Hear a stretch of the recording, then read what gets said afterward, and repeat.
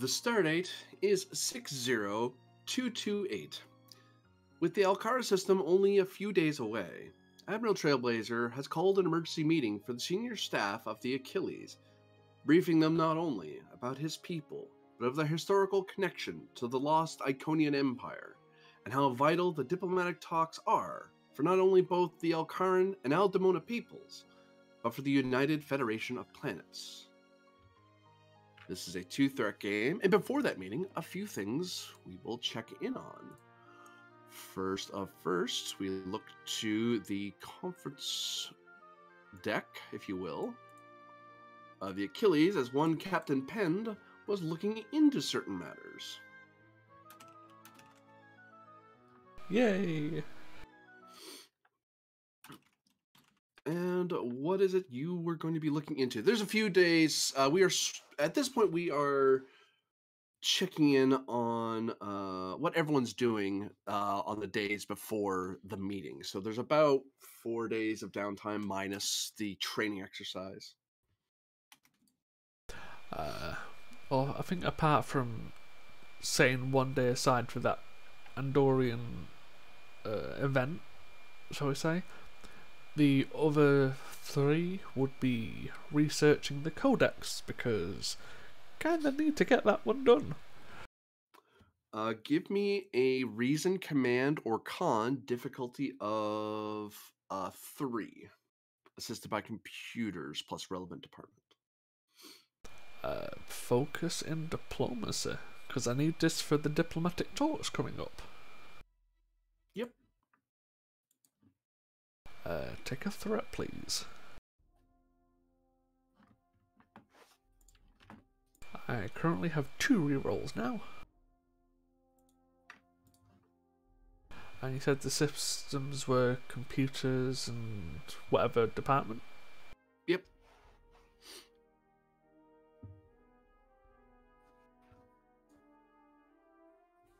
You've hit the number so far.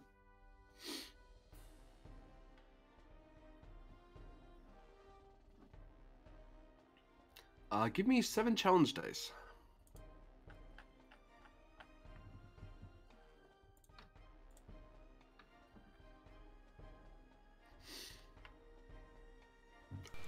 I think I might have to Uh. re-roll some of them. If you want to. Uh, I'll give you a threat to re-roll four.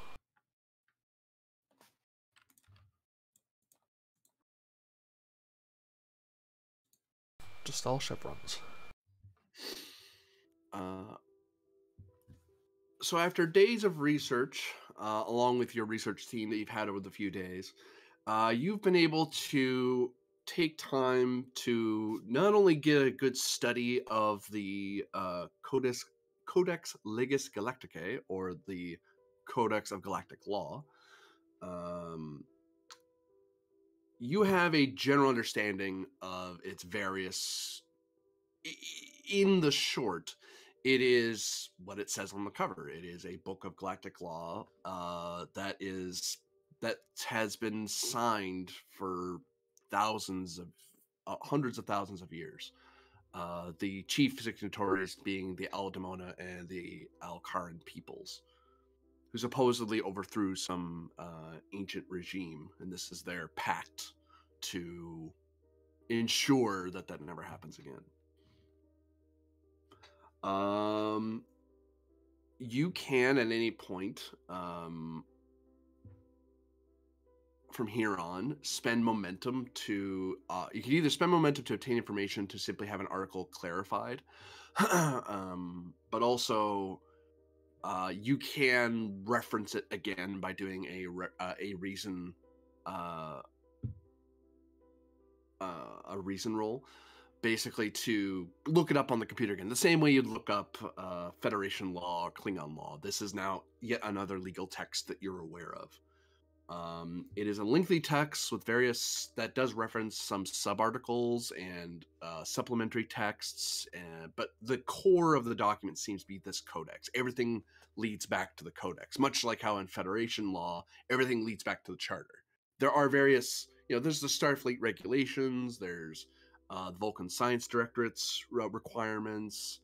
Um, there's Andorian law, uh, family clan laws, but ultimately everything ties to the charter. Likewise for signatories of this galactic law. Um, given the chevrons you have right now, um, there are certain articles that you can just you can ask about five article five one two three four yep five five articles that you can clarify right now. Yeah, And you should have the list. yeah, the um, all the different articles.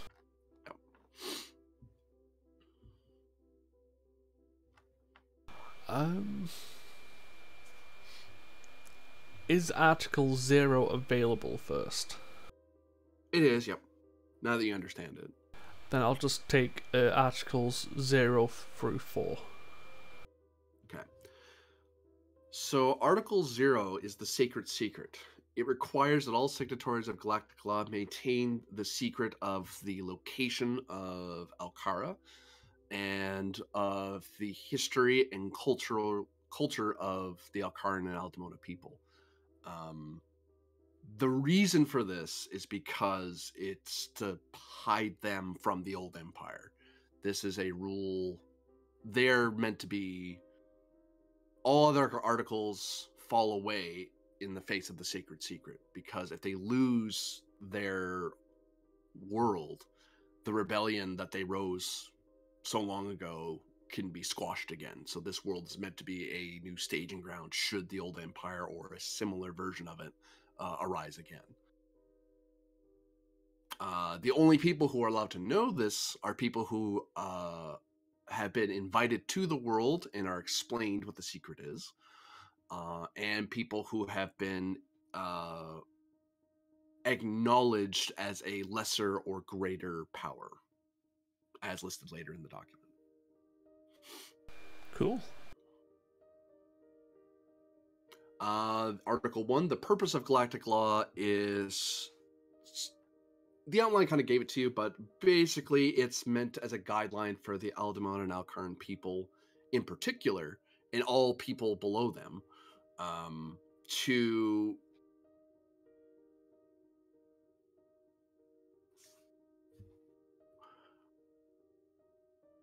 to have a sort of unified code between the two of them and anyone who's underneath them um, to have a a check back point for any new laws to ensure tyranny doesn't get brought back, uh, to ensure that chaos isn't bred into it or uh, excessive inefficiency. Um, but it also it gives very specific directions as to it's meant to give very specific directions as to when armed force can be used either openly or covertly.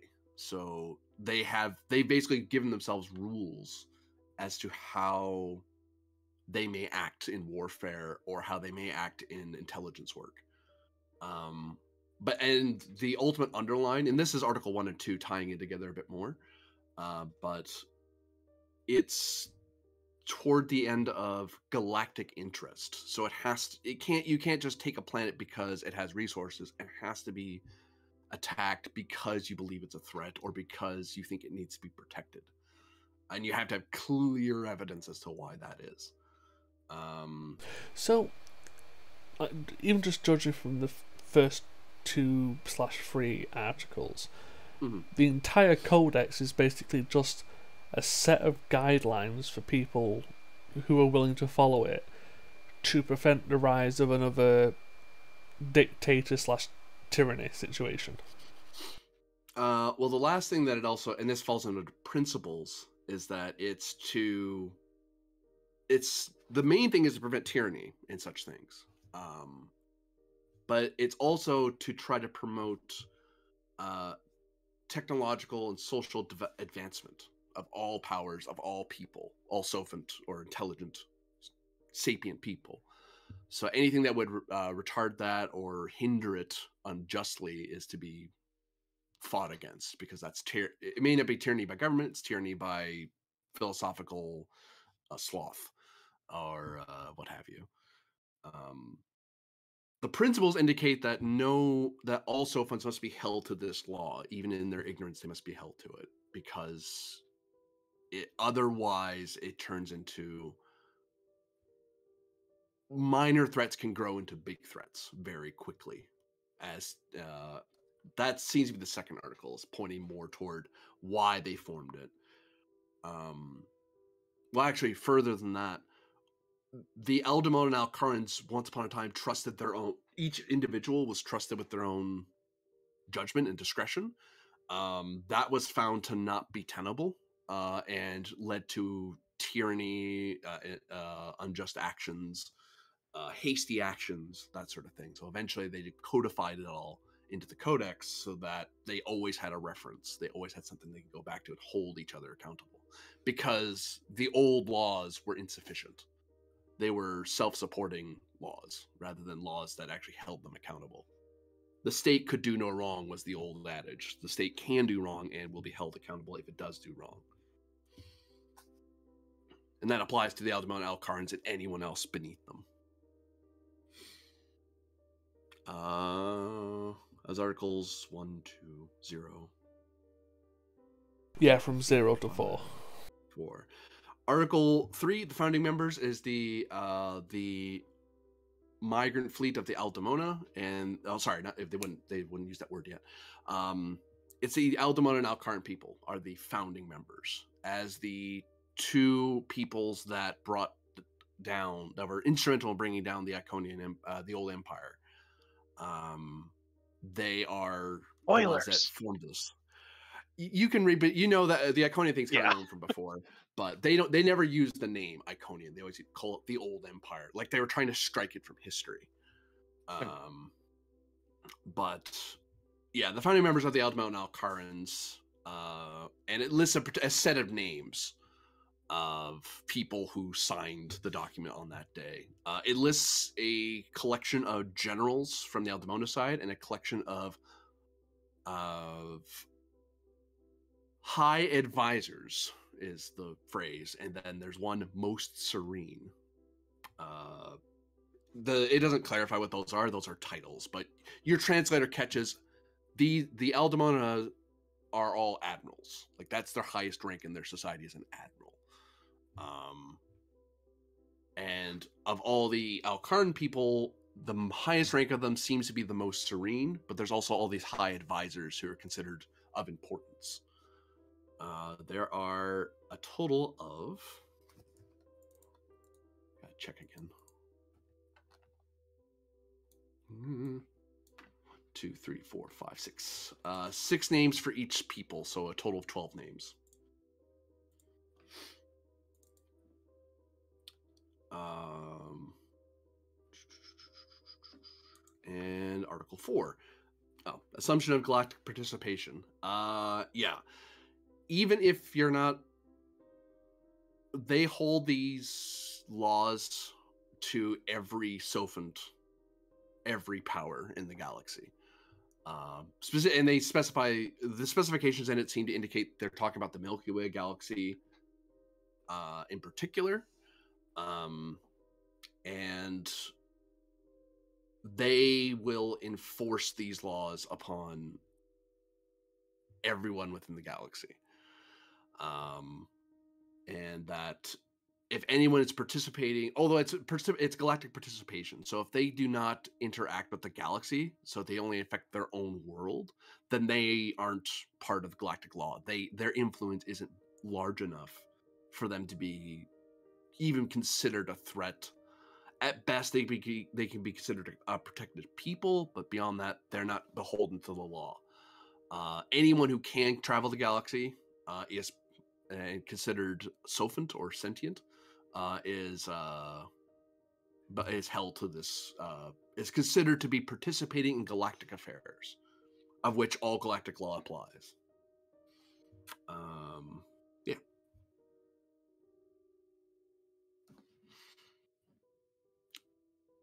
Well, at least that's progress made in trying to better understand the two sets of people we're about to meet.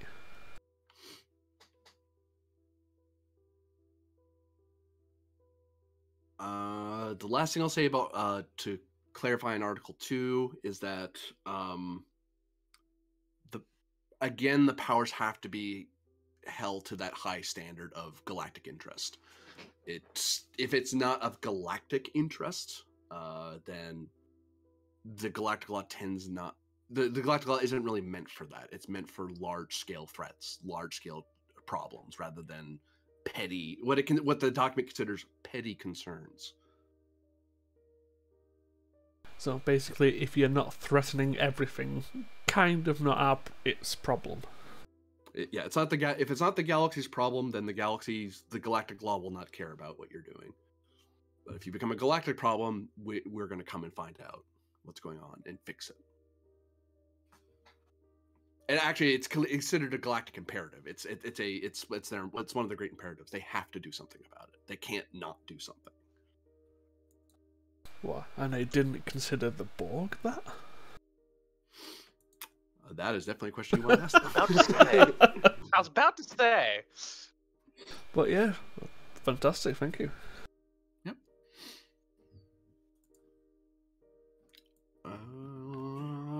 We will cut to one Commander Thralic. Boop. Uh, this room isn't like this anymore. Do, What? Because not do, everyone's unconscious. do, don't need the force field of no death. Uh, these people are fine. Slowly, this page is loading because it was just like the the unconscious people were like slowly coming in and then and then just like going out as well. yes, it's not a good image when you have an entire unconscious room and just penned fully conscious. yeah. Yeah. Commander Thorlick, what are you doing since you've come back to uh from Vale? What is the primary thing question. you're uh you're uh worried about or dealing with or trying to deal with?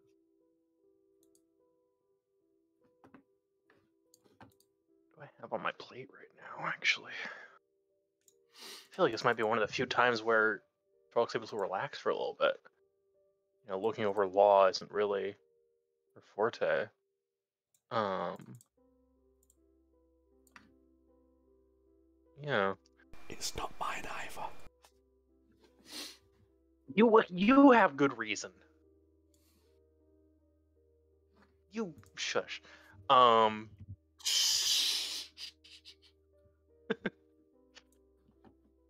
Jamming. Yeah. Uh, I think Throllock's just enjoying a nice meal right now. Not currently working on ship business.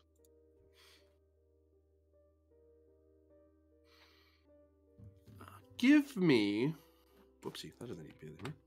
Uh insight plus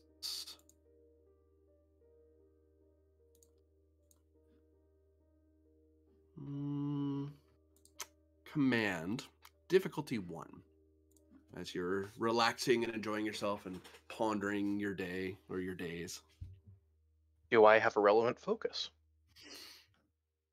Uh, philosophy would be a good one but um I don't have that. observation All right. Yeah, I'll just roll two here.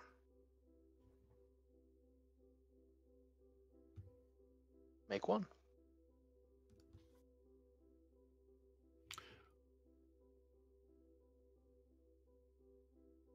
thinking back to your visit on Vale and to how the Achilles has accounted for itself in the last uh, year, the last few months, I should say. Um, the ship seems to be doing pretty good. Uh, the is doing pretty good, uh, considering uh, what it's been faced with. I mean, there's been a few, there's been a case of trauma here or there, injury here or there, and not to be dismissive of those concerns, but welcome to an active Starfleet vessel. Things happen. Um, but the health of the ship overall, pretty good. Uh, people are actually reporting when they're hurt. They're reporting when they're advancing. There's people learning things all the time. Um,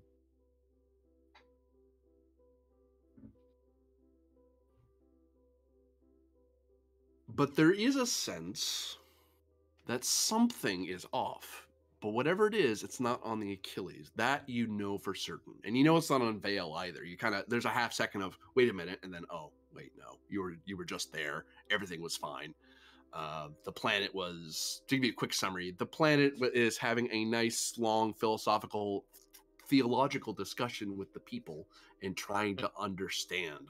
You basically have a bunch of uh, religious navel gazers on a whole planet now, uh, on a whole planet. So, Yeah. you know, it's like Vulcan, really. Um, I, I, I expect there's a little bit more emotion involved. Yes, yes, especially with the Klingons and various other people. But it looks Yeah. to be quite the melting pot of. It is something the Vulcans would love. Uh, the ideal IDIC planet, a Yeah. melting pot of not a melting pot of ideas, but such a rich mosaic of ideas. Uh, which who knows what they'll be like in a hundred years. Yeah. But something is off in the galaxy. You're just you, but you do know it's on the ship. You do know it's not on that planet.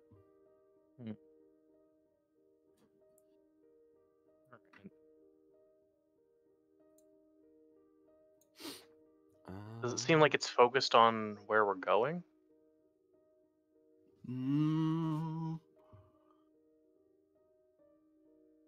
For a threat, I'll answer that. Go for it.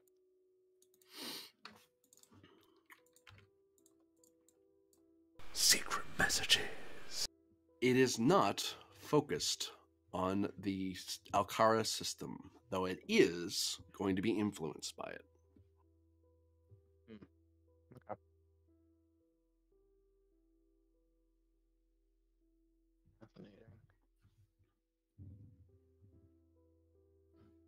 You know, if only we had a counselor here. Your counselor is currently uh, beset on all sides by various people who are having religious uh, awakenings and having to deal with that. It's like, like no one's hurt, but everyone wants to talk to the counselor, and it's like, well, I, I, I really should talk to these people. People are having crisis of faith situations here, and Yeah. they need to get that sorted before they can get back to work. This is the, the only time I a Seems council is important. Sad face. Damn. I mean, it's, it's true. That face.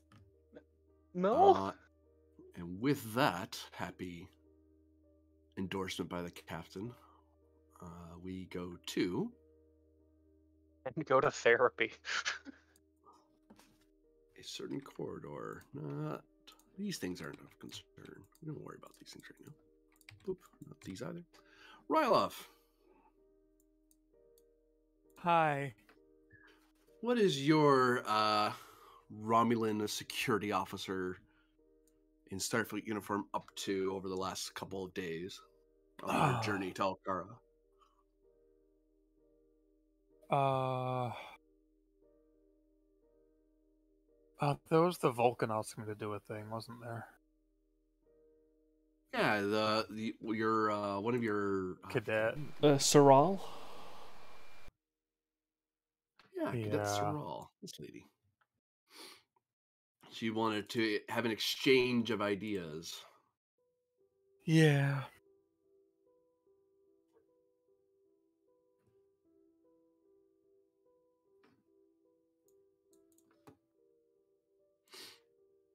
So you have that particular meeting.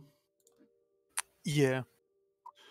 Um, as I recall, oh yes, I remember now. Yeah, Cadet Sorrel wanted to share the teachings of Surak, um, but also wanted to learn about the Romulan belief in the elements and the balance and how the balancing works and how important that is and so on. Mhm. sort of and part of it is to understand something about romulan culture but also to kind of make to mend fences to mend bridges between you because she's she's felt she's been as i recall she felt she was being unfair to you uh, and that's not correct that's not the correct way to be for a vulcan or any starfleet officer so she's making an effort to learn more about something she doesn't know but not doing it for free she'll teach you about her culture as well And is also trying to get over her trauma. So. That too. That, that that has a part of it in it. She may not advertise that fact, but you know, read between the lines. Um, yeah. Give me insight or presence plus command or con difficulty two to see uh, how much you're able to glean from this experience.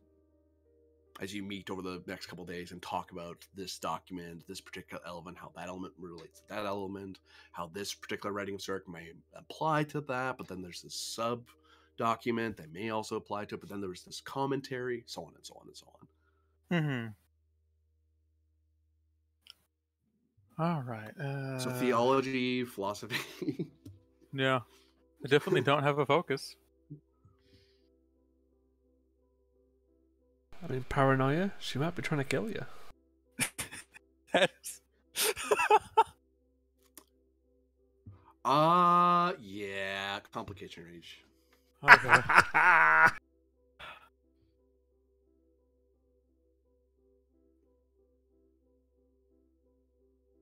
Uh, um, what is our Admiralty focus anyway? Oh, uh, at current, it would be. Helps that I put him on the top of the board so I can find him easier. Um.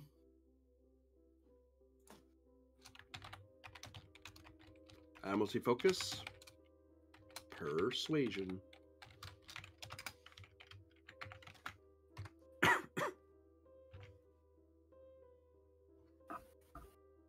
Which isn't exactly gonna help me here, but hey, good to know.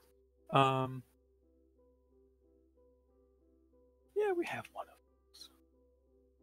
I'll, I'll give you a momentum. Okay. Amazing. Okay, so. Oh, it is a 19 as well. I know. Go away, Pend. Um.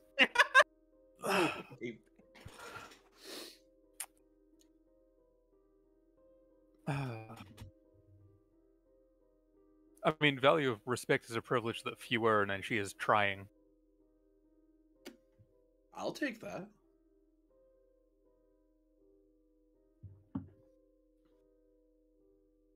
Uh, no, don't keep it. But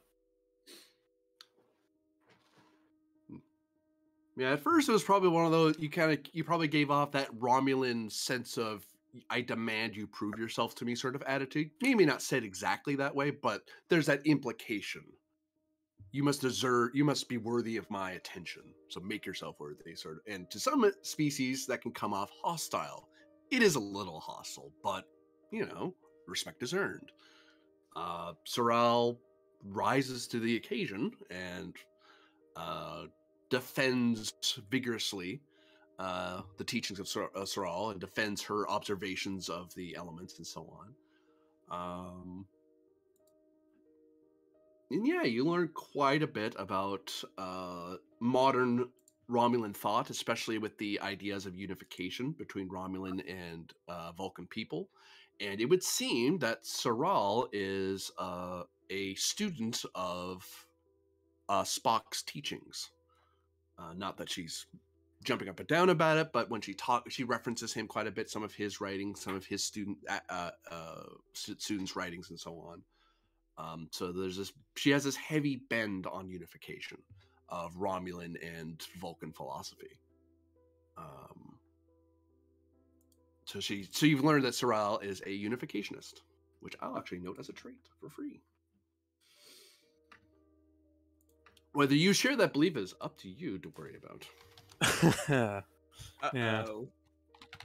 Uh, Vulcan Romulan Unificationist.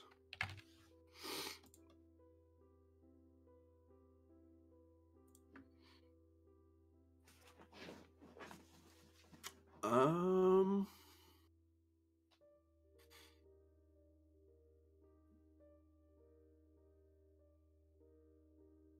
Yeah.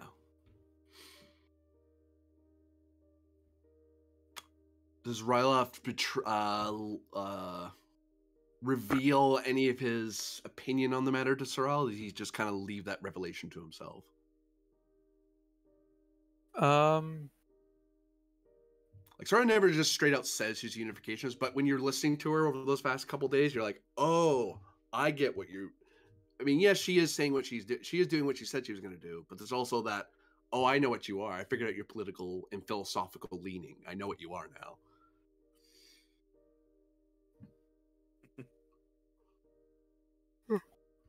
Something. Uh, Jesus Christ, that was noise. Thank you. Uh, vocal cords. I don't know what the fuck did that. Um,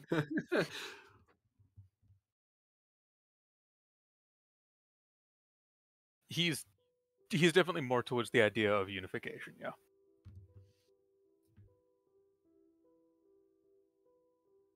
But far more of the opinion that it is a far off thing.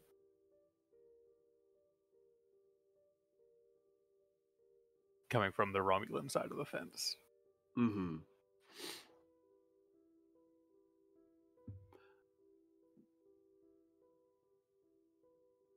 All right. Though, uh, with the current Romulan political part factions, he definitely sounds more state than imperial. Uh, yeah. Um.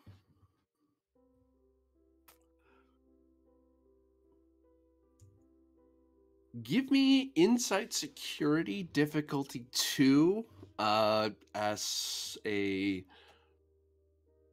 something might come to mind given this. It's not something, it's nothing that Sarah is specifically telling you it's something that you're realizing on your own about what Romulus is going to be like in the next year or two, given what you know, because you know a lot more about the current geopolitical state of affair or interstellar state of affairs than cadet does. Yeah. Um, I'm still paranoid. For whatever that does. That is making this possible. Oh, I have a focus in paranoia then. hmm Um, Lovely. That's wonderful. Uh, I'll give you a threat. Sure. Do I? I will.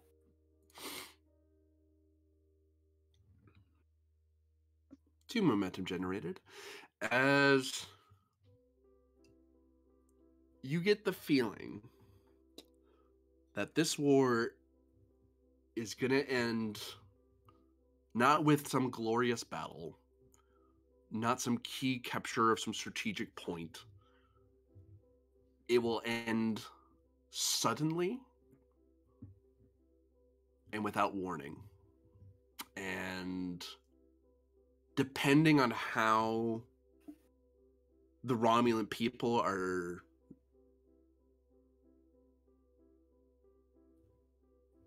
feeling at that time as a people will change the course of history. Uh, the problem is that Romulus doesn't exist in a vacuum. It exists uh, among other powers. How the Klingons are treating, how Starfleet's treating them, and as it is right now, things don't look very good. Based on like Sarah just kind of sparked that in your head, and it's just one of those things are going to spiral out of control. It doesn't even matter which side of this war wins. I mean, you'd rather state one over imperial, but you know, there's a huge paradigm shift coming, and it's probably coming within the next few years. Um, it's something about it, about how the Klingons have been acting in the intelligence reports, how Starfleet's been acting, the stories you hear from back home. Just it all just adds up now that you think about it in a sort of with a sort of Vulcan clarity.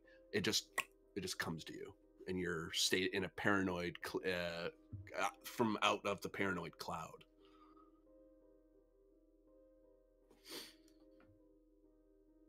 Now, what you do with that particular revelation, you know, it's up to you. Charming.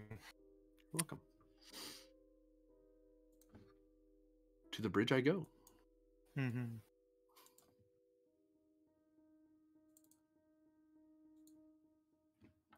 To terrorize, I mean to enlighten one Lieutenant Arlen. Oh boy. So you've had a lot more chances over the last few days to man the bridge, uh, to, but you know, uh, you may have other things you do aboard the ship. What have you been Nah.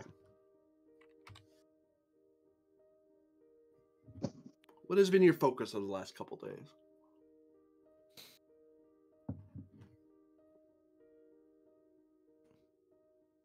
Um, I I I believe I have have a husband I need to need to take care of. Old Yeller style? No. Um. No. No, no, spend spend time with him and just kind of Think process this. And and just as process, hey, so command. Man, is that something we want to do? Is that something I want to do? I'll pull you over to the lounge, actually.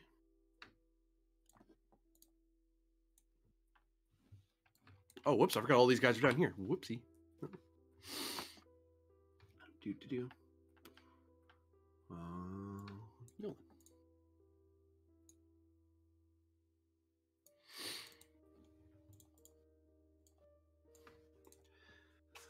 So, you're getting more bridge hours.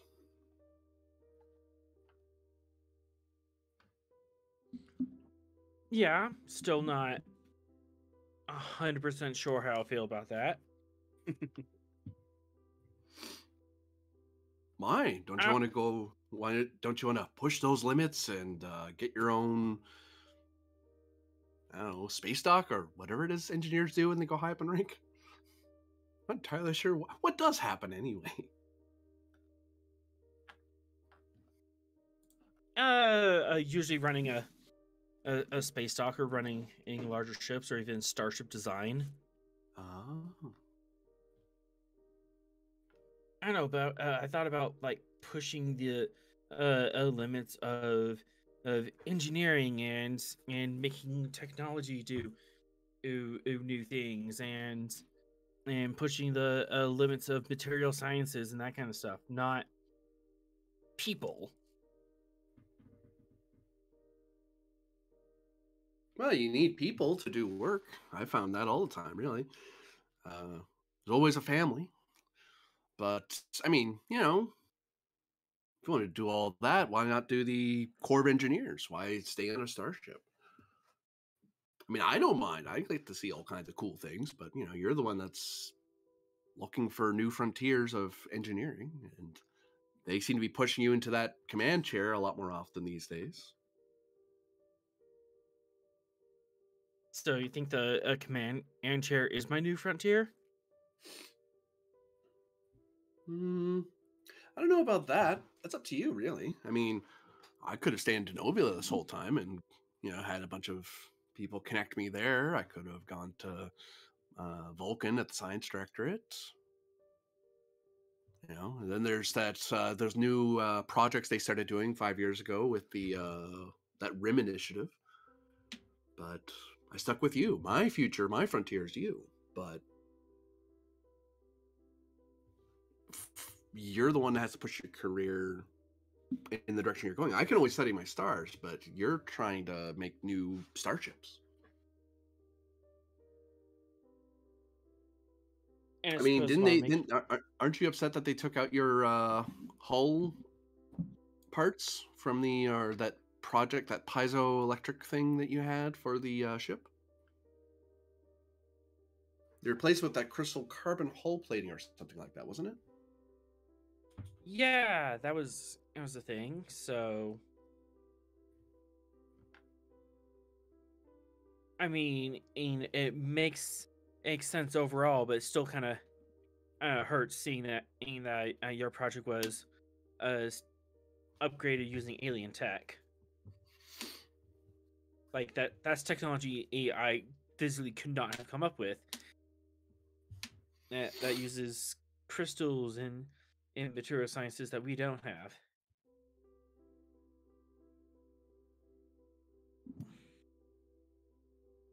Uh, give me presence or insight plus engineering difficulty of three as you're considering your future with Yolan. And well, not with Yolan in particular, but your career, since that seems to be career in total. Divorce. Starfleet protocols? If you want to use that, that that'll color my answer. Um, or technical insight? you could use that as well, but that'll color my answer. Just let me know which one you're using. I use technical insight. Uh, one threat. Sorry.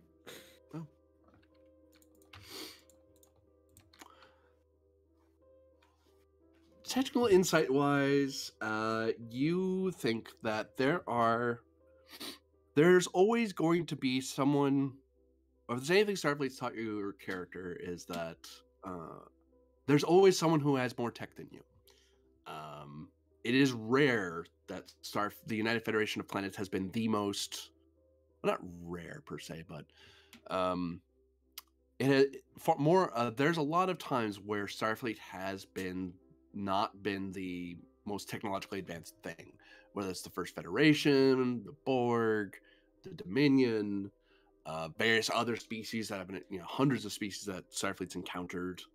Um, you can push what Starfleet knows, but at the end of it, uh, it may be puzzling out the achievements of others and applying that discovery rather than thinking that you're going to be the one that breaks the new ground. As much as you may want to break that new ground, you may be wa- wanting to look at uh, the technological achievements and work from there. You may innovate, and you now have a rich source of innovation from the uh, Shiri for one, but that may be one path you want to consider. If you're not thinking command, uh, that may be a better direction for Arlen on the Achilles.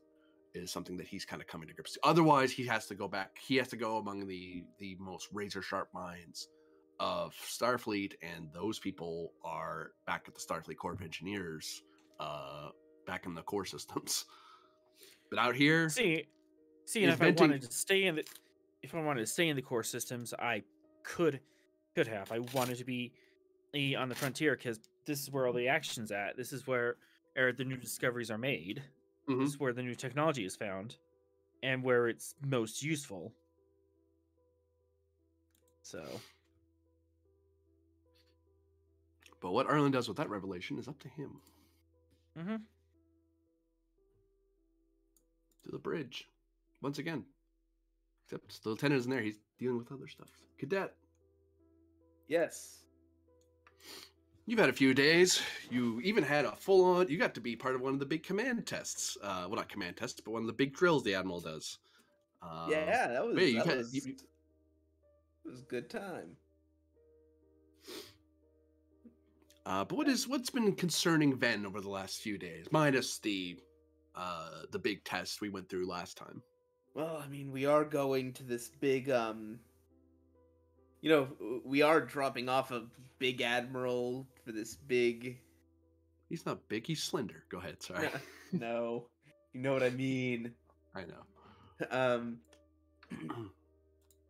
and uh, you know, with everything that has been learned over the past couple of weeks, um, this is a lot. Um, the the fact that Iconians have have come up, uh, is is concerning because I mean, I read about them in my textbooks. Um, they are not not to be messed around with demons of uh what were they air and darkness Hmm. um yeah the, the fact that we're even uh, approaching anything about this is so much more than Ven bargained for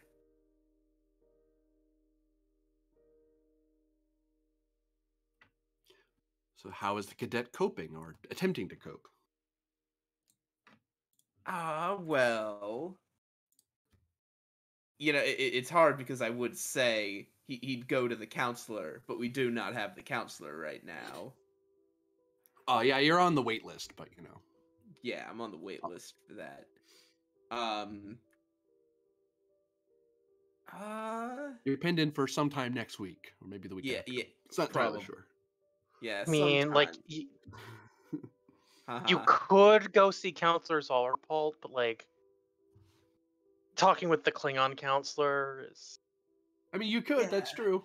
I mean, uh, the other counselor is a lot more available for some reason. Mhm, I wonder why. Um, It's all that yoga he gets people to do. Klingon Yeah. yoga hmm. It involves punching the people next to you as you stretch. yeah. Crou- uh, crouching uh, Targ. You mean crouching uh, panther? No, no, crouching Targ. No. you lash out randomly. Oh boy. Um, Be ready for anything. yeah. Uh, I think he would do. Uh, he'd. He's not gonna do like a holonovel. Uh, he, he's going to go onto the holodeck and hang around a recreation of, let's say.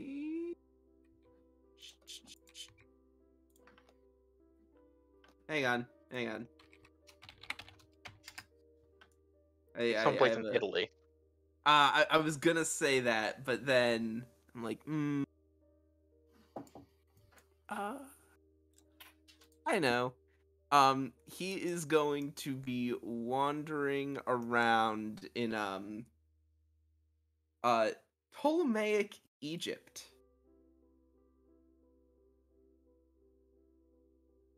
Visiting the pyramids. Not as they were in their heyday, but as they were in the period of Ptolemy. What can I in Egypt again? Sorry. Huh? To- uh, I'll, I'll spell it out. Uh, You can't, Ptolemaic. you can't just Ptolemaic. pick normal places, can you? no, no, I can't. No, it, it, it, E- Egypt after the conquests of Alexander, Oh, oh, yeah, yeah, yeah, yeah, yeah. when one of his generals t- took over.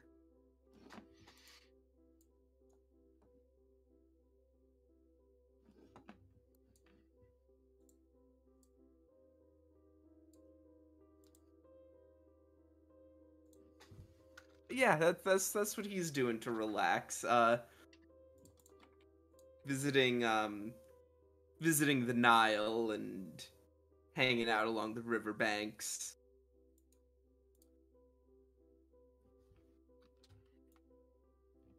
Why here? Kind of kind kind of like a vacation. Did you ask why here? Yeah. Well, uh, Ven does have a bit of a love for history. Um, and man, you know, he, he's done like the Rome. Pro- no, I've fallen in the Nile. He, he's done the Rome programs plenty of times. He's explored like Rome up and down, like from the Renaissance Rome to the Roman Republic to the Roman Empire. He, he wants to try somewhere a bit different, but still in kind of that Mediterranean like range of influences of the classical world.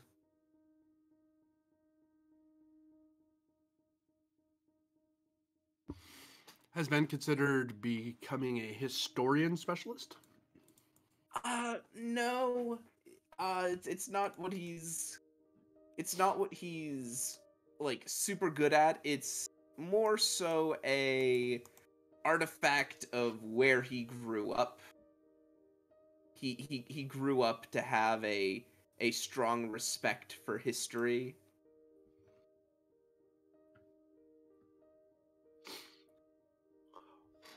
But his, his real his real you know talents and his real skills lie in in astrophysics in uh high level uh high level chemical uh, analyses What do you think Ven's untapped potential really is? Or what does Ven think it is? Hmm. Where does he see himself once he's not wearing the cadet pips anymore? He's a real officer. Um, he sees himself on a starship, maybe the Achilles. You know, he stops and pauses. Maybe not the Achilles. Um, but but somewhere continuing to do scientific research, continuing to try to unlock the mysteries of the world uh, of the universe, just as uh people in ancient times tried to unlock the mysteries of the world.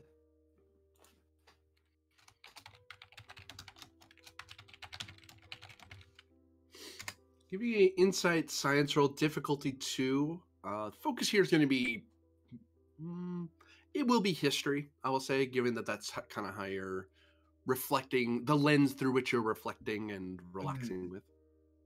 Uh, I am going to spend a momentum for a third die. just for the sake of having a reroll.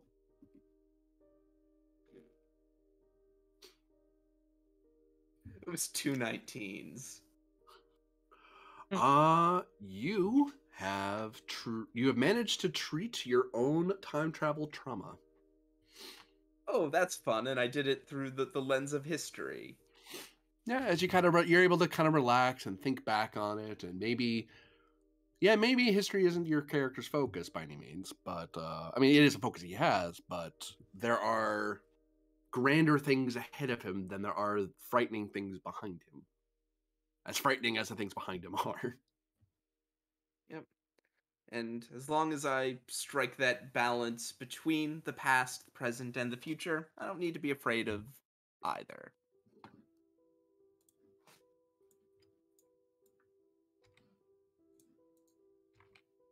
And new scene as we gather in the conference room.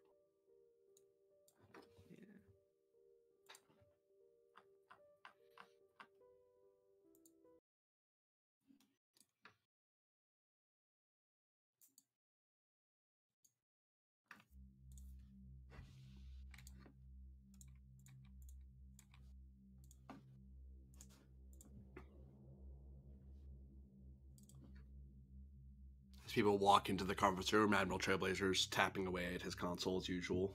Looks up every looks over his shoulder and nods to acknowledging that people are there, and then continuing with what he's doing, making a half-hearted like your uh, carry on gesture.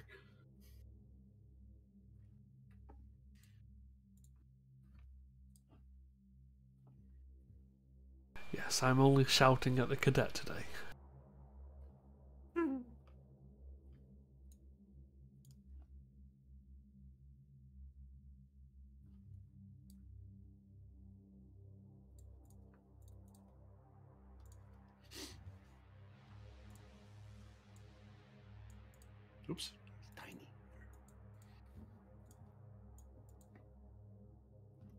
Everyone else files in, I presume. Yep.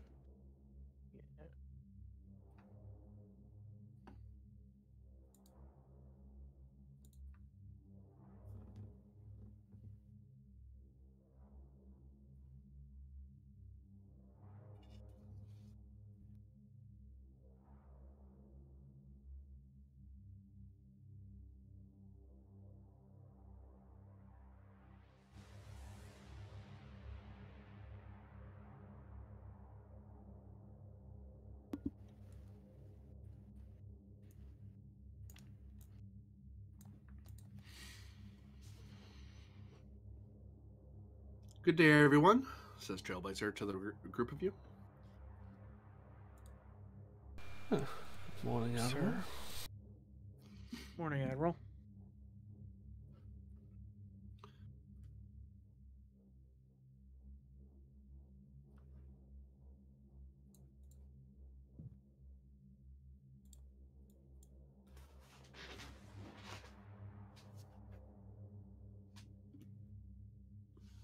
Do you wish to take a seat, Admiral?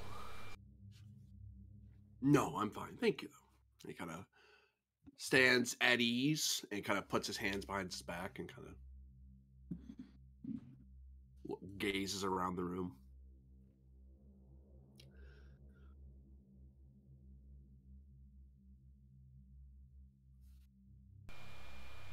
I am going to brief you on something of great importance.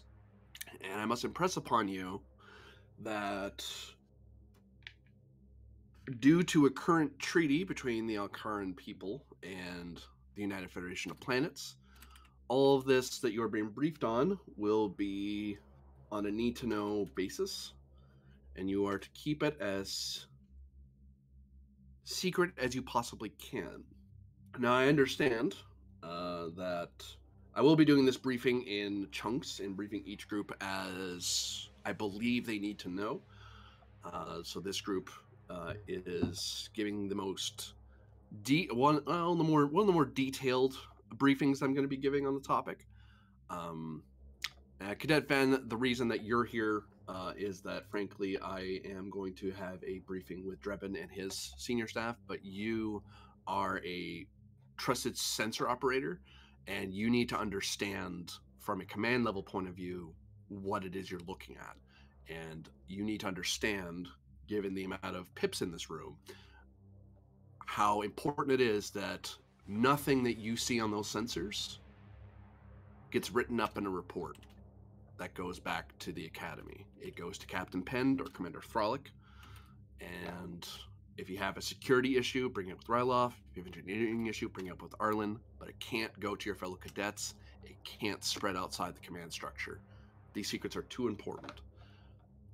The Yeah, simpler answer would simply be to remove you from contention, but frankly, and Captain Penn, feel free to correct me on this. You're the best sensor operator this boat has. I'd rather we had our best sensor operator, not our second best.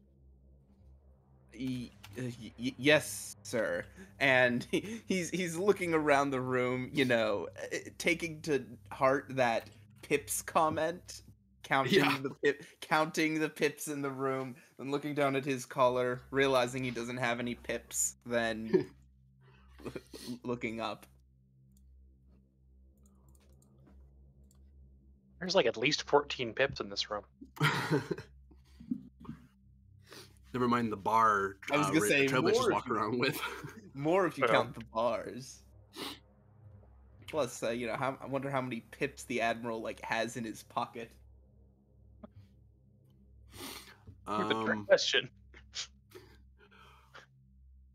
if it's any comfort, cadet, uh, when I was at your rank, I had to take command of the ship I was aboard. That was a fun time. So uh, consider this uh, me trying to go easy on you. Thank you, sir. I wouldn't be as nice. I'd get out of cadet ranks if I were you before Captain Penn makes admiral. If I were you, cadet. That's never gonna happen. Trailblazer gives you a look, Ven. Like, really? That's a different conversation for another day, Admiral. All right.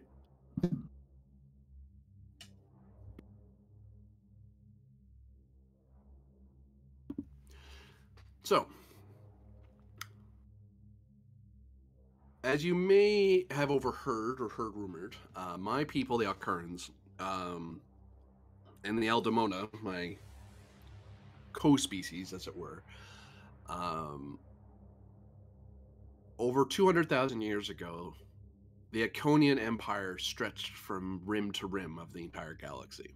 They dominated star systems that you have heard of and ones that have been obliterated from existence. Uh, in time, they did many miraculous, what you might consider miraculous things or incredible technological achievements. Uh, but in time, the entire empire grew corrupt and people, as one does in large empires, tend to wish to rebel against such things. The Iconian Empire then constructed new life forms to ensure their will was maintained throughout the galaxy. Those life forms were the Admiralty of the Aldemona and the covert strike teams of the Alcarans. Our job was to infiltrate every military, every government, every religion, and ensure the loyalty of any power within the empire. And we did a very good job of that. Uh, people va- appearing on planets, uh, angels from on high telling its people that they must go on a crusade to save the empire, and so on and so on. Um, and we were the perfect constructed people because we did not come off like androids, as you would understand. That we did not come off as uh, clones. We were we seemed otherworldly, ethereal, um, magical, even by people who didn't understand that Iconian technology was far beyond what they understood. And we were programmed or indoctrinated to follow the Empire's will. until such time that we found that the Empire was the threat to the galaxy. Eventually, our goal of protecting the galaxy overrode our goal to protect the Empire, at which point we helped orchestrate the destruction of the Empire. And that's when the Iconian Empire was obliterated. Since that time, my people and the Aldemona people have worked together to ensure that the Empire never comes back, to ensure nothing like it ever comes back. And we have worked both covertly and overtly to ensure that the galaxy never suffers from such things. And also to help make sure that all the technology that the Iconians tried to jealously covet was either discovered, rediscovered by its descendants, uh, or by new species that came ar- uh, around over the thousands of years. Um, the Codex Legis Galacticae is a document that we use to restrain ourselves. We are, as a constructed people, we are ones that are also constructed rather specifically to not we need a codex. We we don't we have a free will but the free will is attached to a body of law. The body of law used to be the orders of the empire. Since that time we've been able to transfer that to the codex. Um, and that has been our guiding principle for the last well for hundreds of thousands of years. Um, when your federation encountered us uh, well, the Achilles encountered us, strangely. Um, we learned that there were growing powers in the galaxy, like the Federation, like the Klingons, like the Romulans, the Tholians, and so on. And we have infiltrated ourselves into each of the powers through various means. It's just that in my case, I am the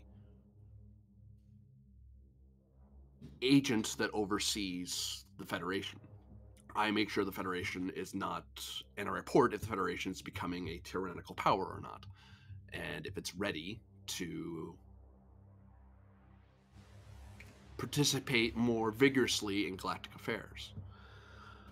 Um, the reason this is so secret is frankly because the sort of information we have tends to attract treasure hunters uh, warlords and conquerors who would try to thieve the information and technology that we have.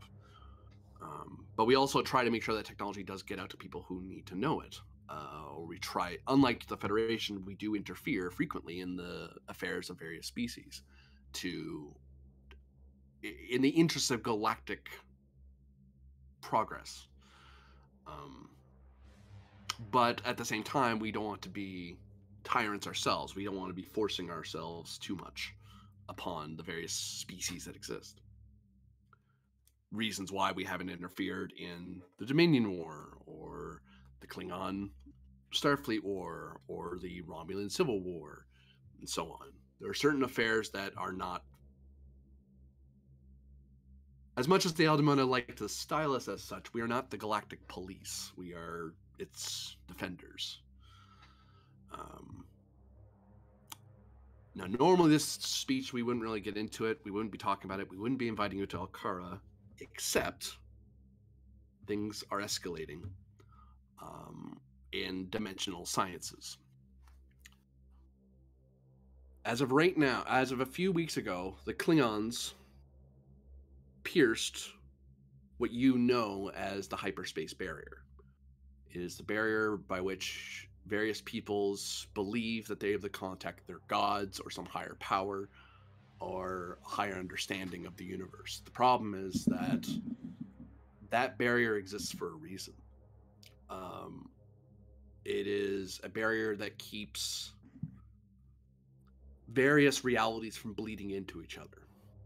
And this has caused for the Klingon Empire a rather catastrophic event where an alternate universe of Kashoan crystals that are did not achieve enlightenment, did not turn purple, uh, instead embraced a sort of destructive, xenophobic attitude where only the Kashoan crystal can persist. Organic life must be destroyed. So the Klingons right now, little did they know it, are on the brink of an existential crisis of which they will be consumed and have imperiled the rest of the universe in, well, being consumed by very angry crystals. The Romulans have also been experimenting with dimensional technology because the two Civil War powers have been trying to find an advantage over each other.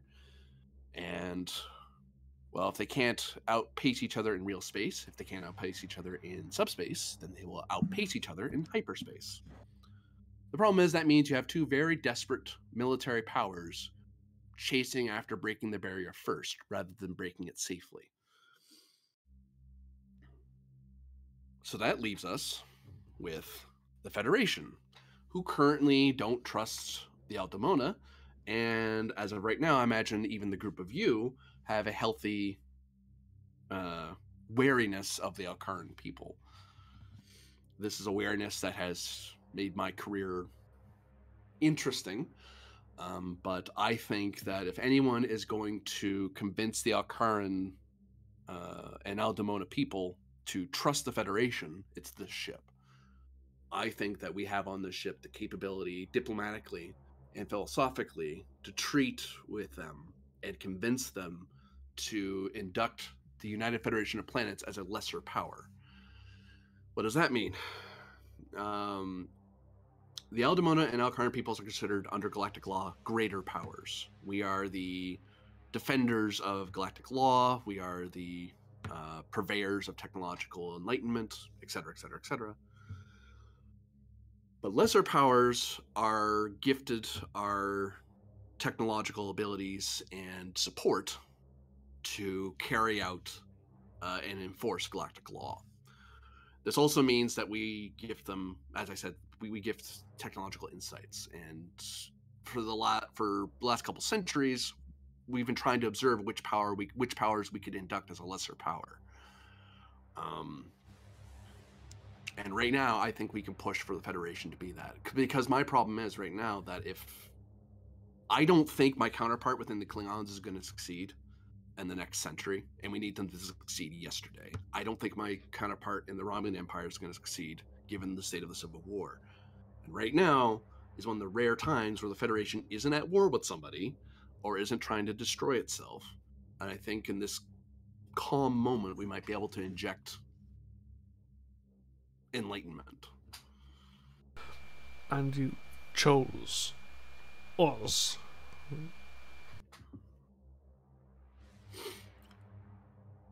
Sure, it does make a certain amount of sense. We've met you before. Yeah.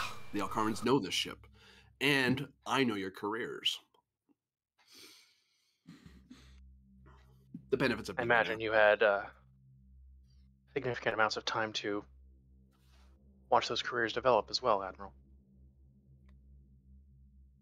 I can't say I, ha- I can uh, take too much credit for observing Lieutenant Ryloff. My counterpart in the Romulan Empire did that for me, but they spoke well of you. They were observing a ranking soldier.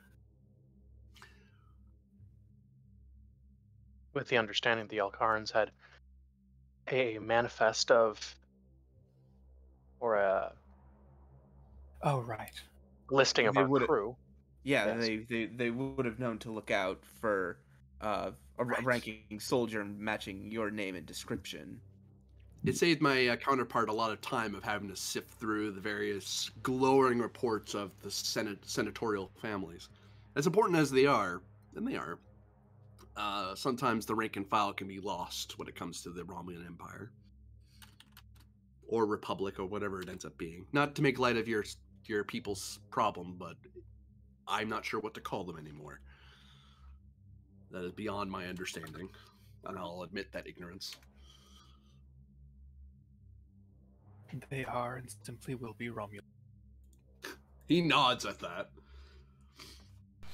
I still don't understand why. While I'm, I I'm may here. not look favorably while while I may not look favorably on the precise actions of either the Dominion or the Tholian Assembly, their goals do not seem to be entirely at odds with your own.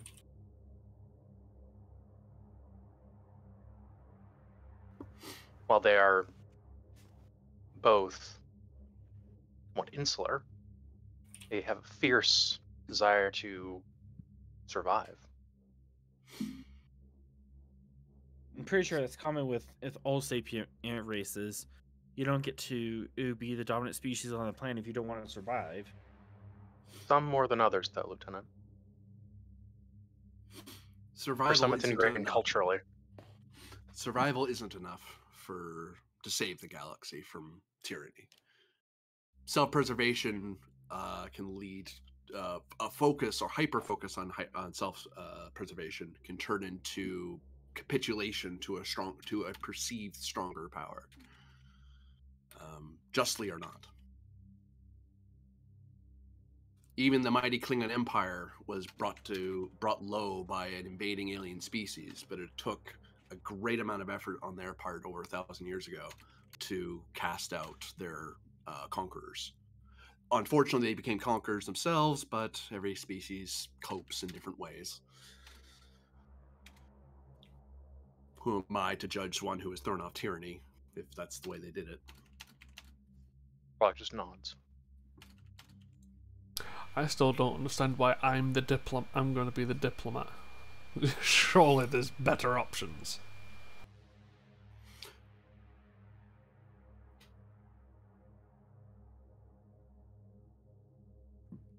You've had a career of dealing with extraordinary circumstances, being tempted with advancement of your career and prestige, and even at one point, uh, galact- uh, interstellar dominion, as I recall.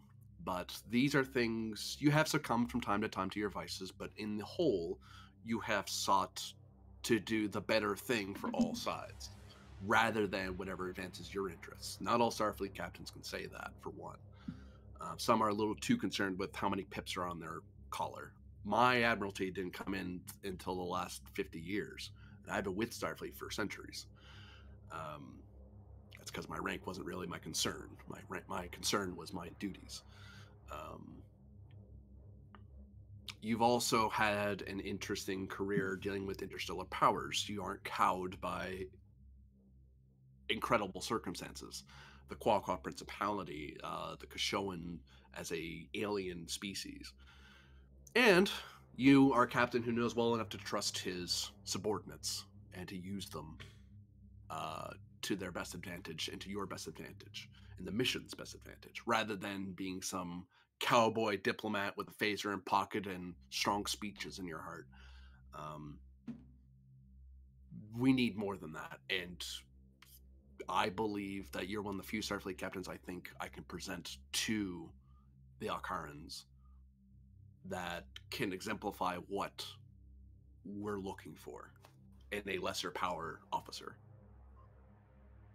I don't know whether to take that as a compliment or an insult. I'd take it as both, frankly. Sure.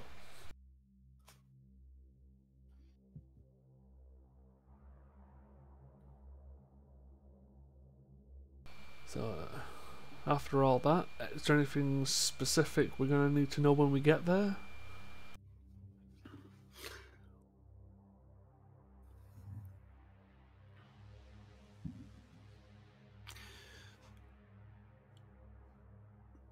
The one thing you need to know that has, as we learned on Vale, is that I believe that Iconian technology is being discovered a little more rapidly. And my, I don't have direct evidence to this, but I've been with Starfleet long enough to read between the lines of a situation and make some uh, educated guesses. But I don't think people are getting lucky in finding Iconian artifacts. I think someone's pointed them at the artifacts. It isn't us because we guard that technology fiercely when we find it, and we tend to keep an agent like the Proctor Commander nearby to keep an eye on such things, to make sure we know who's getting at them. Um, but the thing is, not the Iconian technology. When the rebellion happened, the Empire fell apart in a sudden fit. It just was gone. With an empire that technologically advanced, approaching that much, that close to singularity, uh, it just takes a single moment for everything to shatter and that means all the technology all their knowledge basically shattered along with them. And they made no efforts to, to preserve that information. They did everything could everything they could to hide that information. But now all of a sudden all that very hard to find information all that ancient technology suddenly species are running into it. And it's a very specific type of technology. Dimensional interaction or inter, uh, or dimensional travel. Veil was an attempt to do to create an Alcaran as a planet, a force that could perceive hyperspace and present itself as if it was a godly figure. Um, the problem was it basically lost its mind because it was hearing it was now open to the psyches of everyone on the planet, so it couldn't make sense of anything. Right. It probably doesn't even know an Iconian built it in the first place. The only reason I know is because I'm trained to look for it. No, it, knows it knows. Uh, Oh, I, I, I kind of made it depressed and it punched the ship. So, you know. Yeah, it wasn't fun.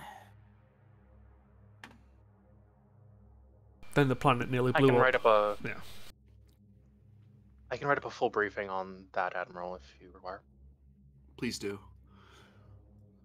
So the reason I bring up that last bit is the fact that we do need to. I normally, when it comes to a diplomatic interchange like this, I know the Federation loves its. Well, I can't begrudge it. It loves its bureaucracy. It loves to make sure that every box is ticked and every portion of its charter is upheld. And as Starfleet officers, we're all expected to uphold those things. But we need to put. We need to speed things up as much as we can and we need even if they don't sign off today and i doubt they will um, even if they don't sign off right away you need as much information as possible to deal with the growing iconian threat. The, the klingons are dealing with it with starfleet help as i understand it. It seems uh, one of my counterparts from the core worlds has deployed an intelligence asset in that region so that will make life easier and some secret um well actually you know what they are uh it, the that parapsychological group uh that secret society what are they called Oh, the the watch. Those Yeah, ones? that- Yeah. Launch. the, they apparently are working on it as well so the klingon issue is being up uh, is being maintained for now but starfleet needs to have an advantage of some sort to deal with whatever's happening in the shackleton or what might happen in the romulan empire I mean, if anything, if we can stabilize the Romulan situation, phrasing, I know, that would probably help with some of the issues.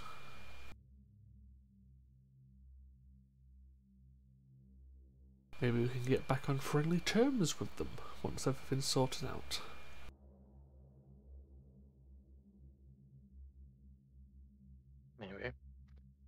Was the Federation ever on friendly terms with the Empire? I do not recall. No, but with there's a difference between friendly terms and not shooting each other at first sight terms. I prefer friendly. I think the Dominion, the latter days of the Dominion War, were the last time we were at all, were in any uh, friendly terms, arguably, for with the Empire. Loosely. It was more convenience. Still, It better was a bigger being, enemy. Still better than being shot at. just circle back back a little bit wasn't there er, a klingon on myth about out how the klingons went to heaven and killed their gods and now they're punching holes in heaven now i think this is pretty much on brand for them not saying i justify their actions ends but just humorous observations. Yes, pointing out Klingons are doing Klingon things. Admiral, you mentioned the possibility of the Iconian Empire returning. Can you clarify? the empire, the species of the Iconians is long gone or the many hundreds of thousands of years. However, as you know through the science of replication and matter uh, uh, dissemination, um, you can create organic life from a file. You can undigitize someone. Um, that is one way the Iconians could come back. They could simply beam themselves back into existence, or they could try to create or reinstitute the original forms of the Alcaran or Aldemona people. Or they could eh, inject themselves into the psyches of a suitable host species and rule as some other species, but still Iconian in mind. The thing is that that's why Iconian technology is so dangerous. It's because it isn't. I, well, not just me, my people have been on guard for that sort of technology. And we're seeing a lot of Iconians uh, advancements, which implies that there that there's Iconian influence um, within the various empires. That could lead to someone stumbling upon. I mean, it's one thing to find a better phaser or a better starship or something like that.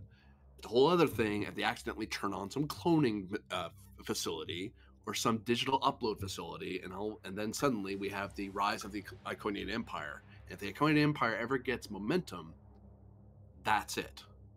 The empires as they are right now cannot withstand a rise of the Iconian Empire.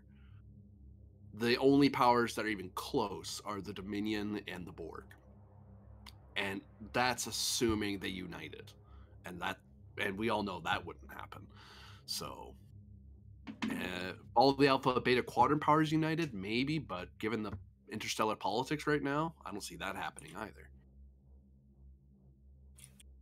So better to get ahead of them and stop them from forming while we get take more time to help stabilize the galaxy. Well, there's also a different um, force in the Shackleton Expanse that's could be messing around with things we don't want them to. That's my worry. That's why I've been out here for the last uh, seven years. No, I'm, I'm trying to. talking about the um, the breakaways. Oh, the tripolity. Yeah. Unfortunately, the tripolity did not take our benevolent uh, actions as what they are, and instead took them for an attempt to rule the galaxy. They saw us as another authoritarian power to up, to oppose. Which is why they've been filling their ships with holograms and fighting the Aldemona.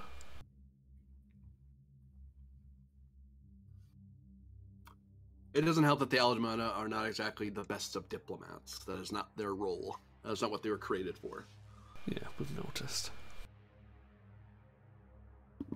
But they're a group of people who, without one of your kind with them, basically are unsupervised in a section of space where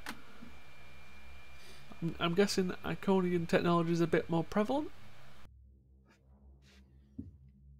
The Shackleton had hides quite a few Iconian, uh, well, Yeah, Iconian technologies. I hesitate to say planets because some of those planets don't exist anymore. We were, in some cases, we were very thorough in our orbital bombardment of certain worlds, for exactly that reason, to destroy the technology. that's a, yeah, that's a worry for we're gonna have to figure out a different day. Could it be possible that the Iconians imps themselves are somehow communicating with these people and leading them to release to build a bridge edge back to our galaxy? That's very possible. Either through even through the simple art of time travel, they could do that. The thing is, time travel is very visible to the Federation. Federation gets time travel technology relatively. Actually, we, they have it now, but the actual temporal fleet becomes a thing within a very near part of time. We're very close to the temporal fleet, temporally speaking. So doing any time what travel fleet? shenanigans. Don't worry The about it. temporal. Yeah. Think Starfleet, but time travel, and that is reducing it immensely. Um, but put it this way: if you time travel here and do any big moves in a time travel way, you it'd be like someone warping into near Earth. Uh, the Star Starfleet would notice you're you're too close. Um, well, that's not exactly accurate. It's more like warping into the edge of the Federation space, so more like Risa or something. Basically, would know. station. yeah, basically a fleet to stop people from fucking around in the past. So could they be? Could the Iconians be messing with us in time with time travel? Yes, but it had to be small scale. That's my thing. The other way to do it is through hyperspace, but there are various species that can perceive in hyperspace, or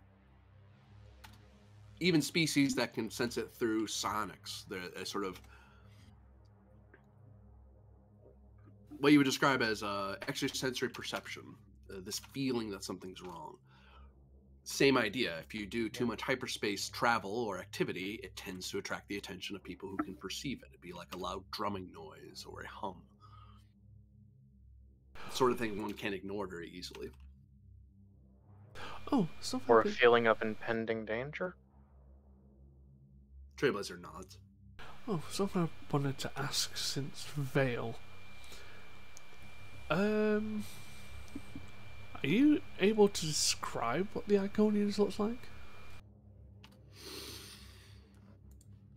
Like, they've had various appearances.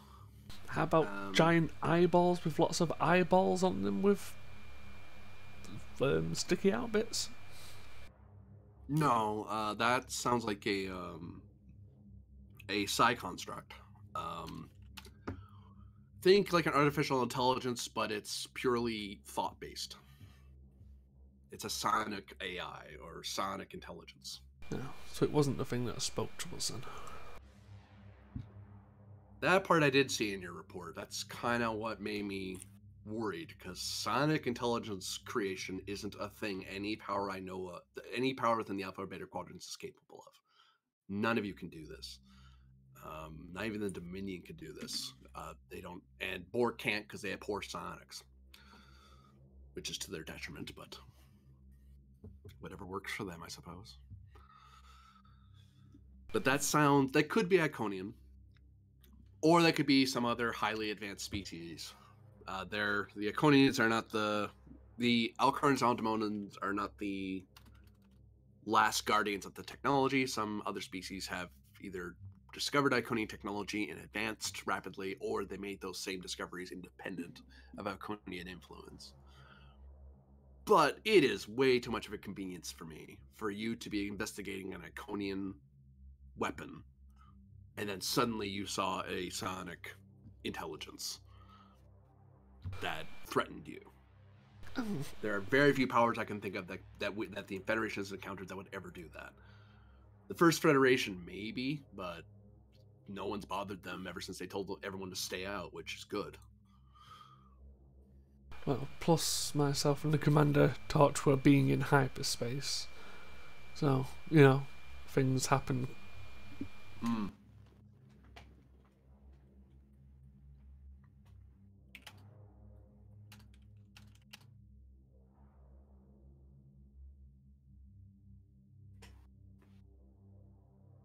What happened to the good old days of just exploring?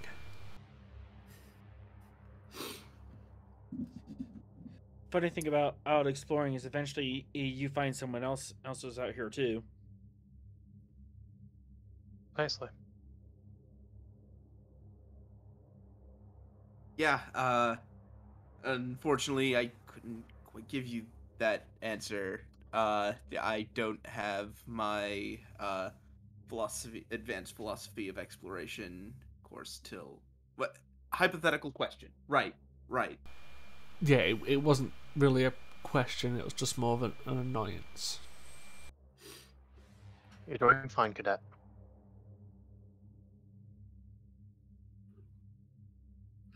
You've mentioned the Borg several times, Admiral. What's the hmm. Alcaran and Aldemona stance on them?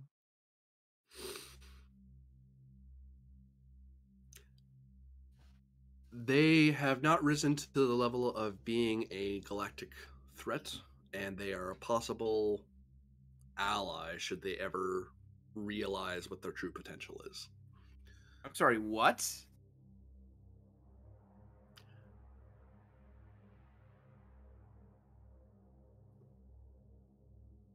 That's what startles you.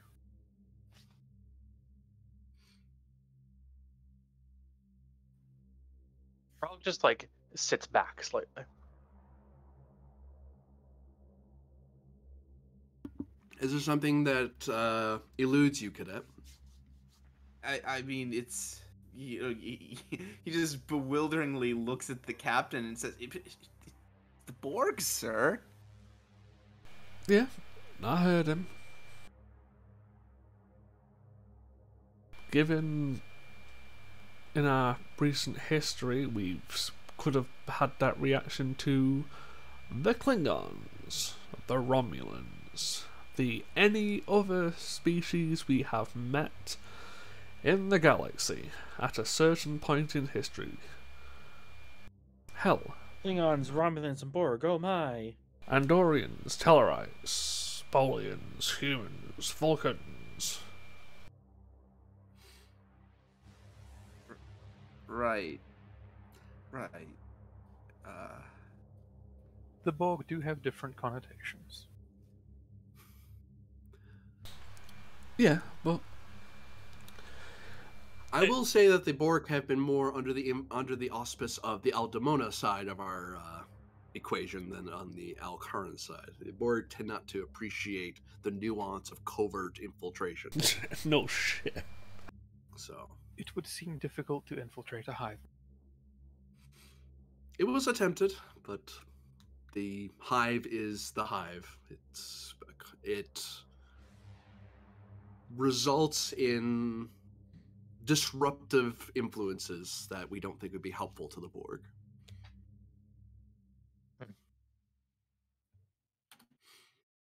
Well, let's just agree they're not viewed in the best light for now.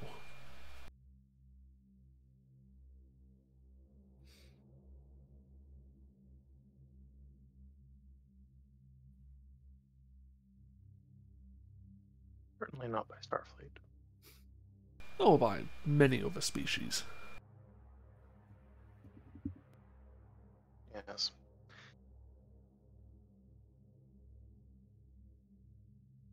There's uh, anything else, Admiral?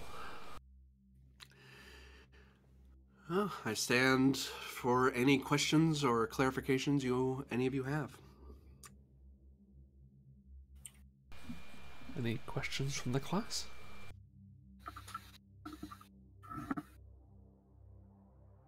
Do we have any insight on what type of power source Iconian technology he might be using? And if I have any insight on that, I might be able to uh, think of ways to uh, at least turn off their air technology from afar and prevent and people from activating it. Oh, that's a Starfleet engineer for you. Faced with an overwhelming technological foe, you think of how you're able to overcome it and thinking it's possible.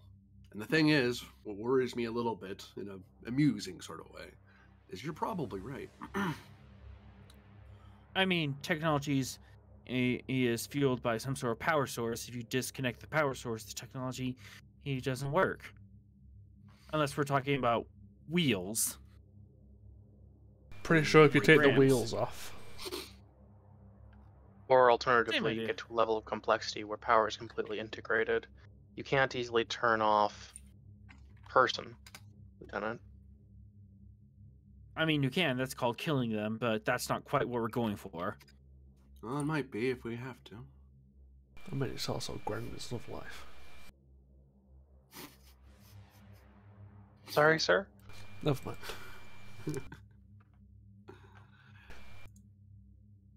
Uh, give your GM a second because I have to look that up. See, I, I assume that was actually the Admiral giggling then. No, no, he he doesn't emote. This He doesn't of laugh. species thing. Yeah, but his eyes his, do. His eyes, his eyes flicker around. His eyes are probably flickering. Yeah.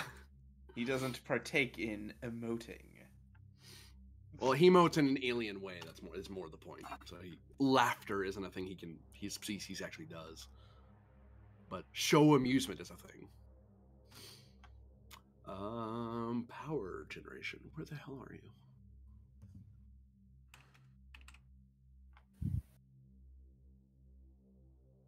Although, Oh, there it is. There it is. I'm dumb. I'm dumb.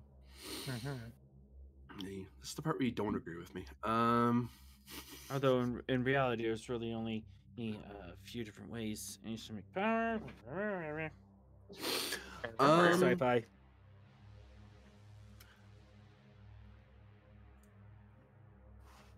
The conventional way they use power is through complex means of matter antimatter reaction. Um, so that would be a mat. That's something you're very familiar with. The what becomes a complication for you is when they're when they connect their when they talk about one of their larger facilities. I'm speaking of uh, station-based or planetary-based technologies.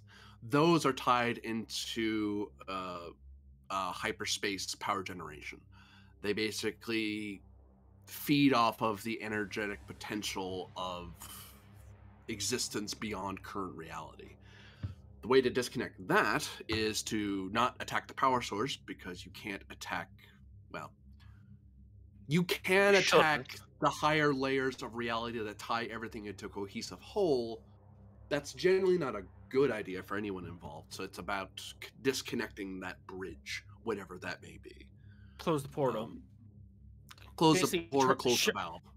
yeah, basically shut off the uh, waterfall that they've uh, placed their, their uh, water wheel you know, underneath. More take the water wheel away from the water uh, from the waterfall. If you disrupt the waterfall, doable. you well, the trick is finding out where that wheel is. But when it comes to starships and such, they use very advanced versions of uh, antimatter reaction. The problem with those isn't so much disrupting them; they're they're disrupted the same way any other matter antimatter reaction is. It's just it's like the difference between um, an NX class ship trying to disrupt the energy distribution of the Achilles. There's a technological gap there between the two powers. But functionally, the principle is still the same. It's just uh, much more complex, much a lot more fail safes. Same principle. Oh, just two hundred years years of technological advancement. Or in this case, over hundreds of thousands of years of technological advancement. They had a pro. They were on the brink of of, of uh, breaking singularity. Basically, at the point of, or one step short of preservers level. Exactly. Though there are some who theorize that they actually achieved that, I am I do not believe that is the case. I don't think they got to that they got to that point. We, they their their singularity event was us. They were shattered by their own technology.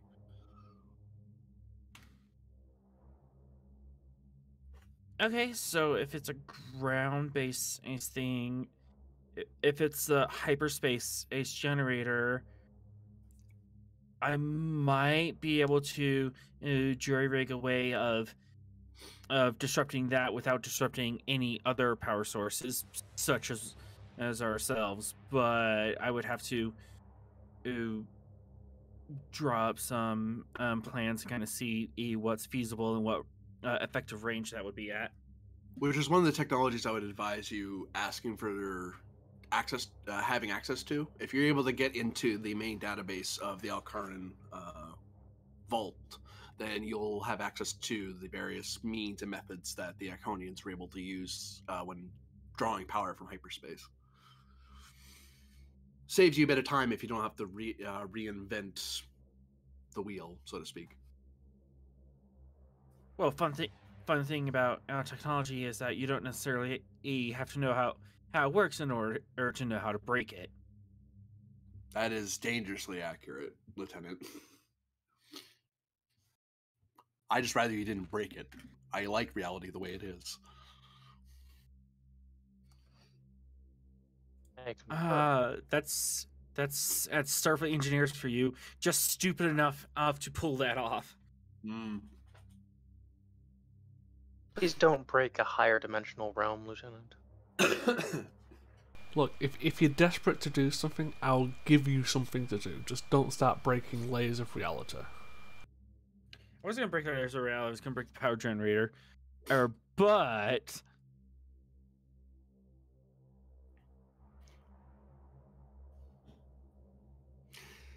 Any other questions?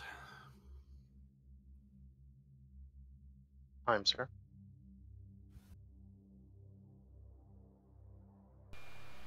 Not personally. I, I'd like to ask you who, about who I'll be meeting in particular, but that's something we can do uh, before we actually get to Alcara.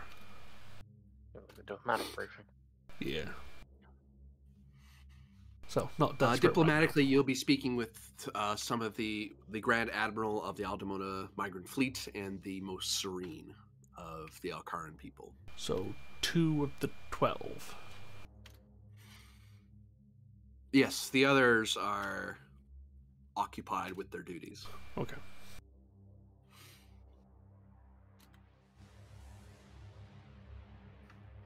Uh, yeah, like I said, um, And if you can't impress those two, you're not going to impress the rest of them anyway. oh, no pressure. Thank you. Just laying out the stakes for you, Captain. I know the most annoying thing in the world for a captain is to be blindsided by your admiral. I'm trying not to do that as best as the law allows me. Fair enough. Um, lieutenants, cadet, anything you'd like to ask the admiral? So, what do I need to be on the lookout for? Or is this more of a just I I can't talk about anything I see on those sensors? Uh, you, the only people you can talk to are the people in this room. Okay. Um, if you want to write a report that it, you are Starfleet, Starfleet officer, it under Galactic law, it counts as a lesser power uh, learning information of its own accord, and I am allowing the Article Zero to. We're acting within the bounds of Galactic law. Is the short answer. Um, so you can see these things. You're allowed to scan these things. You're even allowed to write about them. But as a Starfleet admiral, I'm telling you, it is not a very good idea to spread that information around. And if Right, you want to okay, make dip- so and- None and of it. Diplomatically, you don't want that getting around either. Got it. So none of it. Understood.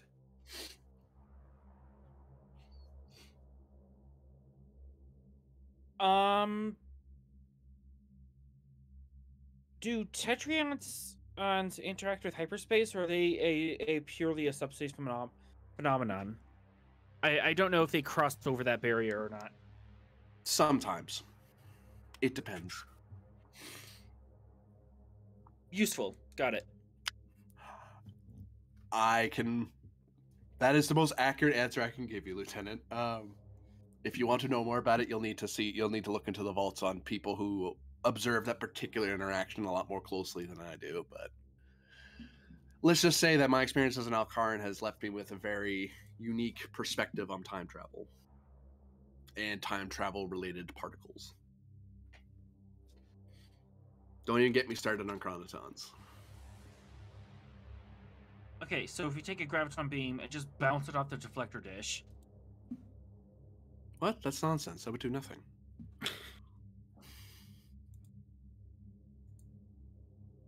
Think No, he I, I'm making a joke. Yes. that, So's the GM. that that's that's a joke. yeah. But saying that in character to the admiral, though. yeah. He gave you an in character answer. He's like, what? That's silly. It makes no sense what you just said. We're here to talk about real science, damn it. No. Um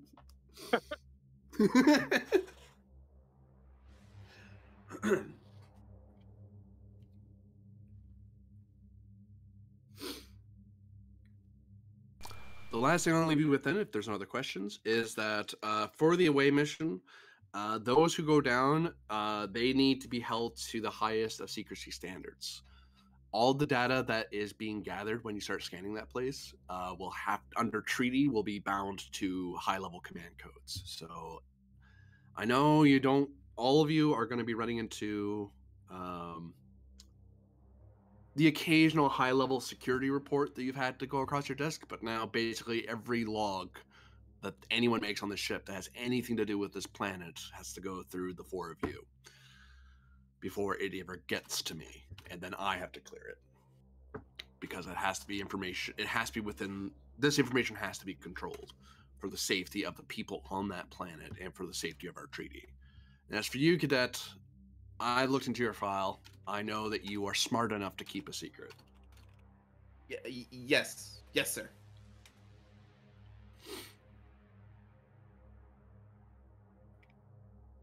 And I would advise you to inform your chief of security if any of your cadets start getting inventive in the way they send reports back home.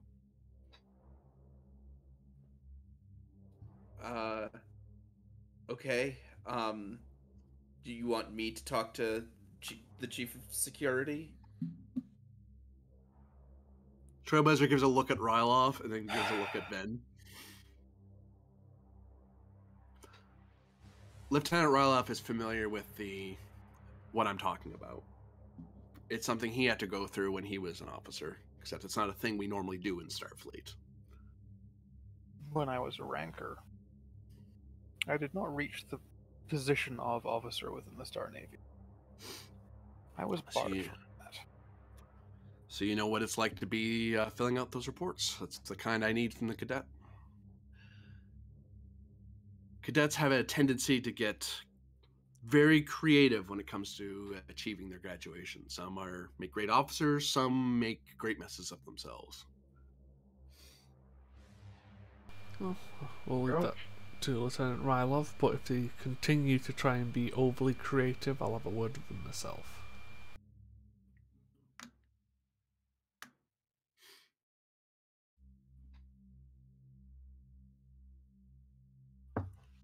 I'll speak bluntly for you, cadet. I need you to be. A, I need you to spy on your fellow cadets. he he he uh gulps. Uh, uh you spy on them. Okay. Uh, well, what what do you need me to to look out for? To Them trying to breach they- the information quarantine. to ensure they are doing nothing to hasten or accentuate their graduation while we're here, essentially. And the most likely course for that is information regarding where we are and what we're doing. Okay. and Uh, especially when it comes to Starfleet cadets, if we're hiding something from them, they're just going to take that as a challenge to find out what. okay. I mean, I'll I'll see what I can do, but I mean, you know, I I don't quite have the access that you know the chief of security would to Lesson in intelligence work, cadet. Sometimes, for all the technology and all the uh, bureaucracy you have at your power, sometimes one well placed agent is enough. You have access that none of us have. You're the same rank as they are.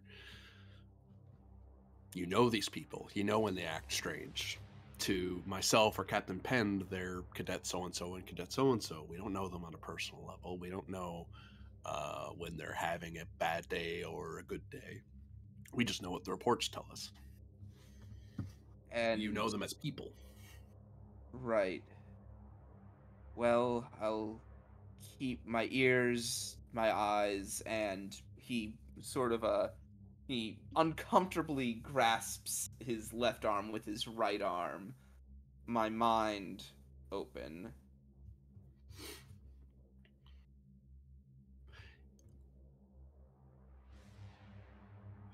If it ever comes down to them challenging you on the matter, direct them to Lieutenant Ryloff. And Okay. Lieutenant Ryloff can decide whether or not I need to be involved or not. Frankly, when it comes to keeping secrets like this, it's better to manage this on a smaller scale rather than having the big scary admiral walk into the room to solve the problem.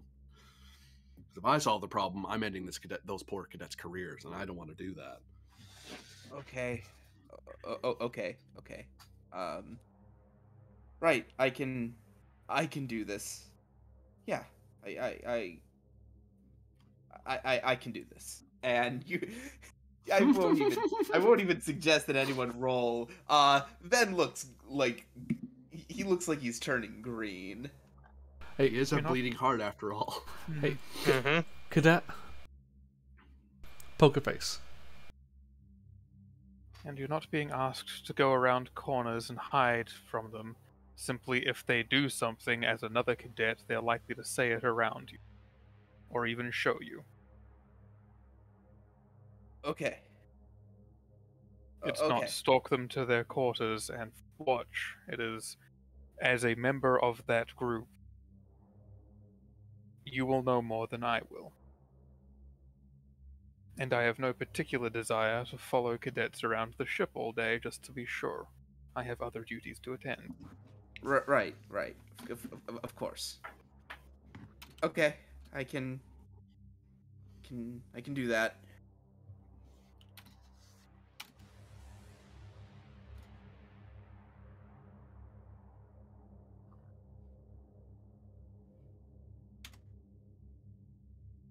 Uh, well, I believe that's it, Admiral.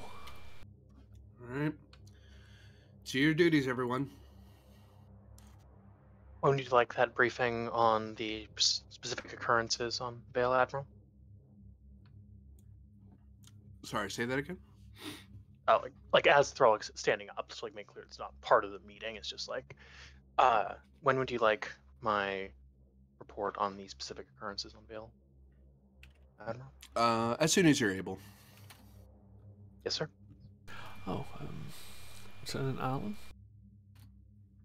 Yes, sir. if you'll come with me to my quarters, um, I've got something I would like to work on, but don't really have the time to.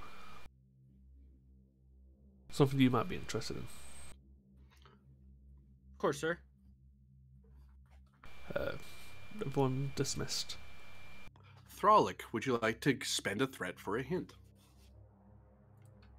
Yes, sirree.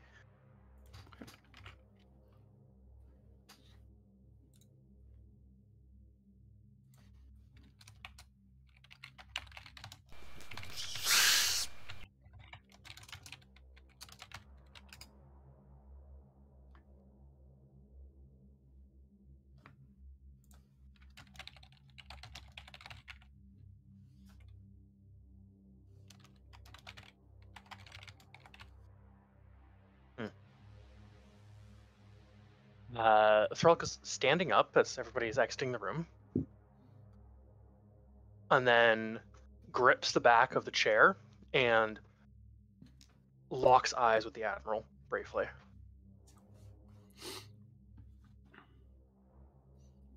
And then we'll glance over and after Rylov and Ben have departed.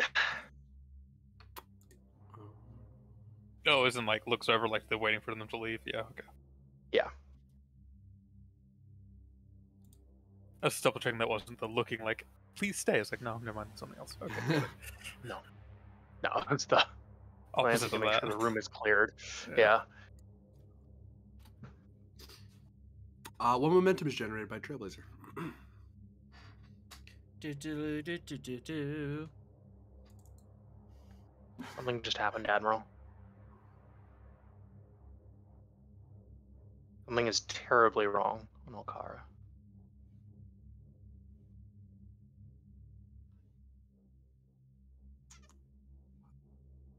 How do you know this?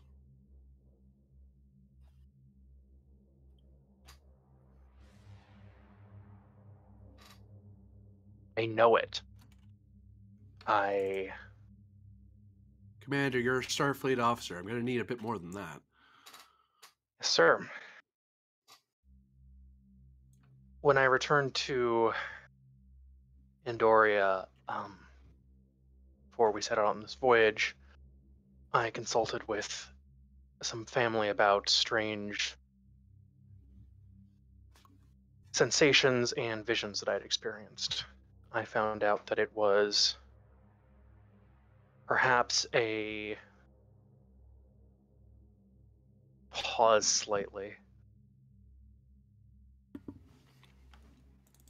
Inheritance of the clan to You're Aenar blooded? He tilts his head and his eyes kind of calm.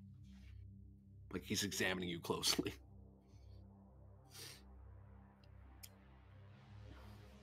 yes. Hmm. Not a thing your family would advertise. But that also especially not given my investigations of genealogical records show this would have been significantly before last two centuries.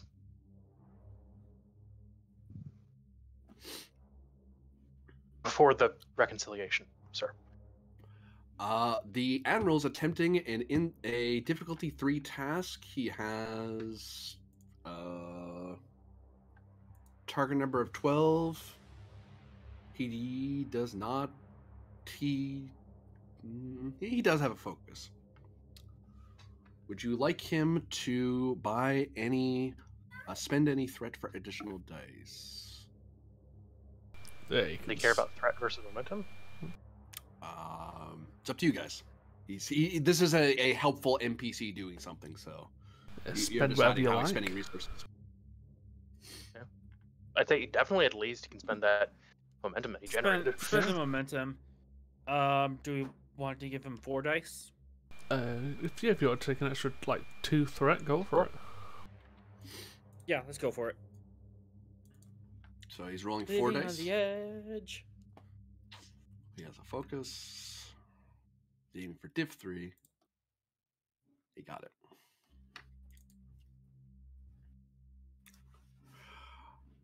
He's Trailblazer's eyes start swirling in place for a second as he seems to be staring off. Like a, he has like a thousand mile stare. Well, it's hard to say that when someone has mercurial eyes, but you get that feeling that he's looking at something that isn't here. Yeah. He then blinks his eyes. Red alert. All staff to the bridge to battle stations. And he strides for the turbo lift. Doesn't even look at you, Thrall. Like he just strides away like yeah, no, a I hurry. just, you know, run right after him. Get into the bridge. Walk into Penn's office. What's that? Yeah, then to bridge. Uh,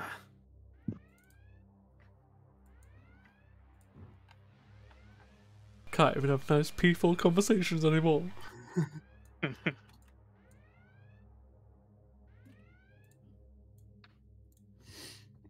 Is the admiral going for the command chair? Yep. All right. Oh, he strides into it like it's natural. Um, well, coming out the same elevator, We'll vault over the uh, like divider and take her chair.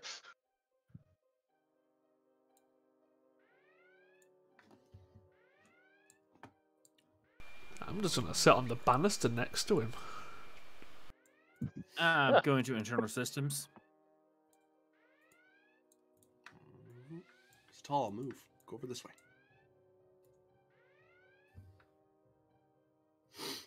Uh, I forget. What are these Like, two as soon as- terminals up at the back? Uh, they're uh, auxiliary panels, so they can Okay. be used. They can be used as a secondary of anything else on the bridge. Got it.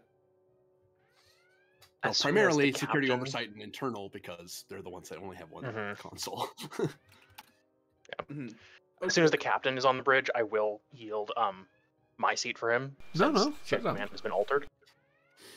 Penn doesn't care. That's your seat. Sit in it. Not not how Throlic works, but all right. Uh, she will go to do that, and then after Penn waves her back, she'll step back down. Lieutenant Arlen, I need you to redline the engines for as much power as you can get. I wanted this thing to move so fast that you're going to be asking me for structural integrity reports later. I want to be where we need to be yesterday. Aye, sir. I we could technically do that. Yep. Uh, let's redline. I mean, the engines. Um, Actually, sorry, I'm Uh, going to walk back that, that dialogue. I just realized he did, he did that wrong. He would say to Penn, get this shit, get Lieutenant Arlen to redline the engines. I need this thing to go as fast as possible because chain of command matters still, even though he's in the command chair. It's not his ship; it's Penn's ship. He's just the admiral. Uh, yes, sir. So Trailblazer is um, what's the thing when a commander tells you to do directing. something? He's directing Penn to direct somebody else. Okay, then as I'm being directed, I will direct the lieutenant. Wait, so are there going to be two, two Direct direct chain. assists? The benefit of an admiral stepping on the bridge, like, oh no no, double direct Prepare- time. Yeah. Oh. Uh, Lieutenant prepare for Allen. hyperspace. Prepare for hyperspace. Prepare for hyperspace. Lieutenant Allen. Yeah. We went to Blad. Sorry. I was going to say, prepare ship for ludicrous speed. Yes. Lieutenant Allen. Yes, sir. I want all non-essential systems transferred to the engines. Uh, and Lieutenant Stray, be ready to increase speed to Alcara as soon as ready. Understood? Aye, sir. Um, okay. Hey, I was told to uh, go hard. I'm going going hard. Uh, let's go past the red line and difficulty four. Well, I said all non-essential systems. We can go to five if you want. Yeah, you're at red alert. He's re- he's willing for this thing. He's willing for people to get hurt to get there faster. All right, div five. Let's go. Worst thing happen, we br- we break the ship. Don't Um, worry, we have we have one medical room. It'll be fine. It- Um, with luck and practice, there are no limits, especially right now. All right, that's my value. Um, focus and tinkering. As I'm yeah. massaging the uh, uh, system to make it go faster. And I also have the Cochrane Medal of Ex- Excellence. So I spend a point of determination on my focus of tinkering. I get two uses of my determination instead of just one. I'm going in. Uh, take five threat. uh, well, you've already bought two dice, so you could only buy the third one with three. Huh? Um, I don't think you can buy two dice with determination in a single roll. Yeah, yeah. So I have one. it's got one so- for like a so in reroll that or case- something. Yeah, Ah. I save one for a reroll. Is that how that works? Or do I just have like two points of determination spent on You've this? you've cr- you've created an you- you've created an advantage is what you've done Okay. because it, it's works. two, it, you activated it twice is what you've done. So you get the benefit that you were aiming for, which was getting a free one, an auto success. But there's a the secondary one is usually like an extra action, creating a complication, creating an advantage, something like that. Let's Okay. create an advantage with that. Um, but yeah, five five threat. I'm rolling all four of my dice. Or what's the advantage? Because that does stick with the scene. Um, in advantage is that uh, I have have a secondary area heat bleed offs offs built into the uh, nacelles to to bleed off any any extra heat that might come um, from this, and hopefully prevents an uh, blowout.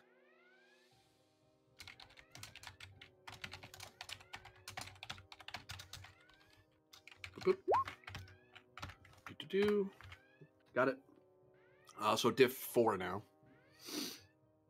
Yep. You're aiming for diff Um, five, but you've gotten one free hit so far, plus two more. Do so- do I have any traits that I, I could apply? Oh. Your I mean, you know what the role Um, is, so you know what your traits are. Married gives you increases the difficulty because married people are bad at engineering. No. Um. No. Yeah, that's true. Can't argue with that. Uh, I will it's- increase your complication range to two because you are indecisive. Yep, that's that's why I asked. Um, Could I invoke Limit Pusher to, to lower the diff you or can to cancel that? So that puts it down to difficulty three. Um.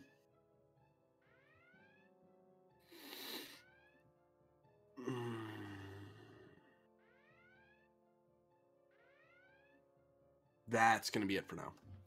All right, I I, I yep, I'm throwing everything I got at this. including the kitchen sink. Donk.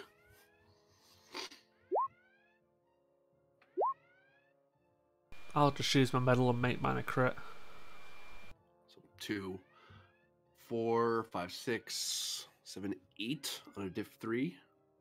Yep. Um, the ship does not help with this because I'm telling the ship to do things it, it's not comfortable with. Yep. So, good news, we generate five bonus momentum on engine rolls. Bad news is engine rolls now have a complication of five. Oh, Um, considering the person who flies the ships got something to deal with that, we should be fine. Plus momentum just just a squash, and I do have have uh bleed off to prevent a blowout if need be. So they'll, they'll force my complication to be something else because of that advantage. But That's yeah, how I'll treat that. Uh, da, da, da, da, Unless you spend to make it specifically that. da. okay, pasta. Why is it not loading? Uh, okay. Sorry. He's gonna give it. He's gonna give another order, but I forgot what it was, and I need to pull up my thing. well, Pendor's also send that same order for Lieutenant Shreya to once that's ready to go at maximum speed possible to Alcara. All right, I'm giving it all she's got, Captain. Lieutenant Shreya, with every ounce of speed we've got to Alcara. All right, this is going to be control plus con difficulty of five, assisted by engines plus con. Fun. Complication five. comp five, yeah. Because this is supposed to be something that should only take a couple days. He, the way he's gotten this to be redlined, it's you're gonna get there in like within the hour, which is doable. But uh, if she rolls complications, you're getting the ship's taking breaches. I I hold my breath and knock on on my console three times. Yeah, don't worry that about your it. console's not made of wood. The, there's a little matter, patch just- that's just wood, so you can do. Uh, specifically installed for engineers, basically. to knock on the wood. determination spend. Yeah. Uh, I trust my captain's orders. Yep. Uh, spend. The other reason the trail, Trailblazer made sure to do it through you is like yeah. the- he, he knows how this ship works. Uh, focus in helm control. Kind of makes sense. Yep. And I'll spend. Uh, is it two? Yeah, I'll just spend two momentum.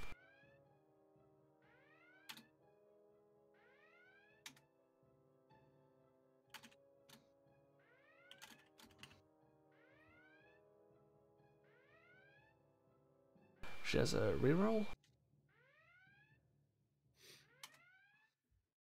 So that's five. And because of her talent, uh, the ship crits. So that's number two. And I believe, four, five. yeah. So yeah, and two because of it for the ships. That's seven hits, and we gained five bonus from the engines. So we succeeded, so we can and quash that. No, no, we, uh, Well, that was a that's- reroll. Yeah, Oh, oh, that was the full reroll. Okay, cool.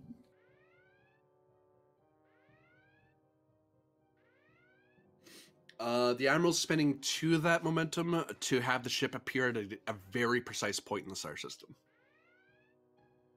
Sounds good. As he starts just giving a particular set of coordinates as you're warping, and she sure just enters it in. Well, he gives it to Append to give it to her because that's the hierarchy. Any other advantages? we Someone respects the hierarchy. Hey, I don't have to respect down. Yes, you do. That's part of the hierarchy. Hierarchy goes in both directions. Not on this Yeah. ship. the chain of command that I'm going to beat you with. hey, hey, Corbinian, is Yeah. is the ship vibrating? So if you op- hold, hold open your mouth, it goes. Uh, uh, Uh, any more advantages people can think of? Uh, can we spend two to it's less of a power drain? Is Doesn't it- matter. But like, spend, actu- yes. Sorry. Yeah, no, you could- you could spend two of that to create the advantage that you'll uh you won't use you won't be at as little power as you would normally be at the end of a warp because this is basically a warp. T- this is going to eat up all ten of your power normally. Oh, do you guys have improved warp drive by the way? Uh, I don't believe so. mm, no. You do not. That's Varder's ship that has that. Hee uh, because it's a saber. Sabers pretty. Um, Oberths are better, but whatever. They. Um, Hmm. for You're the one that gave me the saber. you could have objected. Um. Plus, Oberth as a security vessel. I don't know. As much as I want that to be true, that would have been the no sense. security intelligence vessel, it would be the most underestimated But thing as, in as an. The war intelligence canoe. vessel, yeah, exactly. Yeah. You should totally have canoe. Oberth. We're just undercover Intelligence the whole vessels. Yeah. Oh my god. Uh, yeah, but for two of that momentum, uh, you will retain two power as you come into the system. For each additional momentum, you retain that much more power. Uh, Put the other one into it. yeah, well, I say we could pump, pump some more into it. Um, let's get our total power up to five. That's a good, good place to start. So let's add two more to it.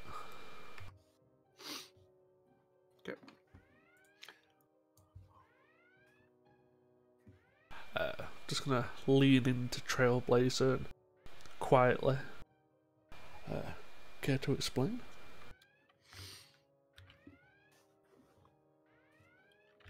Captain, I'm to need the shields to be modulated at the highest frequency possible. Once we hit the outer edge of that system, we're going to run into the security system, and that's going to bleed our shields dry and rip the ship apart.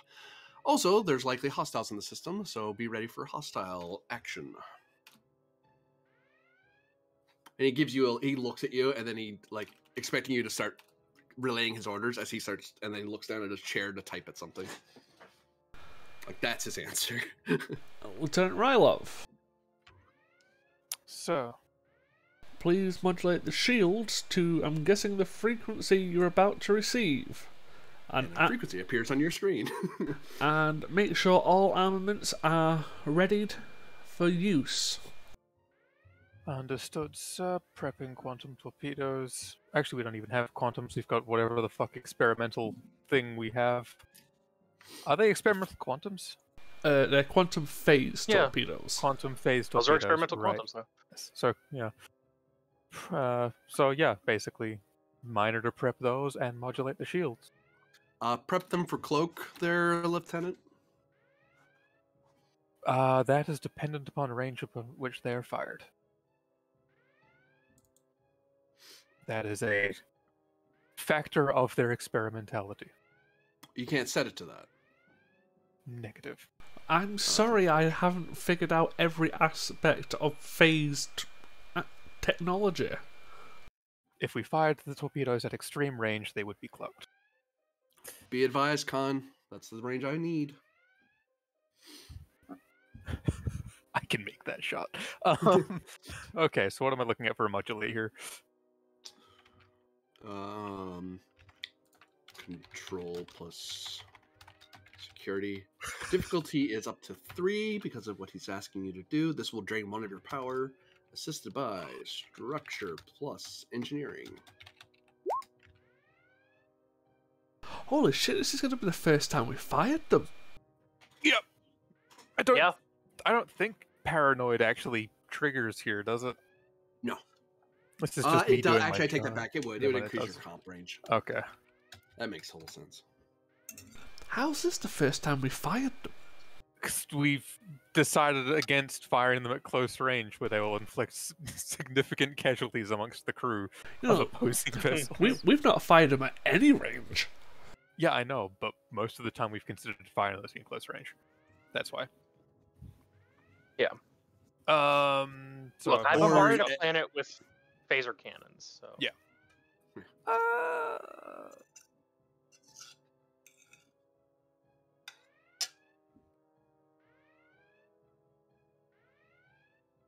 yeah.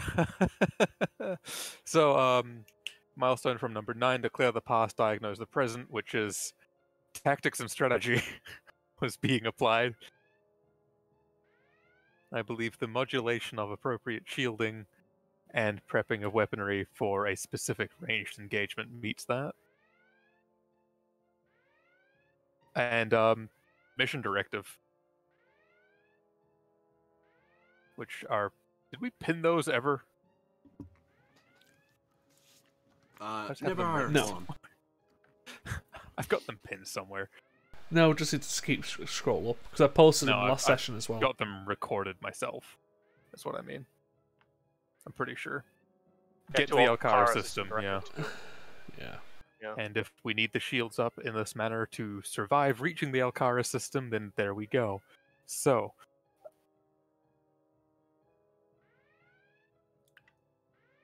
Uh, so the, dec- the decoration of gallantry is the roll dice, see what you get, right? That's the right one I believe so. for the uh, for the threats. I'll check. uh, decoration of gallantry is half damage. Half damage. Never mind, wrong one. It's the common. They, Uh, there's there's two conspicuous of them that have the exact same name. Yeah, basically. Citation for conspicuous gallantry is the. Oh, actually, hey, that comp range, I got it wrong Oh, Yeah, it's a It's citation. because it's redlined. the shields aren't redlined. But the engines are. Yeah, and that's where you get the Oh. power for your shield modulation. Oh god damn it.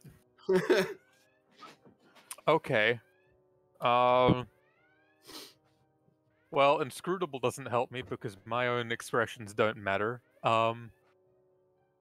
oh, actually, that makes it comp six because you added one for paranoia. Yeah. Oh no, that's, Okay. that's structure engineering. That's not engines. Oh, it's a structure. You're right. Oh god, it scared me. okay. Thank you. One of Jesus, us is paying two. fucking attention. And defector Oh. probably doesn't come into play here because it's not Romulan shielding. Not yet, anyway. Not yet. I'll get myself a Romulan ship. Don't worry. And Let's talk uh, to the Tripoli. They have a couple. yeah, You can lend you exactly. Willingly. Um, clearly once the crew's gone. Um, Complete with holographic crew. I'll spend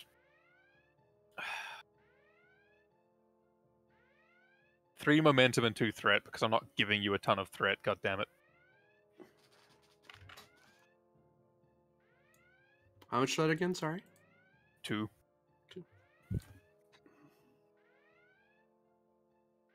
And the ship. Six, seven, eight. Um, I don't know the will of Varder. I mean, I do know the will of Varder. I am. I, duh. Fuck. We It don't have didn't another work. clump. You're technically right, love. Go away. So that's ten, so we gain seven. I am he, and he is me. Um.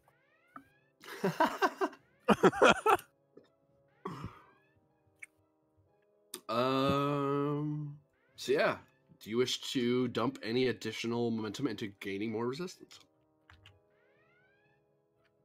Seems good. Because getting the roll at all increases your resistance by one. So you're plus we one dump for- uh, seven in, into it. Sure, fuck it. Considering Yeah. he's more likely gonna hit us back with something. Yeah, I would rather not have um our shields collapse going through a defense grid. Yeah. That's eight resistance on top of our eight resistance. Whoops, I got I did the math wrong when I wrote it down. Whoopsie. 16 resistance. I mean, having eight resistance is a joke in the first place, but 16's just terrible. Yes. 16, you're you're you're as strong as a, as a space station for one hit. Yeah. Well, it could be more than one hit. They have to do more than 16 damage. Yeah. If they have enough threat, no. Um, That's true. Technically.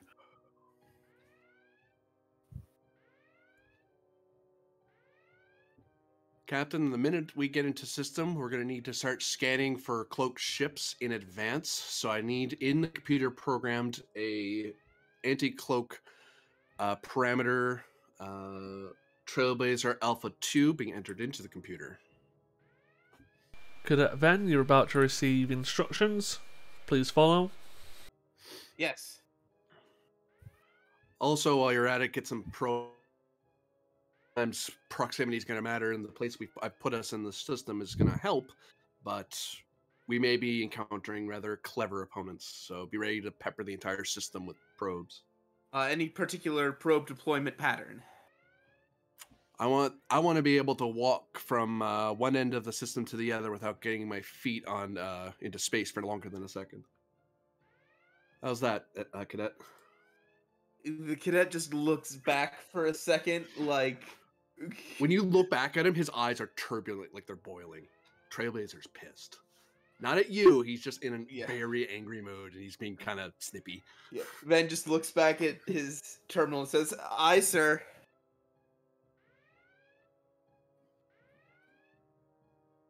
And Ven is going to launch a bunch of probes, Well, prepare to launch a bunch of them. You haven't gotten there yet. or, or prepare to launch a bunch of probes. Uh, control plus science. Difficulty it was gonna be diff two, and then he made it harder, so they put it up to diff three. Sensors plus sensors or structure. You can call that 'cause he did, did. He got you basically to do both. Plus science. Science. There we go. Okay. Um. You said difficulty three. Okay. Take three threat. Okay. Is it sensors so- or structure? Uh, your choice. Sensor or or oh Structure's better by one. okay. Uh, that just means I don't get a focus. Oh, I'll use the sensors then, easy enough. Yeah. Uh, control science. Yeah.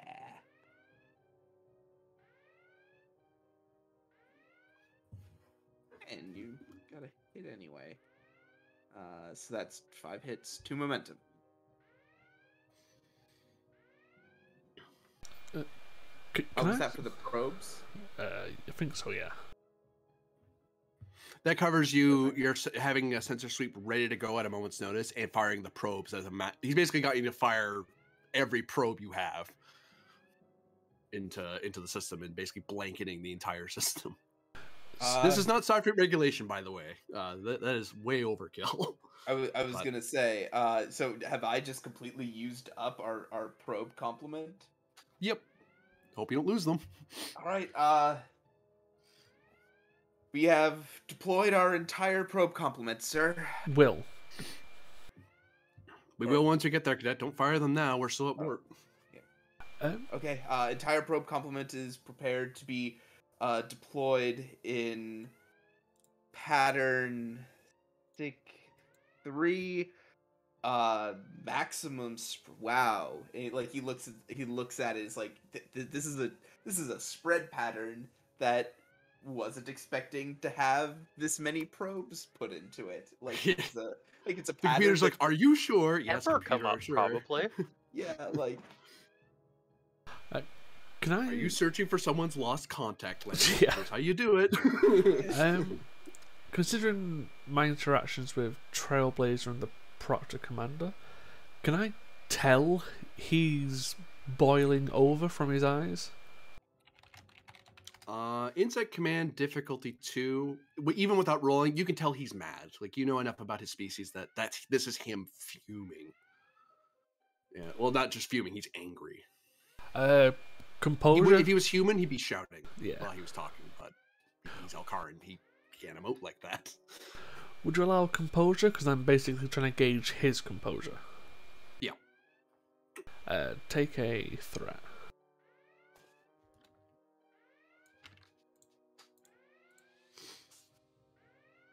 Yeah, two momentum generated. Um, he is furious, um, but he's also very, very scared. Um, and there's this almost there's this seething desperation to his anger um, that he's just barely keeping it together. Can I literally like go up right next to him and lean close enough just for a whisper? Uh, put my hand on his arm. Calm the storm. I'll follow what you need need us to do. Just so you're clearly stressed. we'll help. Presence command difficulty two. Uh, determination spent. Might as well. Uh, will you allow directive two? Uh, I'll actually allow directive three in this case. Fair enough. Do any of my traits apply? Probably not like nanite tactics wouldn't, but you know. Uh,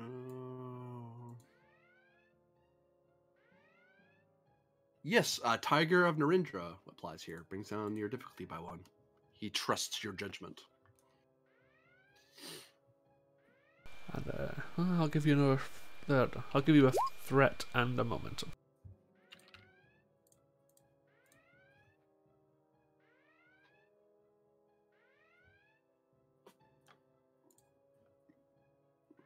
So we gain four.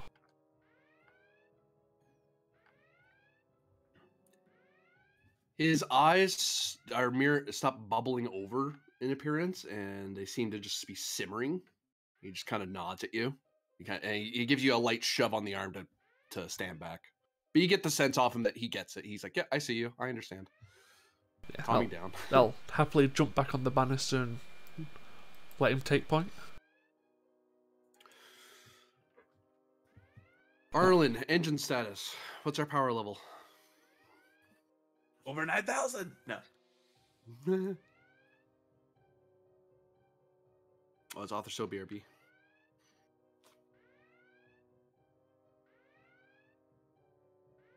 Uh, Ensign yes. Qatar will answer then. Yep. Uh, we are about forty percent, Admiral.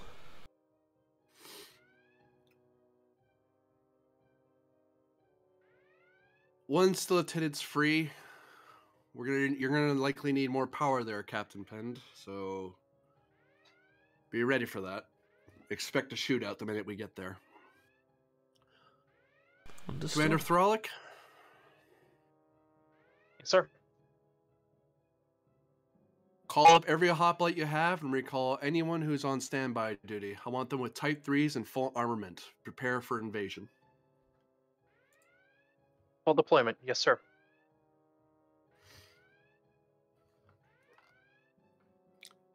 You'll likely wish to co- uh, co- uh, collude with Captain Penn and Lieutenant Ryloff to grab as much security as we can, l- as the Achilles can lose. We need as many phasers as possible.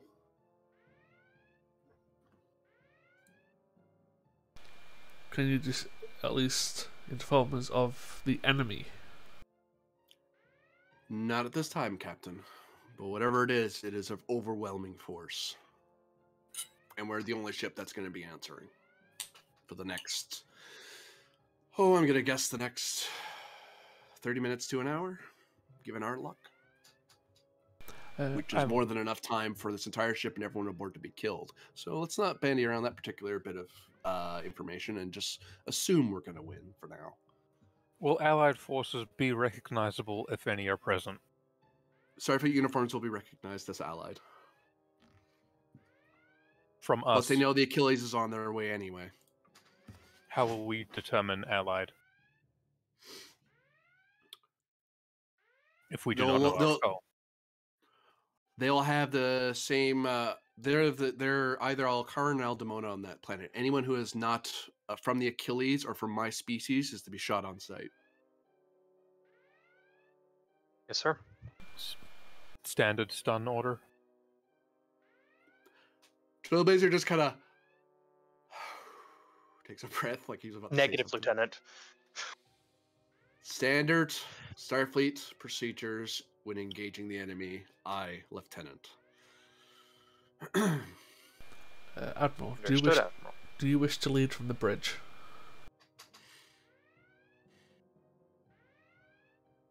you may need to take command of the bridge here in a moment, depending if we're being shot at or not.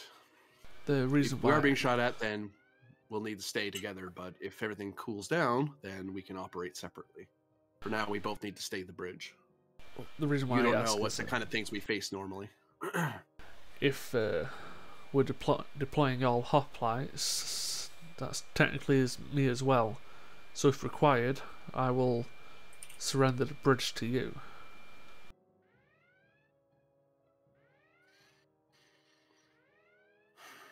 Gear up and be ready, but but get back to the bridge until I deploy you. Understood?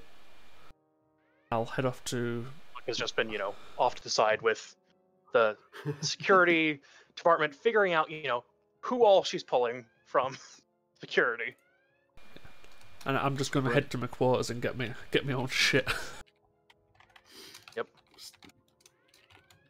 Presence command difficulty of three. Oh, sorry, sorry, sorry, sorry, sorry. Presence command or security, because duh. Uh, assisted by communications plus command or security. Is that right? Hold on. No, I'm wrong. It's weapons. I have it wrong entirely. Presence plus command or security. Difficulty 3, assisted by weapons plus command or security to basically mobilize all the hoplites and whatever security you can spare to be a invading for invasion force, as Trailblazer put it. It's basically an army of the Achilles. yeah. This is one of the few ships that can realistically field that, actually. So, Yeah. One of the few Um, Federation ships. mhm. Yeah. The only other ship that something uh, that would do this normally be like in an expedition class, like an expedition. Um, oh, the big sovereign class. There we go. sovereign. Yeah. And even with the sovereign, you're you're landing regular security then. Yeah. Um. All right, presence command. Uh, strategy and tactics focus. Yes. All right. I'm going to go present security. Um, one momentum for actually three momentum for four dice here. Uh, using the trait of Hoplite Commander. Yep. Trait of Relentless. Yep. Do I have a reason to pick on you? Hold on. I don't think so. I don't know, do you? negative, really. Oh no, your your list is way shorter now. 'cause- oh right, we we collected them. That's why. Yeah. Uh. No, this works. You're good. Uh, rolling four.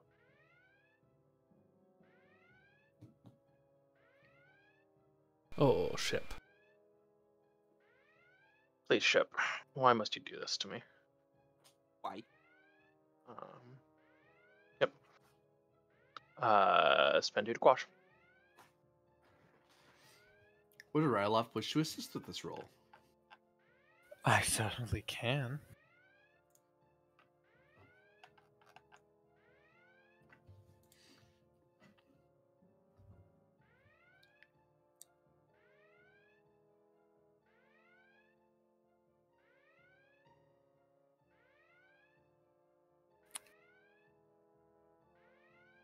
I did the thing.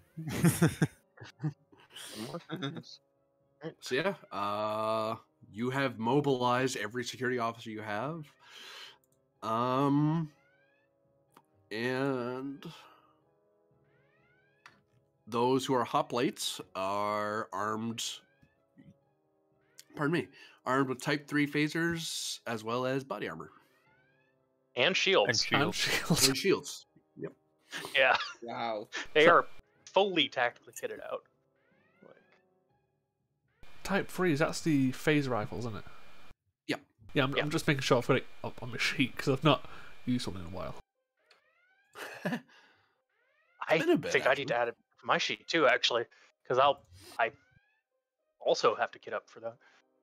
Can I try like my resistance? What's resistance with the armor and shield? Uh, four plus two, Uh, so six. Holy shit! But you can lose the shield fairly quickly. Yeah. So you can be dropped down to two if you get it a uh, thing. Actually, I should mark. Uh, uh,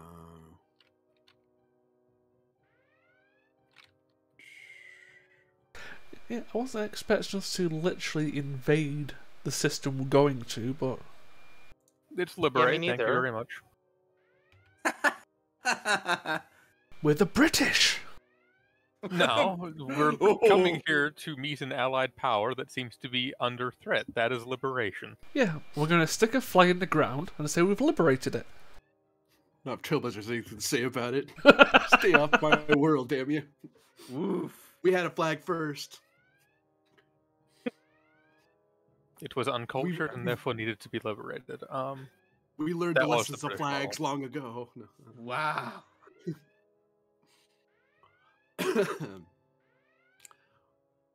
Arlen, do we have you back?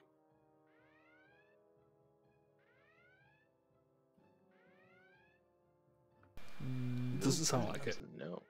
I he mean, has like died. uh, Katal or Ven or Zeph could doing it. Actually, no, Zeph would probably be best for it. Nah, we'll, we'll we'll take it on the chin for now. Um, so first off, constructing a hazard. As actually, first, I'm sorry, Ven, you get this. You get to do something before this hazard happens. Reason. Yeah, sorry, sorry, it's not reason. I'm full of crap. Insight plus science. Difficulty five, assisted by. Oh, sorry, four because you did some prepping ahead of time. Um, sensors plus science. Uh, it's an insight science difficulty four, assisted by sensor science. Uh, then you're kind of you are rapidly approaching the Alcar system uh, as fast as a starship can do without going to warp ten. Um, one thing I can tell you for free is that this ship is, uh, if the shields weren't up, it probably would have shaken itself apart uh, or rammed into something and blew a hole, clean hole through it. So yeah, you're in mortal danger right now. Um, That aside, danger. Um, you're seeing you're gonna start making this insight is you making some educated guesses about what your that defense field that Trailblazer was talking about. You haven't you don't quite see it clearly on the sensors because you're moving way too fast and it is way too far away or too close, depending on your point of view. So you kind of have to make a lot of guesses before you even get to it. But it's only did four because you did some prep work for sensor stuff earlier. Aha. Guess what? Testing a theory. Theory into practice. Yep. That brings uh, my dice pool up to three. Difficulty down. Uh, difficulty down to three. Yep. Uh, I'm spending two momentum for a fourth die. Focus in sensor operations. Insight science.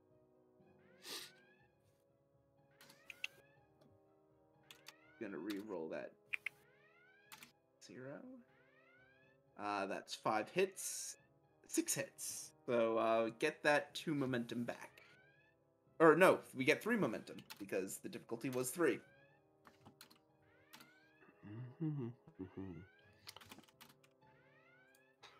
Do do do. Okay, so you get to say something before you hit that barrier.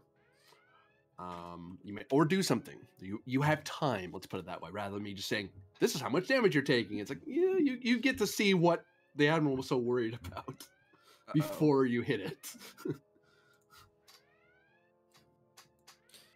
Okay, so we need to do a power regeneration roll like yesterday. yes. Well, hang on, and then let's see. Let's see what I, what what what did we, what what do I see on my sensors? Yeah. Oh, let's see.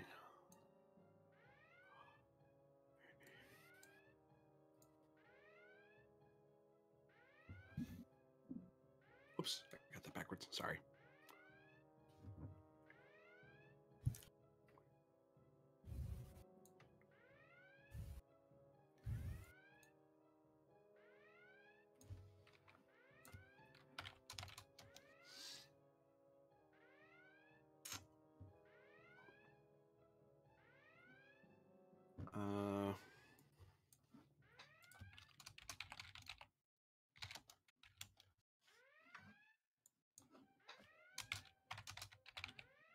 Jesus, you're doing a big spend.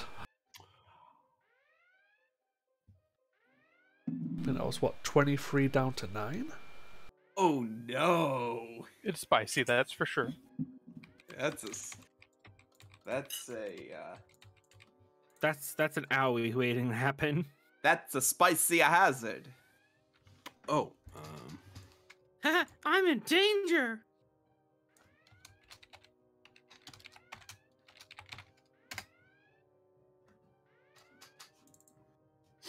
Wow. God, why do you hate us? Yo, whoa,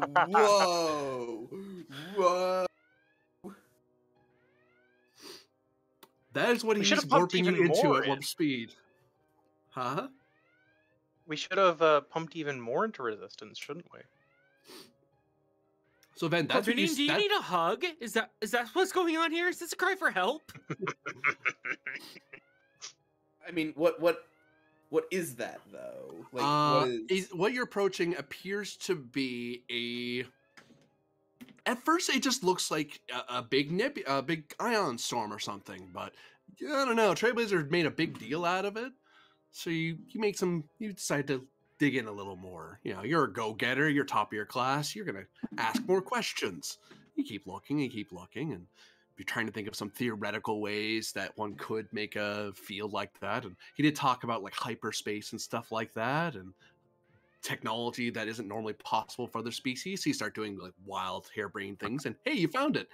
Uh, so that is a hyperspace particle shield.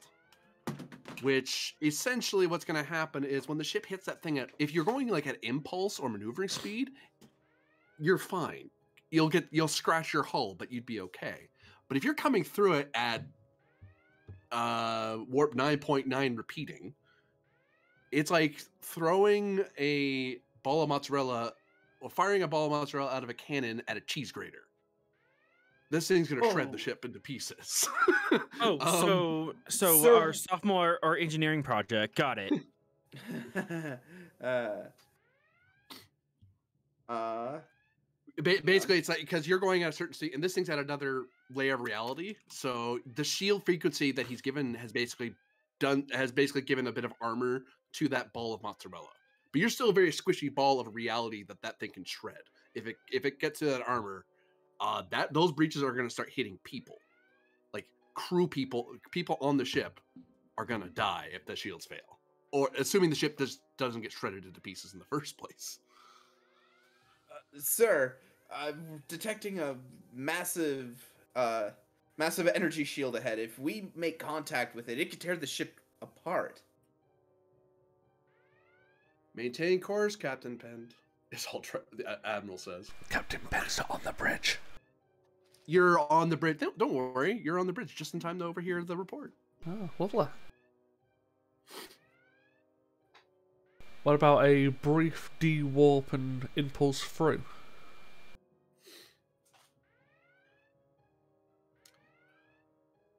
That could give too much warning to whatever force we're dealing with.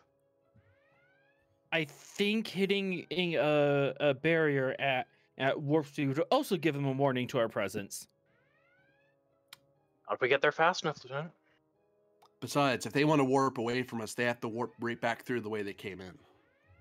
If we jump in on top of them, Wow. then they're going to see us, cannons and torpedoes ready. And if they want to warp away, they're free to try. Uh, so, so, uh, I would like to spend my free question. Sure. Um, is this a a thing where if we hit it, it is it is going to do that much damage to us, or is Yeah. this a we approach it, we make a check, and maybe avoid some of it? or or is it Uh, just if if if you if the idea presented earlier of slow down and then s- slowly go through it is the way you safely move through it. You're not supposed to warp through a hyperspace barrier like this. It is intensely dangerous. You're now you now know this is an incredibly dangerous thing to be doing. It's like warping into orbit over Earth. Like you can do it, but it's so dangerous, and the margin of error is so slim that if you screw up, there's a lot of Right, but the, consequences. the involved. milliseconds, the milliseconds you get there are tactically gold. Yeah, I- I'm, I'm, I'm just gonna look at Trailblazer and hope he catches my eye and just give him that look of, is this the plan of action? Maintain course, Captain. Con, maintain course.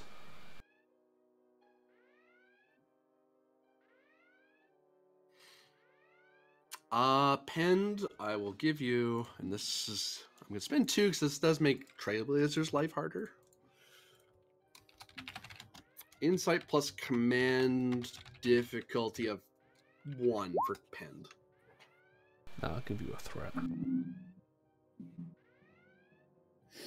Um, If he's lucky, you won't make it. uh, composure. uh, yeah, I'd take it here. I mean, I've got others if they'd fit better, like strategy and tactics. Let me take a look. That's strat and tack, though. Um,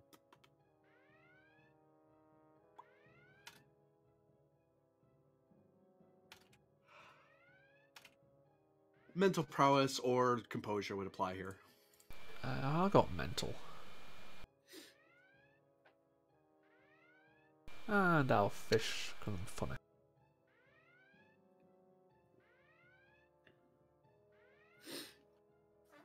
Well, you gained the momentum. Um, so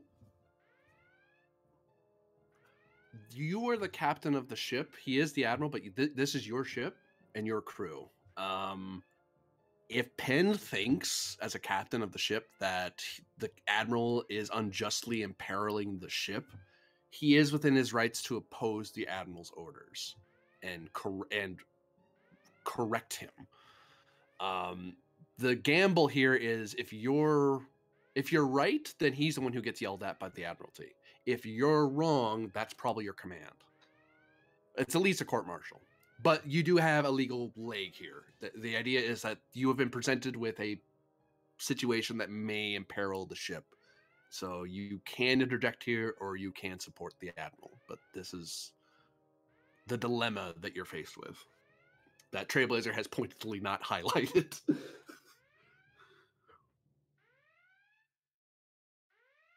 Uh, I've got other characters I can make. could I spend that momentum to open a ship-wide comms? Whilst I'm directly Um, looking at Trailblazer, like face to face. that sounds like an advantage, so they'll cost two. Sure.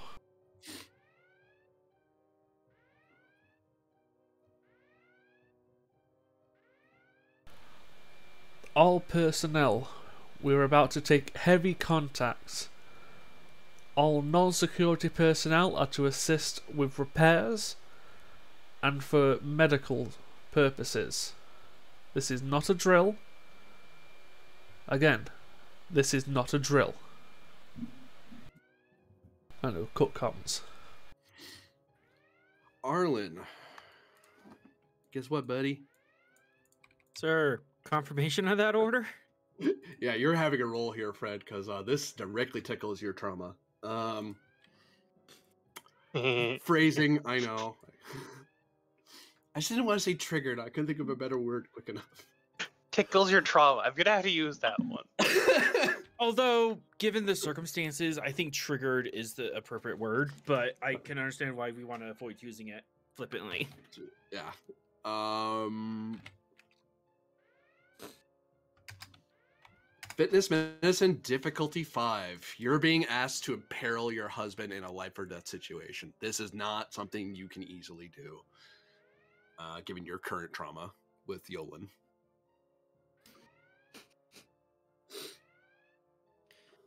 Uh, Boy, you better make this fucking roll. um.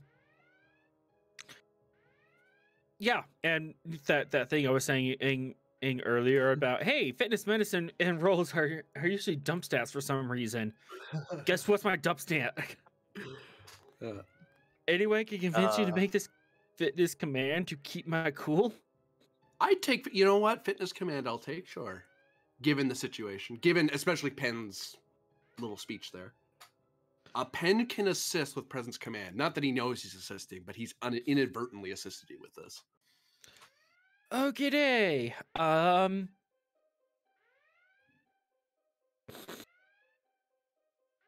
Technical insight weigh the to to weigh a exactly a how screwed the ship is and how much much imperiled we actually are if we hit that barrier. I'll I'll take that under under that auspice that you know that you've done. This is as safe as it gets, short of not going through. Oh, I just came back. Are we all doing a fitness medicine difficulty five? Nope, Oh, Arlen. it's Arlen. Oh, okay. Nope, just Arlen. I, Just- I just me, said I made something picked that. on. Yeah, I said something ju- that put him there. Ah, Yeah, Arlen realized that his husband is part of that mozzarella ball. yeah. he may have trouble obeying that particular order. You can find a new husband. Um, what? I mean, we can also find the new chief engineer. We can find a new mozzarella ball if we have to, but I don't want to. oh God. Um, so, d- d- I d- yeah, I don't think I've done any sort of uh, uh determinations for something like this. No. Well, you only got this trauma what? A couple sessions ago. A couple weeks ago, yeah. Yeah. Have fun. Well, um, how those how are those directives looking? Let's let's take a peek there. I mean, Directive Two applies. I, I would point that out. That is the order the admiral gave you. Well, if his order is going to put my husband at, at risk, I'm going to challenge that directive. That doesn't let you spend to it. But you can challenge No, but get it a gives me- Yeah, he it can. gives me a point. In which case, I'm totally going to spend that at point on home is where Actually- the tools are.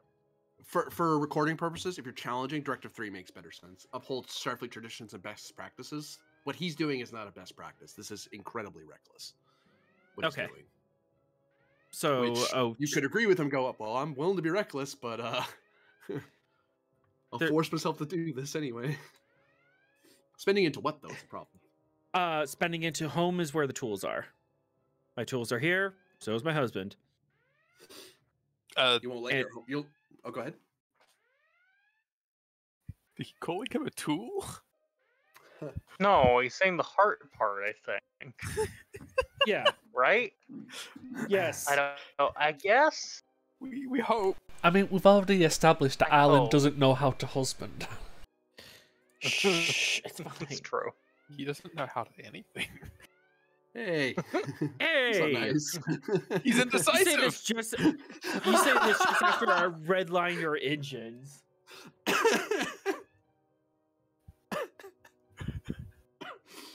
God.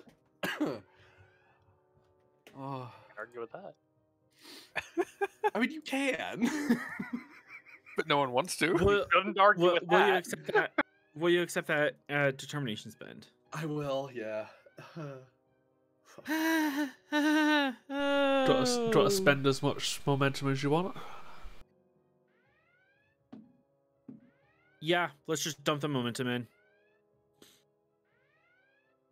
Oh, I probably should spend two to make that anti personnel while I'm at it. A barrier. Yeah, I'm just advancing the barracks. I said it does that. I'm like, wait, I didn't spend to make it do that, so I should totally spend to make it do that. Good. Well, you got it. But he had he had to No, You got foot. it. Yeah. And we gain one Captain, back. little help. So so Oh, there uh, Yeah. So Arlen, you are you are despite your trauma, you are free to decide whether or not you're okay you are supporting your captain and the admiral in this. Uh, rather than being forced in a fit of panic to disobey the order. Cuz that was scary cuz yeah, this is this is not this is not uh, a super safe thing for your husband to put it mildly. Captain, by, by what manner are we gonna uh, get through that uh, barrier? We're gonna travel for it. Not the most ideal way, but I am taking a chance and listening to the advice of the admiral.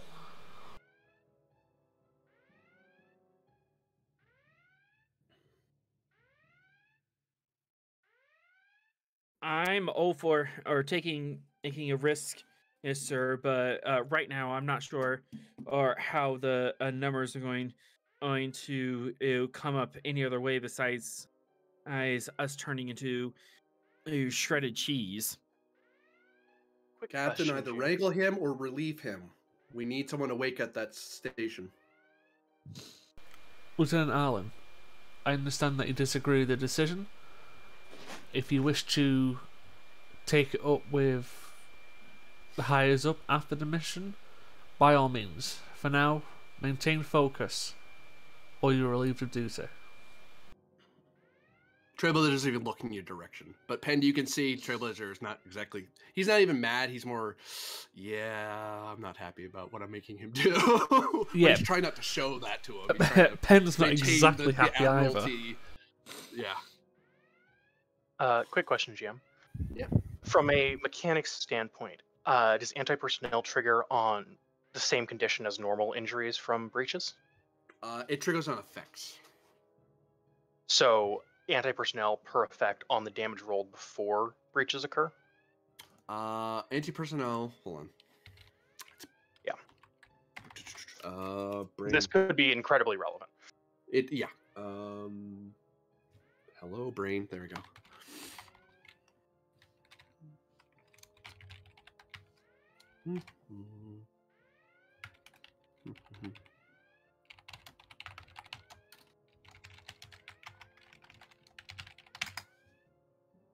There we go.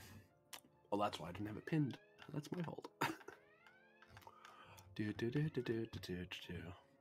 Totally, I I, to, I pull so much from the expanded weapons thing from continuing missions because holy crap, I love their ideas. Um. Oh, I got it backwards. Uh. So, so for each effect rolled, uh, that is one damage to the crew. Effect roll is one damage to the crew. Yeah. Does that If it's all if it's all one? resist, if it if it's all resisted, then nothing nothing's gonna happen. Like if the ship just tanks this hit and nothing happens, then the anti personnel doesn't come through. If any of it comes through, anti personnel bleeds through all its damage because may the ship may not be damaged, but the people inside can get hurt. Okay. But it is a, it is it is not uh, it is not vicious and anti personnel are two different effects. So it's one per. If I wanted to do extra anti personnel, I have to spend more threat to make it. It's anti personnel one. Uh, if I wanted to do more damage, I have to make it anti personnel two, three, four, five, and so on. Mhm. Yeah, Vicious has an effect upon the ship, not on the anti personnel apart. Hope that answers. I think that answers it. Yeah. yeah. Basically, we need him to roll piss poor because he's also got piercing too. Which is per effect, yeah. Yeah. Oh yeah. All right. yeah. And I'm weighing in the moral implications implications of this. Well, I'm gonna BRB let you think about that for a second. I do re- refill my drink anyway, so percolate on that thought, thought, folks. Feel free to discuss. On a eh. meta level, rather than in front of the admiral, Yeah. obviously. Yeah. Meta meta level. Oh, you think Trailblazer era, era has gone on Blood Rage blind and is full-heartedly trying to ooh, bum rush us in, Uh, or does he have a secret uh, door trigger? Mm, he's he's not well at the start of this he was nearly at that stage of like pure fury uh, until Penn talked him back so he's not like suicidal he's just at the stage of you're worried about your husband he's worried about his home planet This is survivable. yeah I Like Penn isn't happy. Like none of us, none of the commander staff are happy at the moment. I don't think I. Uh, Yeah, if we hit that barrier, I don't think this is is survivable, or we're going to be eh, severely limping, and we're not going to be eh, ready to go into combat. I think you sincerely are underestimating Achilles as a vessel. Uh, what's our resistance currently at? Sixty. 18. Oh, 16. Never mind. You're right. Sixteen. We also have a certain talent which we added to it. Mm-hmm. And a certain commander that can just say no. Yeah. Yeah, so even if we breach the shields, we can just say, "No." The Okay. Commander can just say no. So technically, we can get through this. But like, out of like mechanical wise, yeah. Trailblazer's not happy this is happening. Penn sure as shit isn't happy. He isn't happy giving this order because he understands his partner's on the ship. And his sister is literally on the bridge when he's just given that order. And I mean, Ben Ben's freaking out because he's gonna be like one of the first three, or he's gonna be one of the first people on the bridge hit when this thing happens, and it's it's, it's By like a millisecond. Go away. But yeah, like I said, this isn't the ideal situation Penn wants to give this order or send the ship in. But he understands what Trailblazer's asking and understands the risk that's involved. That's why he's giving the command decision of we are doing this, accept it, or you are dismissed. I'm back. You might not like it, but unfortunately, that's what it has to come down to. but broadly agreed. Like, I just I think the the milliseconds or seconds of warp versus impulse are incredibly valuable. Yep. Especially if we're firing off cloaked torpedoes, every single millisecond counts.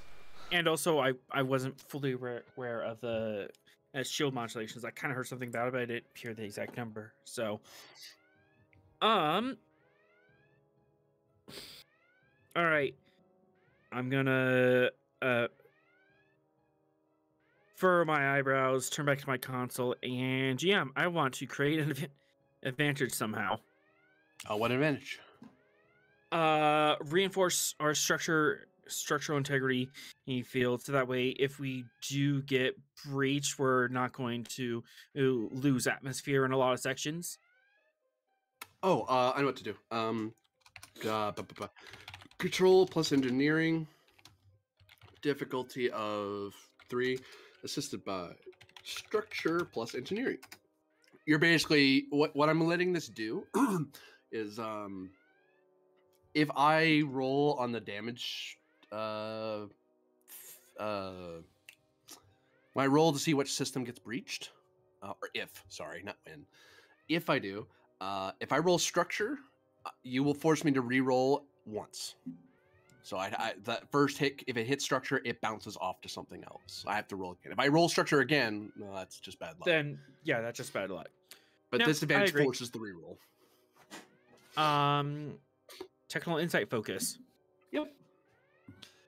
Take one single threat and not uh, a penny more.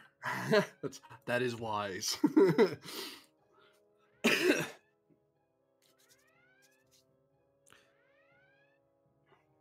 Oh, ship coming in clutch. The ship's got a Ah. fantastic structure. Reroll. Mhm. Yes. Oh wow, that is.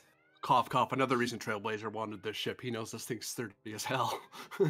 kind of designed in that way. Like, "Ah, I'm gonna head back home now. Every time I go back home, things go bad. So let's just let's not go over there in the Victoria. Let's not do that. It seems like a bad idea. This thing is is built like a brick house. yep.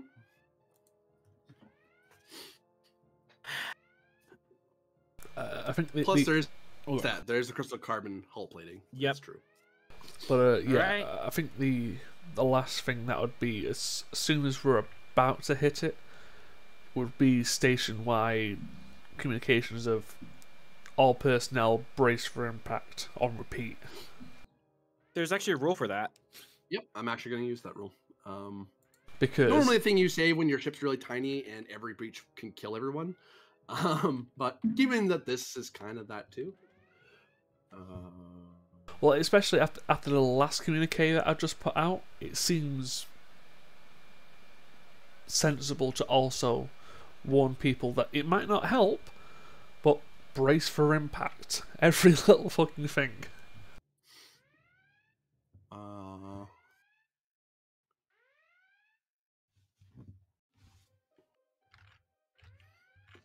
all right. So what you do? You call out uh, brace for impact. You spend all momentum in the group pool. Um, and you roll a number of challenge dice equal to the amount of momentum spent. That's how much resistance you gain. Okay. Huh. I say we do it. Every little bit will help. Yeah, I was, I was just thinking like, I'll maybe spend one of my medals, but that's only on a successful task. This isn't me sort succeeding at a task, it's just a mechanic.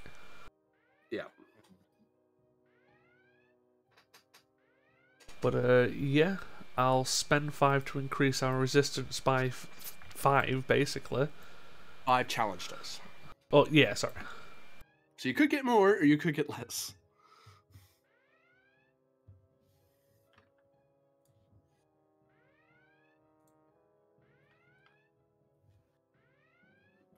Uh, So one, two, three, four. is it worth spending a threat to try and re-roll those other two? No, Fair. I think based off based off of um where threat is right now. Yeah, so I think that puts us up from 16 to 20 resistance. Yeah. Because I've got it in the actual resistance tab on the ship. Mm-hmm. That's just a stupid number. It is, and it could all get eaten through. Oh yeah, 100%. All right, Excuse me, baby. I Hold think that's together. our, our preparations. If, All if- If, that doesn't get This- eaten through, nothing's going to hit us.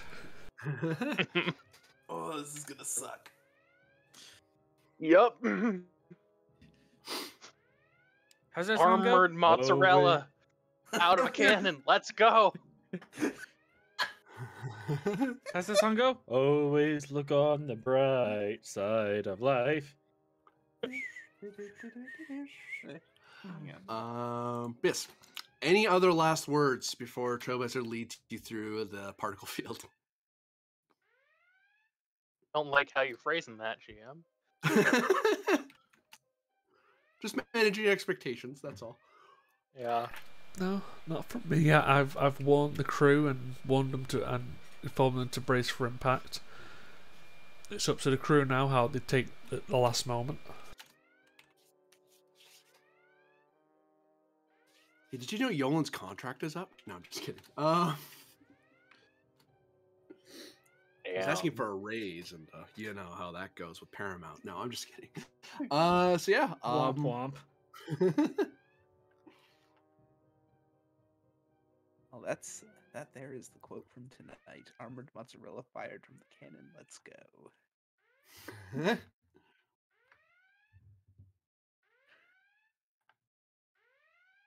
Well, go on, you saucy bastard. Roll that dice. and the lights blink out. You are bathed in darkness for a second, and you hear loud screeching noises uh, and alarms going off at every console. Good luck, folks. So please roll low, re-roll, and roll fucking low. Yeah.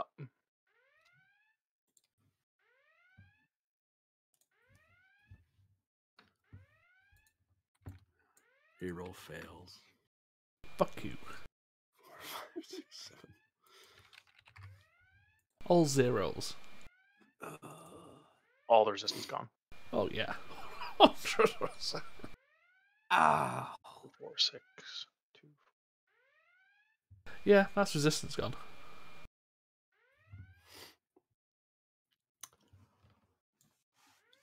So we'll deal with the ship first. Uh, let's tally this up. One, two, three, four, five, six, seven, eight, nine, 10, 11, 12, 13, 14, 15, 16, 17, 18, 19, 20, 21, 22, 23, 24, 26, 27, 29, 31. Section thirty-one confirmed. um, so that eats through all your resistance. Uh, your resist. Uh, um, so it's just straight up two Yeah. breaches. Two Our breaches. shields go down. Um, quick Uh, question. well, we roll crystal carbon hull plating for each of those breaches. Uh, you only for one of it because one of it's for taking at least five. The other one's for your shields being dropped. Uh, I'm The preventing the. Decoration of Gallantry. Oh, uh, Decoration of Gallantry. If you haven't used it already, yep, you can half that damage. 'Cause I'm this is a having that damage. Uh, guess what? I've got that as well. Oh, I'll half it as well. I have that as well. Does that work? For? Yes. It's a hazard. Uh, that's that's what I was asking. Says Being you a GM if it applies. Does a character? Uh, the Okay, character, GM. yeah. So th- this will only this that will only apply. You're right. Uh, it's only for characters. Yeah. This will apply for the anti-personnel half of the attack that hits you in particular. Because we're looking at one, two, three, four, five, six, seven, eight, nine, ten damage to all personnel on the ship. Minus uh, minus six because of all for the hoplites. So the hoplites take um, Four. four. Four. So all the hoplite people will not get injured. They'll just get stressed out because they're they, all of a sudden they see their shields radiating energy because they're being shredded from something coming from hitting them from hyperspace that they can't see.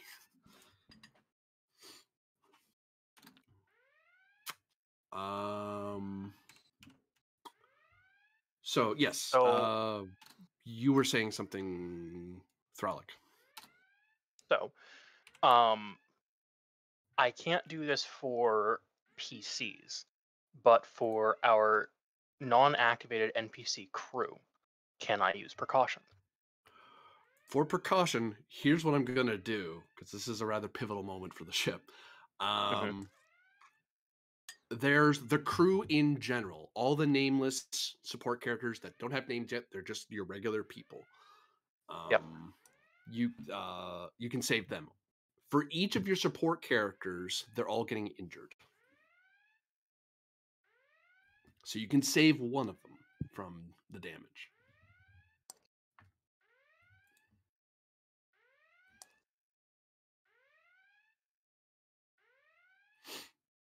With Um, precautions. I I mean, maybe just save the general crew and let, let people take injuries. We have a medical staff.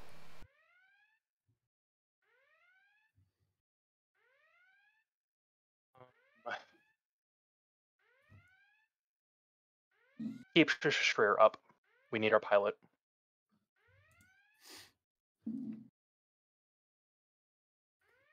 Uh, sorry, you said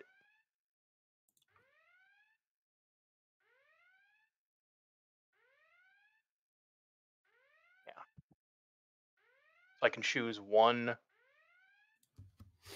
NPC You- or the crew, or I can choose the crew and one NPC. Sorry, Either or.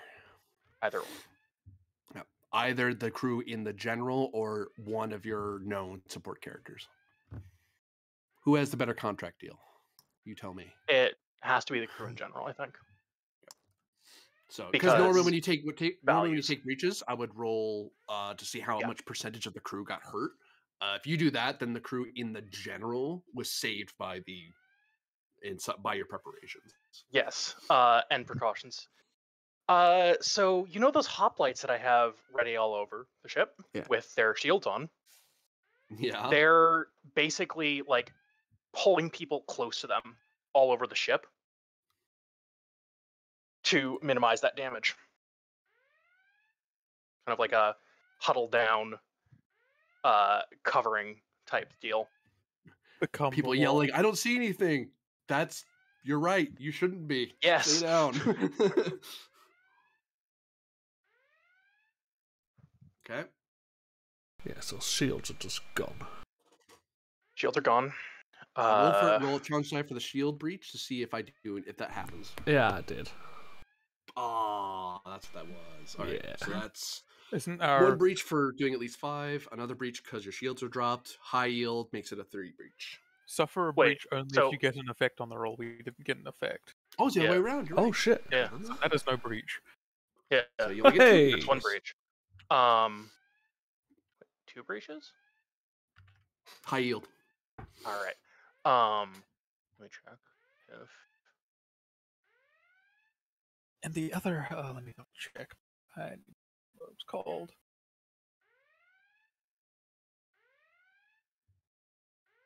I'm just checking my order of heroism right now for specific ordering. If anyone has the Karagite Order of Heroism, they can also do with it.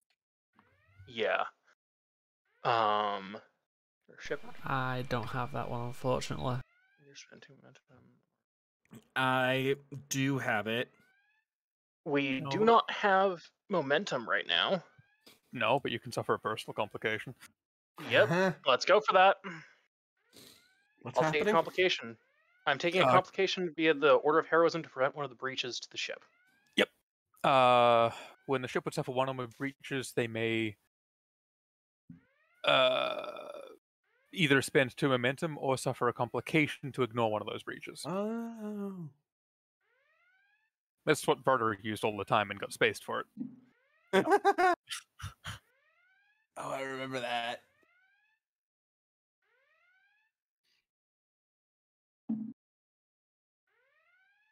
Uh, the complication is that uh, Thralic had to turn off her personal shield to uh, work the XO station to help protect people and ma- manage the breach as it was happening. Which means you will take eight stress, which is a non-lethal injury. Eight, you said? Yep. Because Uh, two of it's eaten by your heavy armor. I'm going to use my Decoration of Gallantry to have that damage taken four. I'll spend one more and make it five. Actually, I can't do that because it halves. I'd have to spend two. Yeah. you don't have. I thought about this, GM. Oh, Rylov's just taking a flat 10, isn't he? Yup. Even if I have it, he takes five. All right, let's resolve the ship. So ship breaches are two, I believe. Oh, one? One. One, for, one plus the high yield. One. I I just Oh, you just did. That's the what I yield. just did. high yield in that, yeah. yeah. Well, It's called. I was trying to cheat. All right. Um. Actually, hold on. If I prevent the initial breach that causes high yield to produce another breach, does that produ- does that prevent the second breach? yes, because high yield wouldn't happen because the initial breach never occurred. Yeah. How did, So I prevented two breaches how did we get through that without a breach? because I'm This a god. PC crew versus NPC crew. Massive difference. Yeah. All right. Well, now we have 10 damage going all around to the various support characters and main characters. Uh, Penn, you're fine. Thralic, you managed to survive. Rylov. You're looking at a non lethal injury. Are you going Yeah, down or are you staying up? if I hop, it does nothing. So, uh, hmm. I like spiting you. Stay up. Two threat. Oh, Lieutenant this, is, Arlen. this is why you spent down. Um, I'm gonna have to have it because I only have nine stress. so I'm having it, and then I'm spending to despite you to stay up. Okay. Then Um, I have 11 stress, so I can just spend two to stay up. Eleven. Jesus fucking Christ. uh Sister Shreer, I believe was no, you didn't protect any particular support characters. Time to go around. No, I chose to protect the crew in general. So The only thing I'm checking out right now is if anyone just got insta gibbed. One, two, three, four, five, six. seven, Uh, eight, she nine. fast a full ten. Uh, she had nine.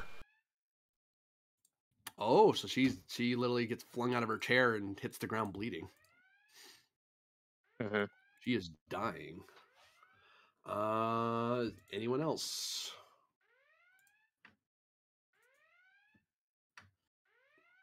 Uh, Uh, I wouldn't even bother checking the security people. They're all. uh Katal's okay. He has eleven, so he's just injured.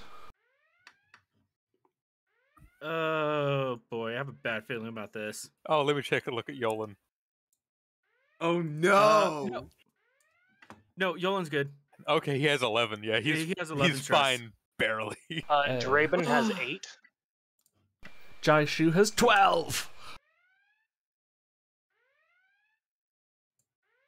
Oh, the ambassador. Ambassador's also going down. Yeah, she's 10 out of 10. holy hell, Ensign Oh. Solak. Uh, Brawl's champ's okay. Of course, Brawl's Charm's okay. What do you think he is? Some kind Yeah. of bitch? Ooh, Reixa. Uh, oh man. Who the fuck keeps putting their sheets on the back part? Oh yeah, the ambassador's definitely down.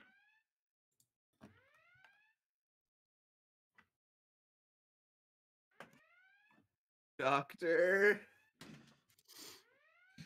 Where's our doctor player? Oh, yo, our good, doctor. isn't he? I think Yolan just barely survives it at eleven. Yeah. yeah. Yep. Yeah. That's 10. Oh man. Yep, Zeph's okay. Katal's okay. Draven is not. Oh no. Oh, Rymek isn't? Oh, no. Not Rymek. We like him.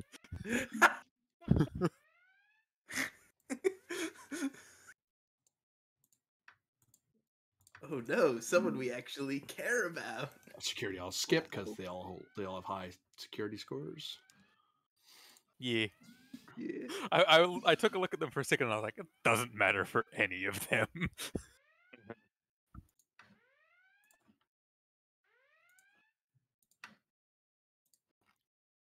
Oh, the ambassador dropped too. Oh no. Yeah. Oh, what about Trailblazer himself? I would kind of laugh if he gets it's injured on this. That's why he gave out all the orders beforehand. Like on a meta level, oh, I would laugh so hard. Spends two threat.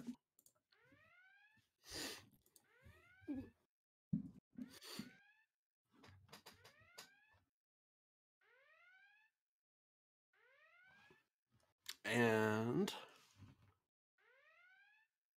in the new scene, the lights come back on. Actually, it's not the new scene. Sorry, that would just instant was- everybody. I was gonna say Um, that kill that kill I all was, undying I was wondering about that. Um, does it guys hate all their characters. does Um, it help that I gave the order for non all non-security personnel to assist with medical? Uh,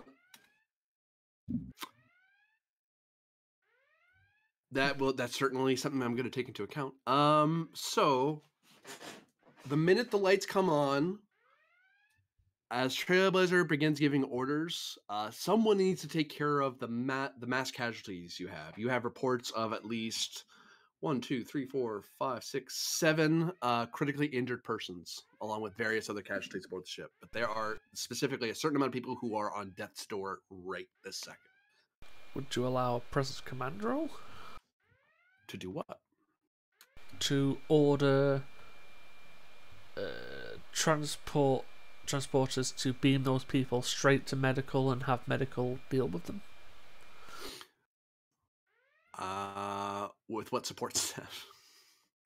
You'd have to. You'd have to because there need actual rules need to be done to save these people. These people are on, at the five minute death. Well, threshold. Katal's the transporter chief. He's fine. So yeah, you have a transporter guy. So you can do that part if you want. Technically, have Kobuk as a fucking doctor, but he's the only one. Yeah. and we have a medical personnel, so we could use those two as like support as well. I like Yeah. the order. All right. So, uh, you're directing Satal essentially is what's happening. Um, Yeah. So you- and your you presence want- command plus Satal's. Oh, let's work out Satal's role. And Um, if you want, Even well, though there- you actually don't need to have Kobuk have them in the medical bay to do this. He's got field medicine. want He takes no complication increase for not having the proper tools or equipment. But it's Or more no like it- it's more like getting everyone from the different parts of the still ship into one place. Yeah. Yeah, that is useful. Uh, if Yeah. you want, while they're doing that, I could also check in on Draven, see if I can't stabilize him. Well, I think I'm just gonna send all the people to medbay. I- Right, but it'll take the load off of Kobuk. He might as yeah, well. if, Ben, if, Ben, if Ben manages to, for one opportunity, that's one threat to have the because you need the um the neural uh stabilizer. I forget what it's called. Um, The neural calipers. no, no, no, no, the other one. No, calipers knock you out. Oh, oh, I know what you're talking about. The um, cortical stimulator. Cortical stimulator. That's Thank the you. one. Yep. Uh, you'd have to spend one threat to have a to pull to have a court to dig out a cortical stimulator because that's something that's separate from a normal med kit. Because it's normally something you only find in the med bay. Um, but you could have that and try to save him right there and then before he gets beamed away, which could save your medical guy. But the downside is you're giving me a threat. Uh, So- what do you guys think? Should I? Yeah. Before Because Corbett can only really do so many rolls before he's out of time. So, yeah. Yeah. hmm Uh, I will try and. I wish we had any of our medical personnel. Damn. Yeah, uh, like our actual doctor. Yeah, narratively, they're very busy right now. Yep. They would Uh, love to help, but it's like, uh, I'm sav- we're already saving people who are dying. You'll have to deal without us. Yeah. Okay. Uh, what's this roll gonna be? uh, it is going to be daring plus medicine, difficulty of question mark. Hold on. Uh, that's wrong book. Wrong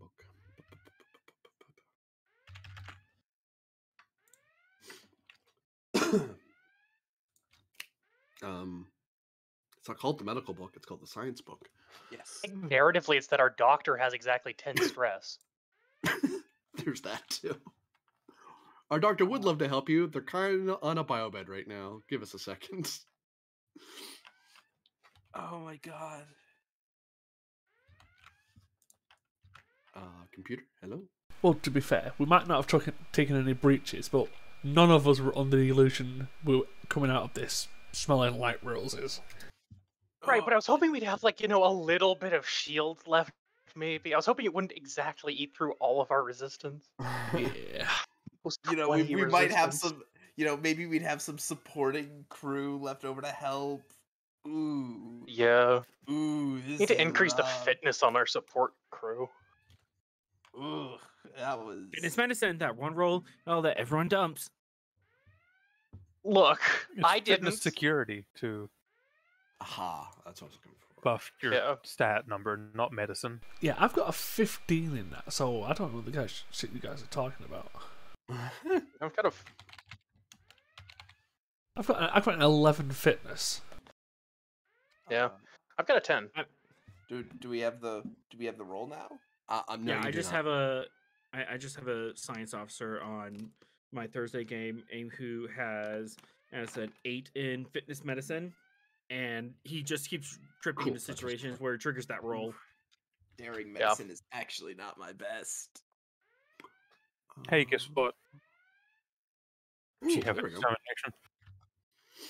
That yeah, no, that's true, and hopefully I can use like a um. Hmm. Daring medicine difficulty two. Normally it Okay. would be diff two, reduced by one because you're using a cortical stimulator, which also makes it possible to be reviving someone who's on who's has lethal. Uh, Um, okay. But I I spent it to make it go back up because Mr. Drebin uh, hit the ground in an unfortunate way that complicated his existing injury, Okay. Um. so to speak. Or made it more difficult have- to treat. Better way to put Yeah. it. What do we have for um directives? Uh, they are pinned currently. Prime Directive get to the Alcara system and uphold Starfleet traditions and best practices. Uh, uphold Starfleet traditions and best practices. Yep. Look out for your crew. Look out for the crewman next to you. Yep. Okay. Oh, Uh, oh, I'm you're not- even making this your dep- uh, problem instead of medical's a pro- problem. We'll sol- if we can't solve it, then you can solve it, but I'll try to solve it for you. Okay, uh, I am going to not spend any uh, any resources. I'm just gonna roll the two because I already have. Uh, you know, I already have two. Uh, oh yeah, yeah. You've already hit it. You're just seeing if you gained any complication or momentum. Yeah. Wow! Holy cow! You've saved Um, Drebin. Hang on. Nope. Uh, none for that. Although, would I be able to spend? Uh oh, I'd I'd be able to spend two momentum to swift task, right? Uh, you could, yeah. Would I be able to also help Shishir? Uh, you would need to. You could. You'd have to spend one momentum or threat for an extra minor to get over to her, and then you'd be looking at a diff, a base difficulty of one plus uh base difficulty of two before I spent threat. Okay. Uh, here's my plan then. Okay. All right. Okay. Here, here here's my play. Uh, I am going to Legion of Honor. Uh, generate two bonus momentum. Okay. Spend one bonus momentum to get an extra minor. Uh, the remaining bonus momentum plus one more to uh get the swift task. Okay. Uh, you say now it's diff three. It's well, it is diff three now because I was gonna make it. I was gonna increase it. The base was two. But Okay. Diff, All right. three. How much do I hate this person? I really don't like her. Diff four.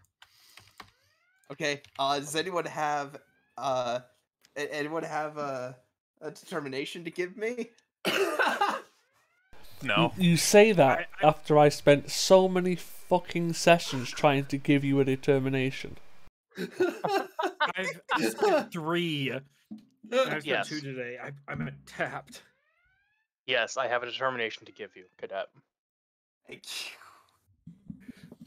Okay, and yeah, you can you can uh, and you can do that even though you're not the commander Yeah. because I'm a cadet. You're a cadet. As you heroically dive underneath the banister and slide over to Sister's rear to save her. Okay, uh, I, I I did it once. I can. Okay, wait, where does this go? Where does this go? And yeah, Thralic, you can see he's kind of like, Yep. oh no, oh no. Top of the forehead, Andorians underneath. different. Yeah, no, and, and, that's what you're an Andorian. That's what Thralik's doing as as that, Yeah. saying like exactly where to place. It's like Oh, trace a line right. from the base of the antenna to the eye. okay, yeah, good, good. Um, I am going to. No, those are the eyes. Those are the eyes. Ah! okay, going to spend that determination again. Yep. Um, and hang on. One momentum plus. I, I'm trying to remember exactly how much it's going to be to buy.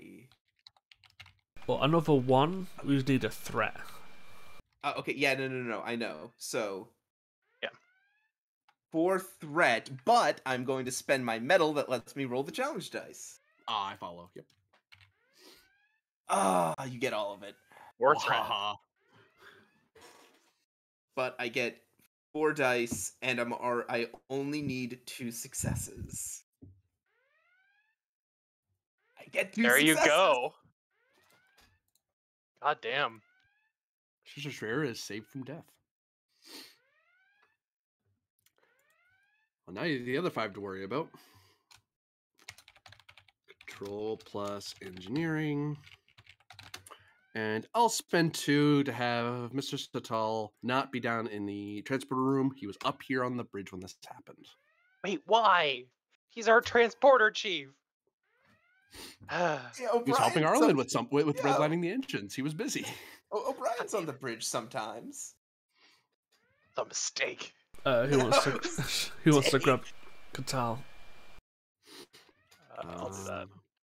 So the base difficulty is two. They're not on a pad. They're not going to a pad. Uh, no difficulty decrease because he's in the transporter room. Uh, and I hate NPCs today.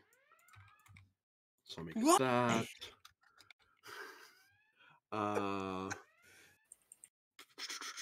how do you transport? Um, brain. Control. Control. engineering? Oh, I knew that part. Uh, that's the other bit. Sensors engineering. Yeah, it's sensors engineering. Yeah. I, I only rem- the only reason I remember that so much is because of the fact that both the Kismet and the Hadfield had the advanced sensors, so every transporter roll.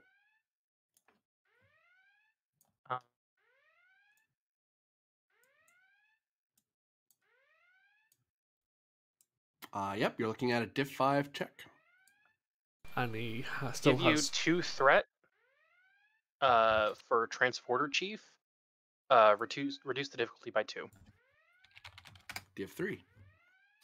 Yeah, and you've got the Yeah. two determinations. Yep. Um.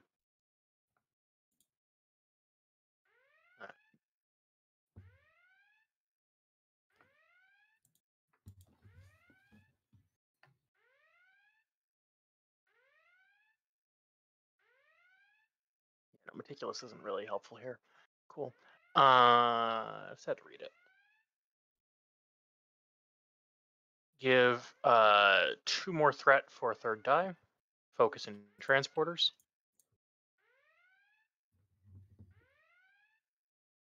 Yes, to focus. Cool. Um. Oh right, I, I did that in the wrong order. Um, I'm Huh. giving two threat for the third die because I'm spending a determination towards the value. I like a challenge. Yeah. Um, then rolling three with gold engineering. Rerolling that twenty. Right now it's five hits. Seven hits. Uh, I can cancel my own comp, so I'll do that. All right. And the ship. Two more hits from the ship. That is nine hits. On a diff All right. three, we generate four. As the chaos of the bridge continues, in a small picture-in-picture, uh, we see someone racing around trying to save these people who are beaming into his room. And uh, yeah, he's he's the man on deck. Welcome to the job, cadet. Who Oh, wants God. to be Copeland? God, if he pulls this off, he's going to get the biggest ego. Uh, I'm gonna double check something, make sure I'm not lying to myself or cheating you guys. Um, Becomes so insufferable. Right. So here's the gamble, folks. Kobuk. These people are all. Uh... Oh wait, Hmm. it went from non-lethal to lethal. Yeah. So Non-lethal not- injury to stress filled. Right. So that actually, actually, it's not even the five-minute death clock. It's the end of scene death clock. Still. Yeah. Um. All right. So.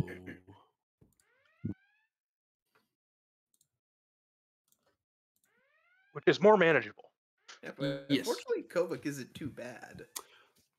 Oh, that was too Kobuk thread. Can attempt to save someone um this scene or can- like a save somebody action four times for the scene ends if you want someone to try to save them lives after that you need someone else to do it because kobuk's too busy he's he's running around trying to grab Oh. things and look up things and talk to staff which medicine forward it's pretty good he's fairly competent at that but there's only so much time he No has. idea. What if he Yeah. gets Reixa up first? Yep. Mm-hmm. and then she can thought help the person that he can't. Because Yeah. it's only Yeah. one person that she can Yeah. help. Because he can also be, determination Can spend swift Rex- task. Can and Brexia act after she's been revived? yes Cool. yeah, that's what we. So need. who's who's rolling for Kobuk? Not it. I just- I just rolled for. I was gonna say I, I just I just rolled my life saving for, for the Uh, day. Rylov, would you like Uh, to be Kobuk? If not, I'll I'll take him. I mean, you have had a wonderful voice for Kobuk, so you know. Of which I do not remember. It's, uh, it's kind of like a walrusy thing. that doesn't help me Rup, rup, one rup. bit. Rub, rub, Daring rub, plus rub. medicine roll, difficulty three to save Reixa. Are you sure you want me to save Rexha? That's the voice. That's that. Uh, does it help that I'm in medbay? yes, uh, basically the cortical stimulator.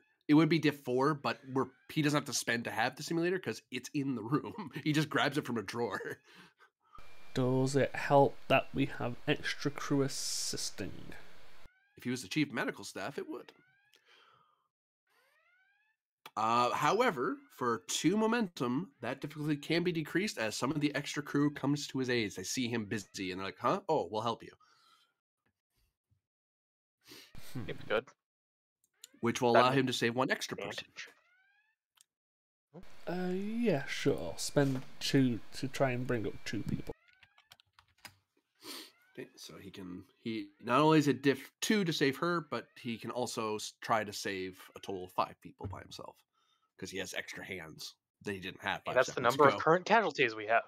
and then maybe spend three momentum. Uh, first off, uh, focus emergency medicine. Yes.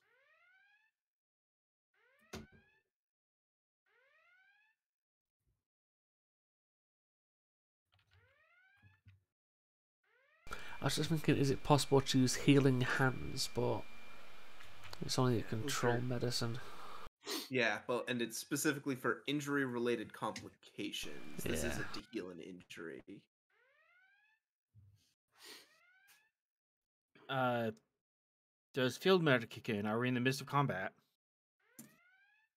I don't think so. Nah, don't matter. Mm, So I'm gonna give you. Uh, I'm gonna spend momentum.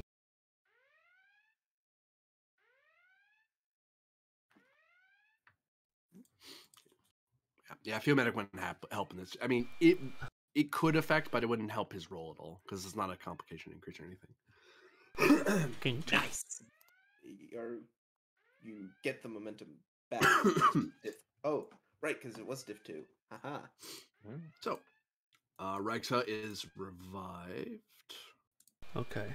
I would like to determine determination spend. For who? for And to go again. Oh, he, he can keep going. He's he just has X amount of attempts. Oh, okay. Yeah, he has four. You said. he has four oh, left now. Oh. He, he had he had four originally. It went up to five because there's a bunch of people rushing around him. So he has five turns. So he has four turns to save four people at this point. That's that's what we're. Well, going and with. now Reixa is up. So Well, he, so we should he have Rex had, assist Kobuk now, I think. or or maybe Reichster take the lead and Kobuk, like you says, depending on who goes where. And who has what stats? uh, And who's on first? Yeah, I think due to just waking up, probably shouldn't have her do it. Good point. I think narrative. Yeah, narrative. Yeah, makes sense. Okay, let's check our initiative scores. Uh, who goes first? Uh, I- I'm just I'm just gonna go from right to left, so I'll do Katrira. What goes second? I don't know. Goes third. So spend a moment. Uh, difficulty for this is diff. Uh, would be diff two brought down to diff one because of all the people. Uh, I'll take Rexa, I guess. Um, Reroll. so- uh, Saved. focus in medical technology or surgery for the assist here. Yes. On that. Uh, I think we can just let that one go. Yeah. One down, three to go. Yep, I'll move on to Visan. I'll spend one.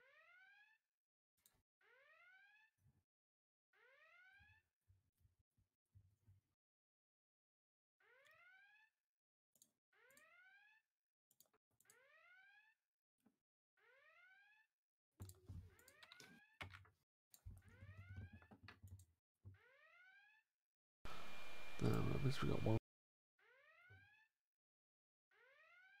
One for me assist. So that's two float. Um, any way we can get them back to actively helping? Not necessarily in the med bay, but back to stations. Uh, for two momentum, you could have the advantage that Vizon basically is able to pop up to her feet and is immediately ushered back right off the duty. Yeah, The we, ship is at red alert. All hands should be on deck as if they can. Yeah, that's right. We we had two float. I just wasn't pulling another one out to pull out. So is available for use immediately, if you want. Uh, then it's uh, I think it's Rymac. Yep. Uh, spending one.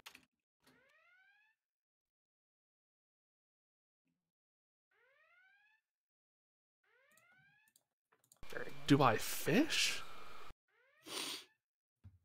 No, I think we, uh, so. That's what we gain four.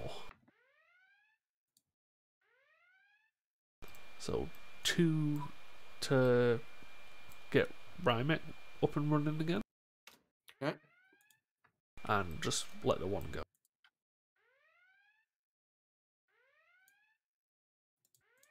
And Uh, last one. Yep, so again, let's spend one.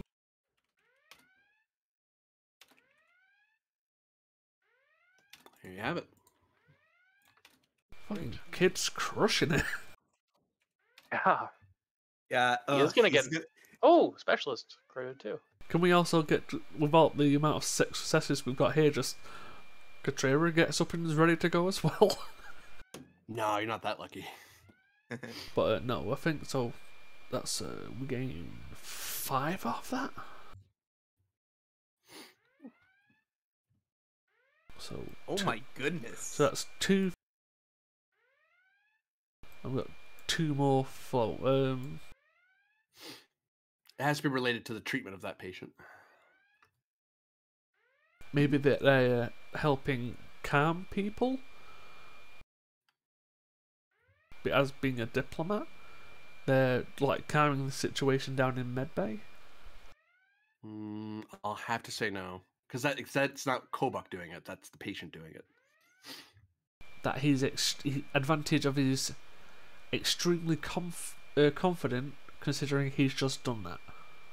like the, the advantage that Kobuk has gotten into the zone. Yeah, Yep. You could have him have the advantage that his next medical, his future medical role should be easier. He's basically taken a sort of uh, asserted his medical chops in the bay for now.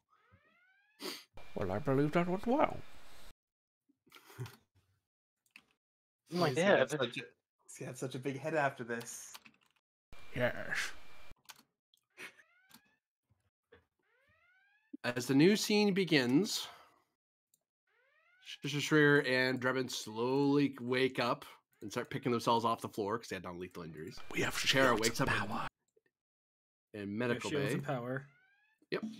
Yeah, we have shields. We have power. We get our stress back. Oh wow. Cadet Ben, back to your station, please. Yeah, yes, right, right. Drummond blinks as he's on the floor, like, the hell happened? Yeah, and I'll help And, uh, uh, Sala back. Ve- Yeah, Ven helps Draven back up to his seat, and uh, Draven can now see that Ven's hands are covered in, uh, in blood, both red and blue. in nondescript liquids. Uh, Arlen, I will point out to you that your ship is surprisingly unscathed. It lost all its shields, uh, but there are huge gashes all across the paint job of the hull. Shields uh, are uh, down. Mm, Go ahead. Oh, so but- we have tiger stripes now. yes. Yep, Nice. Shields are Uh, down. you- you have can Two years glittering- late. you have glittering crystal uh, stripes all across the ship because the crystal Awesome. layer's been exposed. Um, Yeah, shield you did a good powers back. Okay, surprising we made that. Um, next question: How's my husband? Uh, he he I- I- spooked. Not I will take time away to. I'll take time away A to check in on him. I mean, if That we're through not senses, I will need a target solution. Or a visi- vision on a target, given we're going for extreme range here. Yeah. We have more pressing matters, because if we don't engage the enemy, then we die anyway. Yeah, it's not really appropriate that one, but And Ah, Ven, write me up you are for about to it. get- Lieutenant Yes? Arlen, stay in your spot or you will be detained. I will not warn you again. Trailblazer just kind of stare look looks over at Penn and nods at him like he's uh, asserting that as an order. And he doesn't turn to see if Arlen leaves or not. He just he just trusts the crew to do what he told them to do.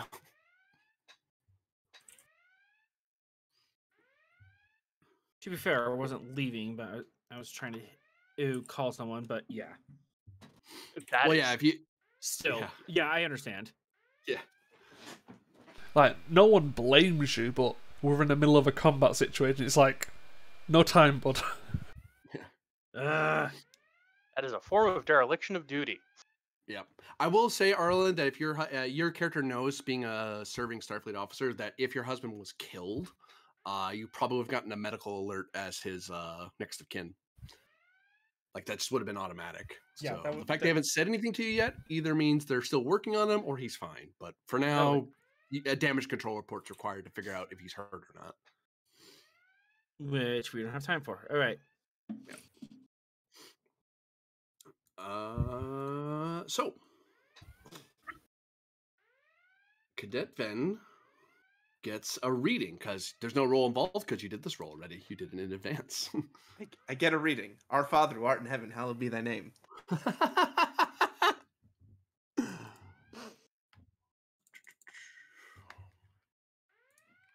did all that for nothing.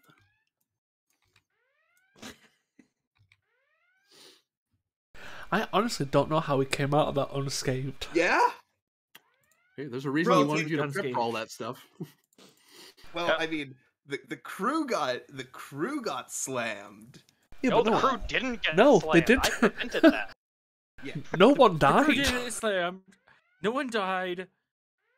We have no breaches. The ship's fine. we would have like we would have like lost so much from our departments if I hadn't done that.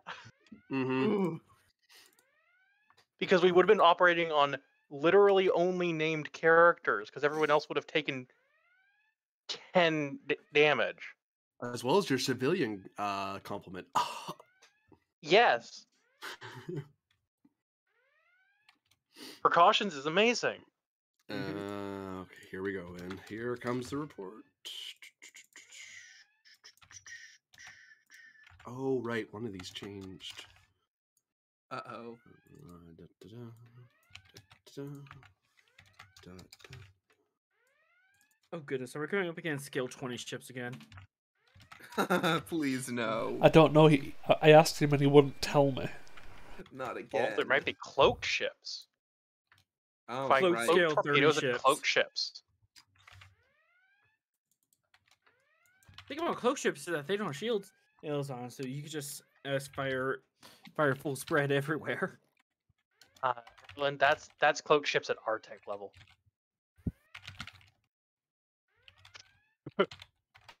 I don't know if these are cloak ships at our tech level.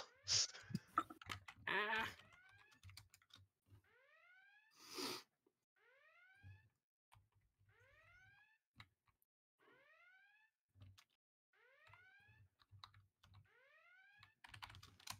This could be like, I don't know what, anything. Ah.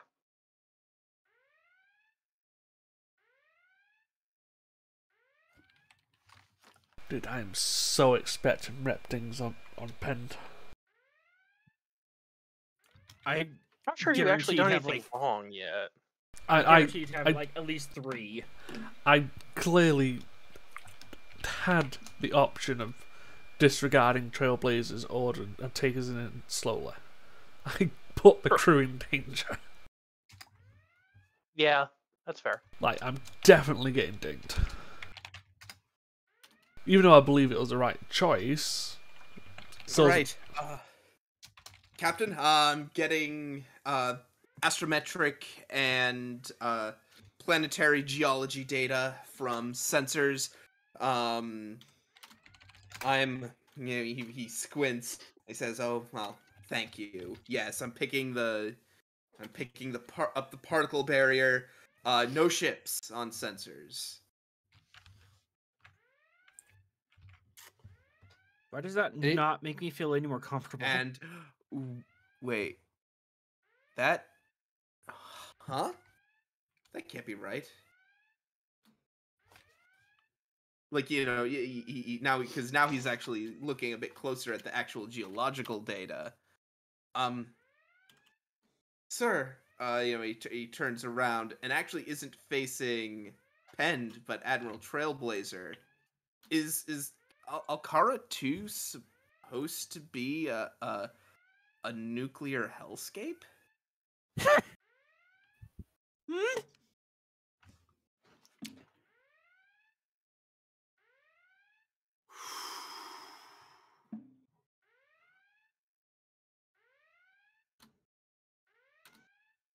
I'm detecting a toxic atmosphere. Uh, the planet appears to be undergoing a nuclear winter of sorts. Uh, temperatures ranging from negative 50 to zero degrees Celsius. Toxic atmosphere. Captain Penn, please verify those readings. I'll head over to the sensor. And, you know, he gulps as the captain looks over the readings and he just motions to them. And uh, I will. I will copy you the uh the readings, Penn. as Oh, yeah, now able to Jacoby just over send them. Oh yeah, he just sent them. Yeah. I was a half click before you. Sorry, I would have let you do it otherwise. All good. All good. Yeah, I mean there are other planets in this system, but uh that one that one uh oh.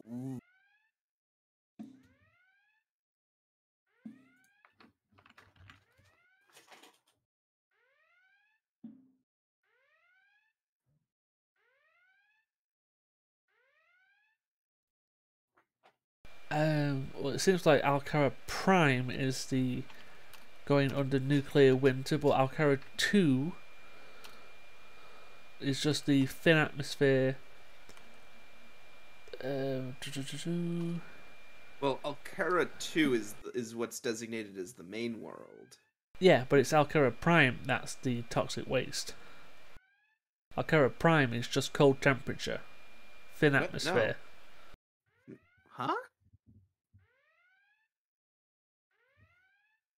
I'm I'm confused.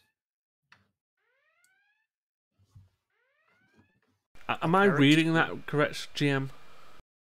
uh, no. Uh, Alcar Prime is a Class H planet. It's the first one. Yeah, and then Alcara 2, main world. Terrain, nuclear winter, temp cold, atmosphere toxic.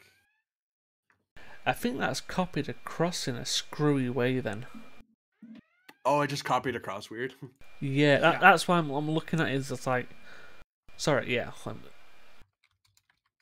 So Might as well put it- Altera or one uh, is Class A. Altera two is Nuclear Wasteland, and Altera two is the Prime Planet.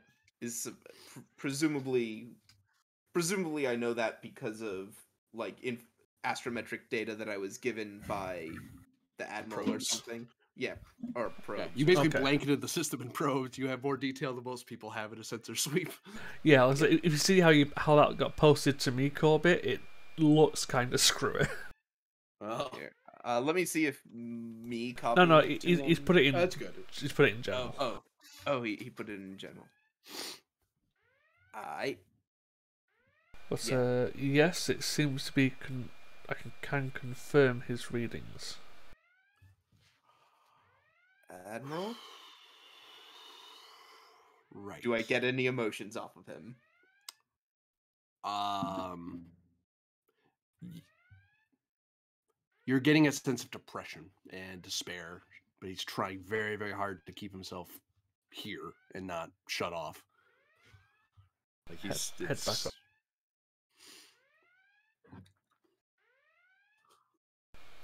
Uh, S- sensors. Captain, go ahead, Captain. Report. Sensors. Get a scan of anything else in, in the system, not just the planets themselves.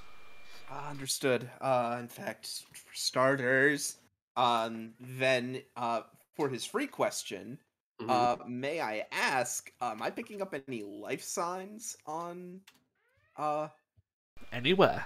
on Alcara 2? Well, for starters, I want to start with the planet that is the nuclear hellscape.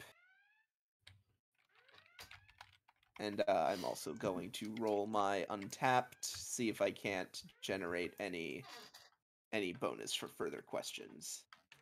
Wow, I'm just not getting anything. At least I'm not giving the GM any threat. I was gonna ask. I was like, "Oh, did I get any?" Yeah, no, I'm just rolling zeros. Nothing for you, but nothing for me. Supposed to be uh, zero to hero, not the other way around. Um, Just like that.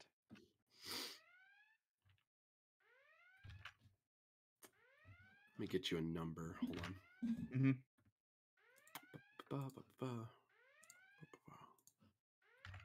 Huh. Huh. Uh, all right. All right. Cool. Great. Wonderful. That's Uh-oh. awesome. That's great. That's, Is that's it like, oh no, what is this? What is this gonna be? I think that was a roll to figure out how well anything works down there, maybe. I don't know. I, I, I don't know. That's either really good or really bad. Or just how many people are on the planet.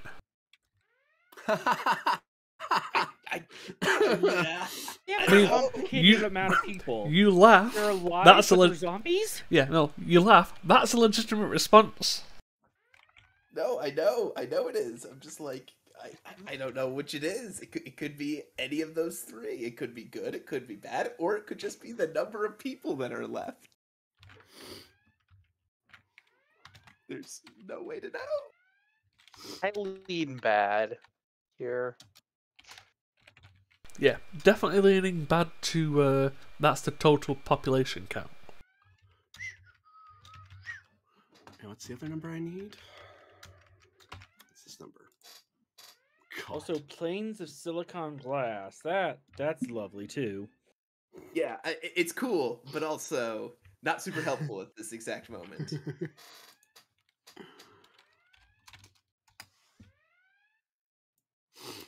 Do, do, do, do, do. Oh, they glassed Alcara 3 at one point. Fun. Yeah. Yeah.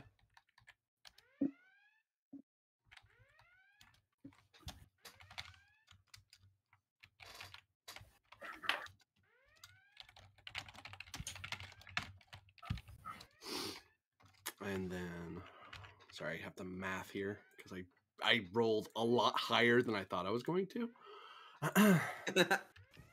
okay.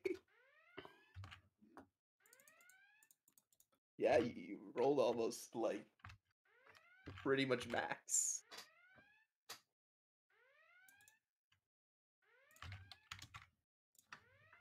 Ugh.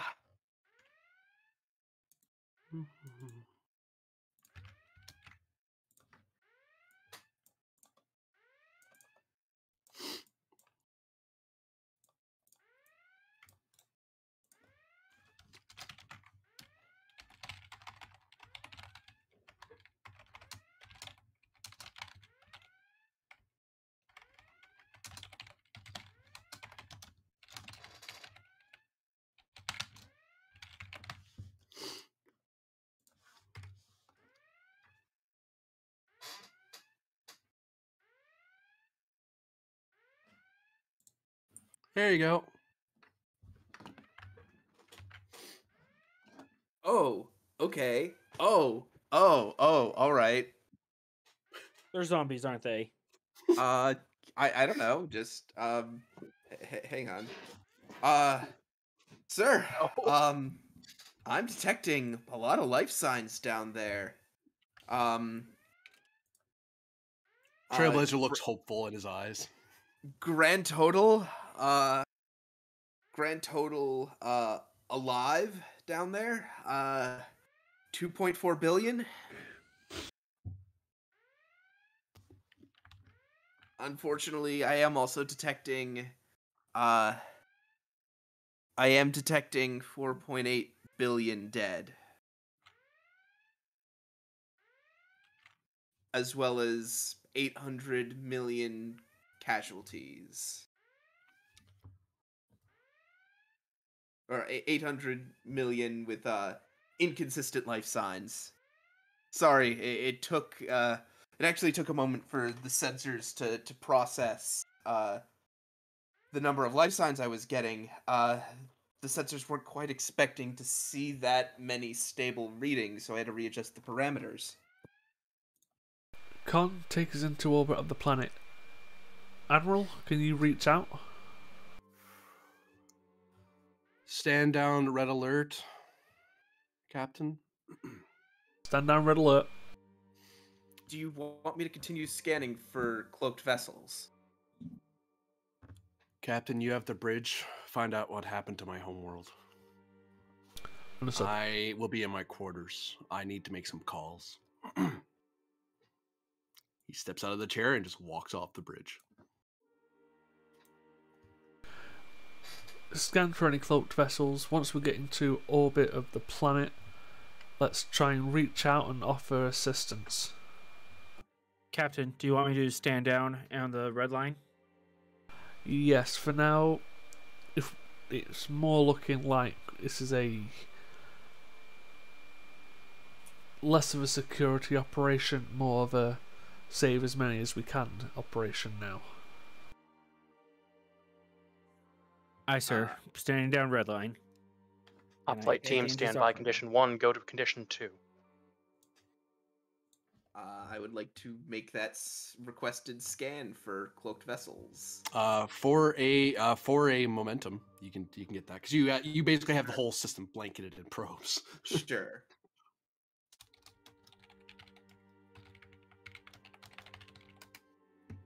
Uh, currently not detecting any cloaked vessels in system. Uh, Captain. Uh, uh, if I may. Go ahead.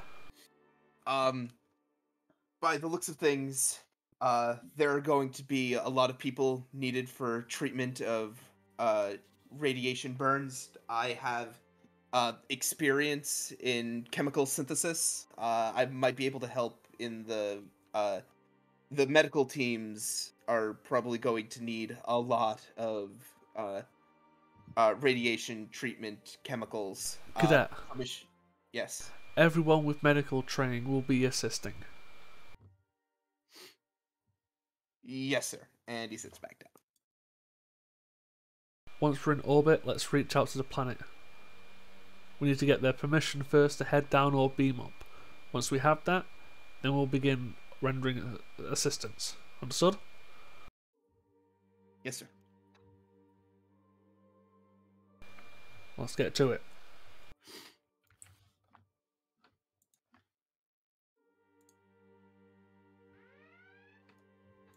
The red alert lights automatically turn on. Rylov, give me insight plus security, difficulty three. Assisted um, by sensors plus security. You're seeing something happening to your ship. Paranoia. Yeah, and I'm paranoid, so if that changes anything. Uh, difficulty two. Normally paranoia wouldn't help you here, but it, it's helping This is- get something no one else would be looking for. Okay, toss you a threat, because that's how this works. Ha! Reroll anyway. Oh, hey. okay. There we go. Noise. Noise.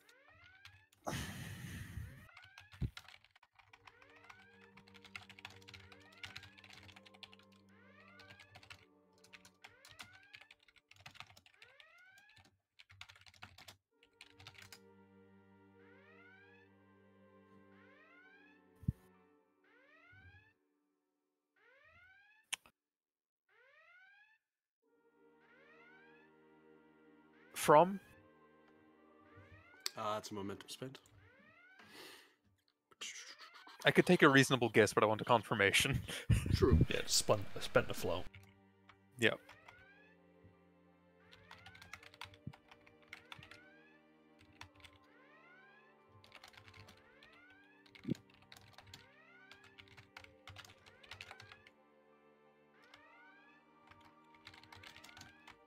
I can't spell for the love of God. There we go. I mean, we knew that already.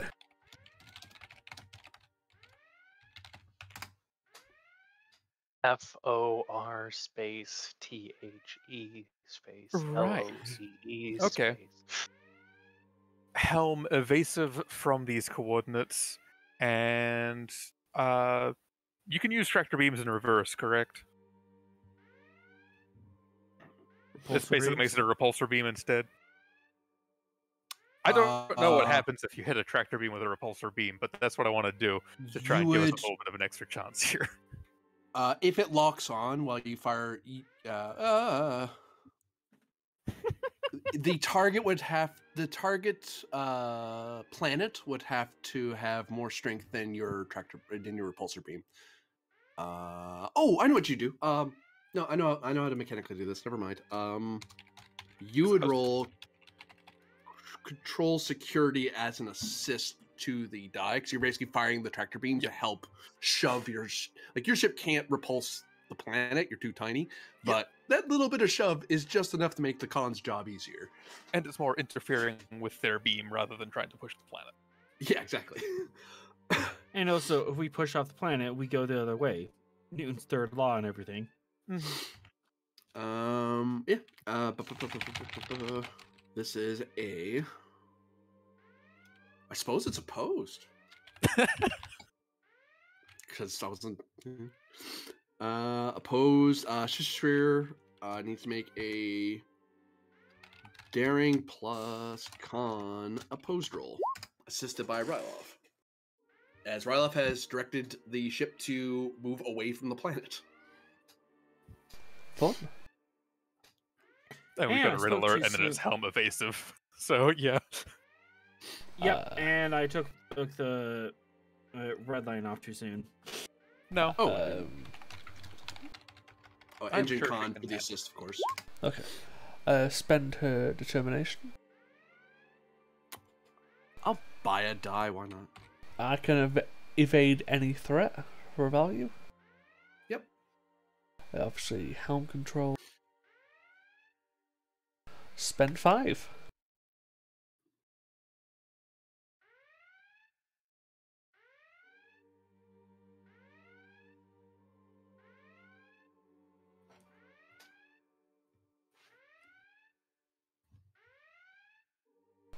Yeah, nearly rolled it on my sheet and not used hers. God damn it. Uh, I'll reroll. And two from the ship as well, so that's four, six, seven. That control security. Eight, nine.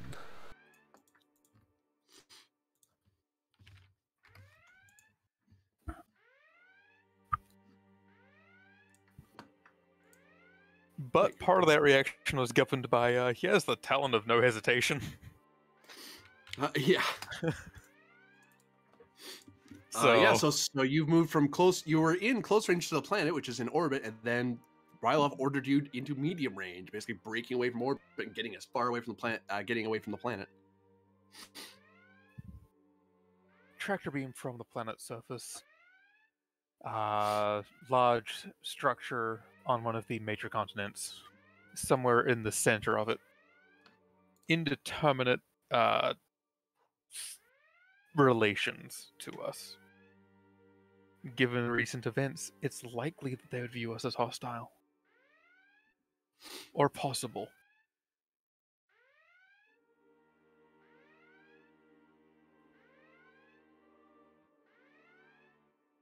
Tractor beams are not a standard greeting. Read, Lieutenant.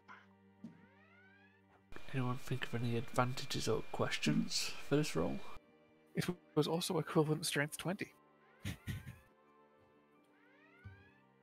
Because of the beam. entire you know, gosh darn planet. Well, it's not the entire planet, it's the structure size. That'd be relevant to Yeah. the Yeah. structure rather than the planet. If it'd be the planet, the strength would be way higher. Yeah. Yeah. That's no move. Um, What do you mean strength 100? Go away, GM. Uh, advantage that we we move an extra uh, uh, range band away. We slingshot around the planet. Why would we need Or- to move an extra range band away? I don't know. Yeah, I don't think. Tractor, away band, from- tractor beams are close range. Torpedoes aren't. I don't think we want to is a- torpedo the planet that's just been bombarded. No, I'm saying they're going to launch torpedoes at us. If they view That's us as hostile, Different scale of hostilities to a tractor beam.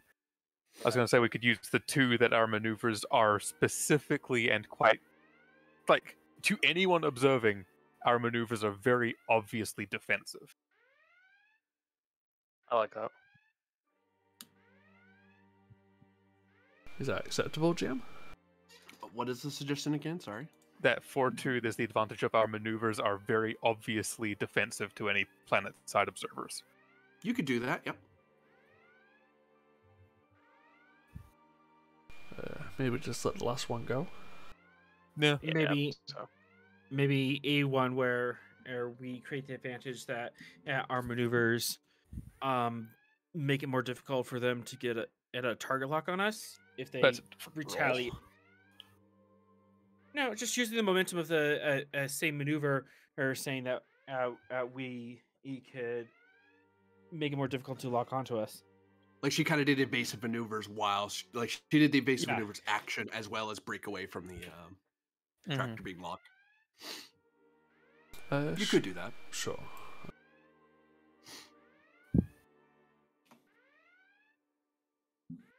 Uh, comms, let's try and reach down to, to the planet. Opening hailing frequencies now, so. This is And that will be the end of part one.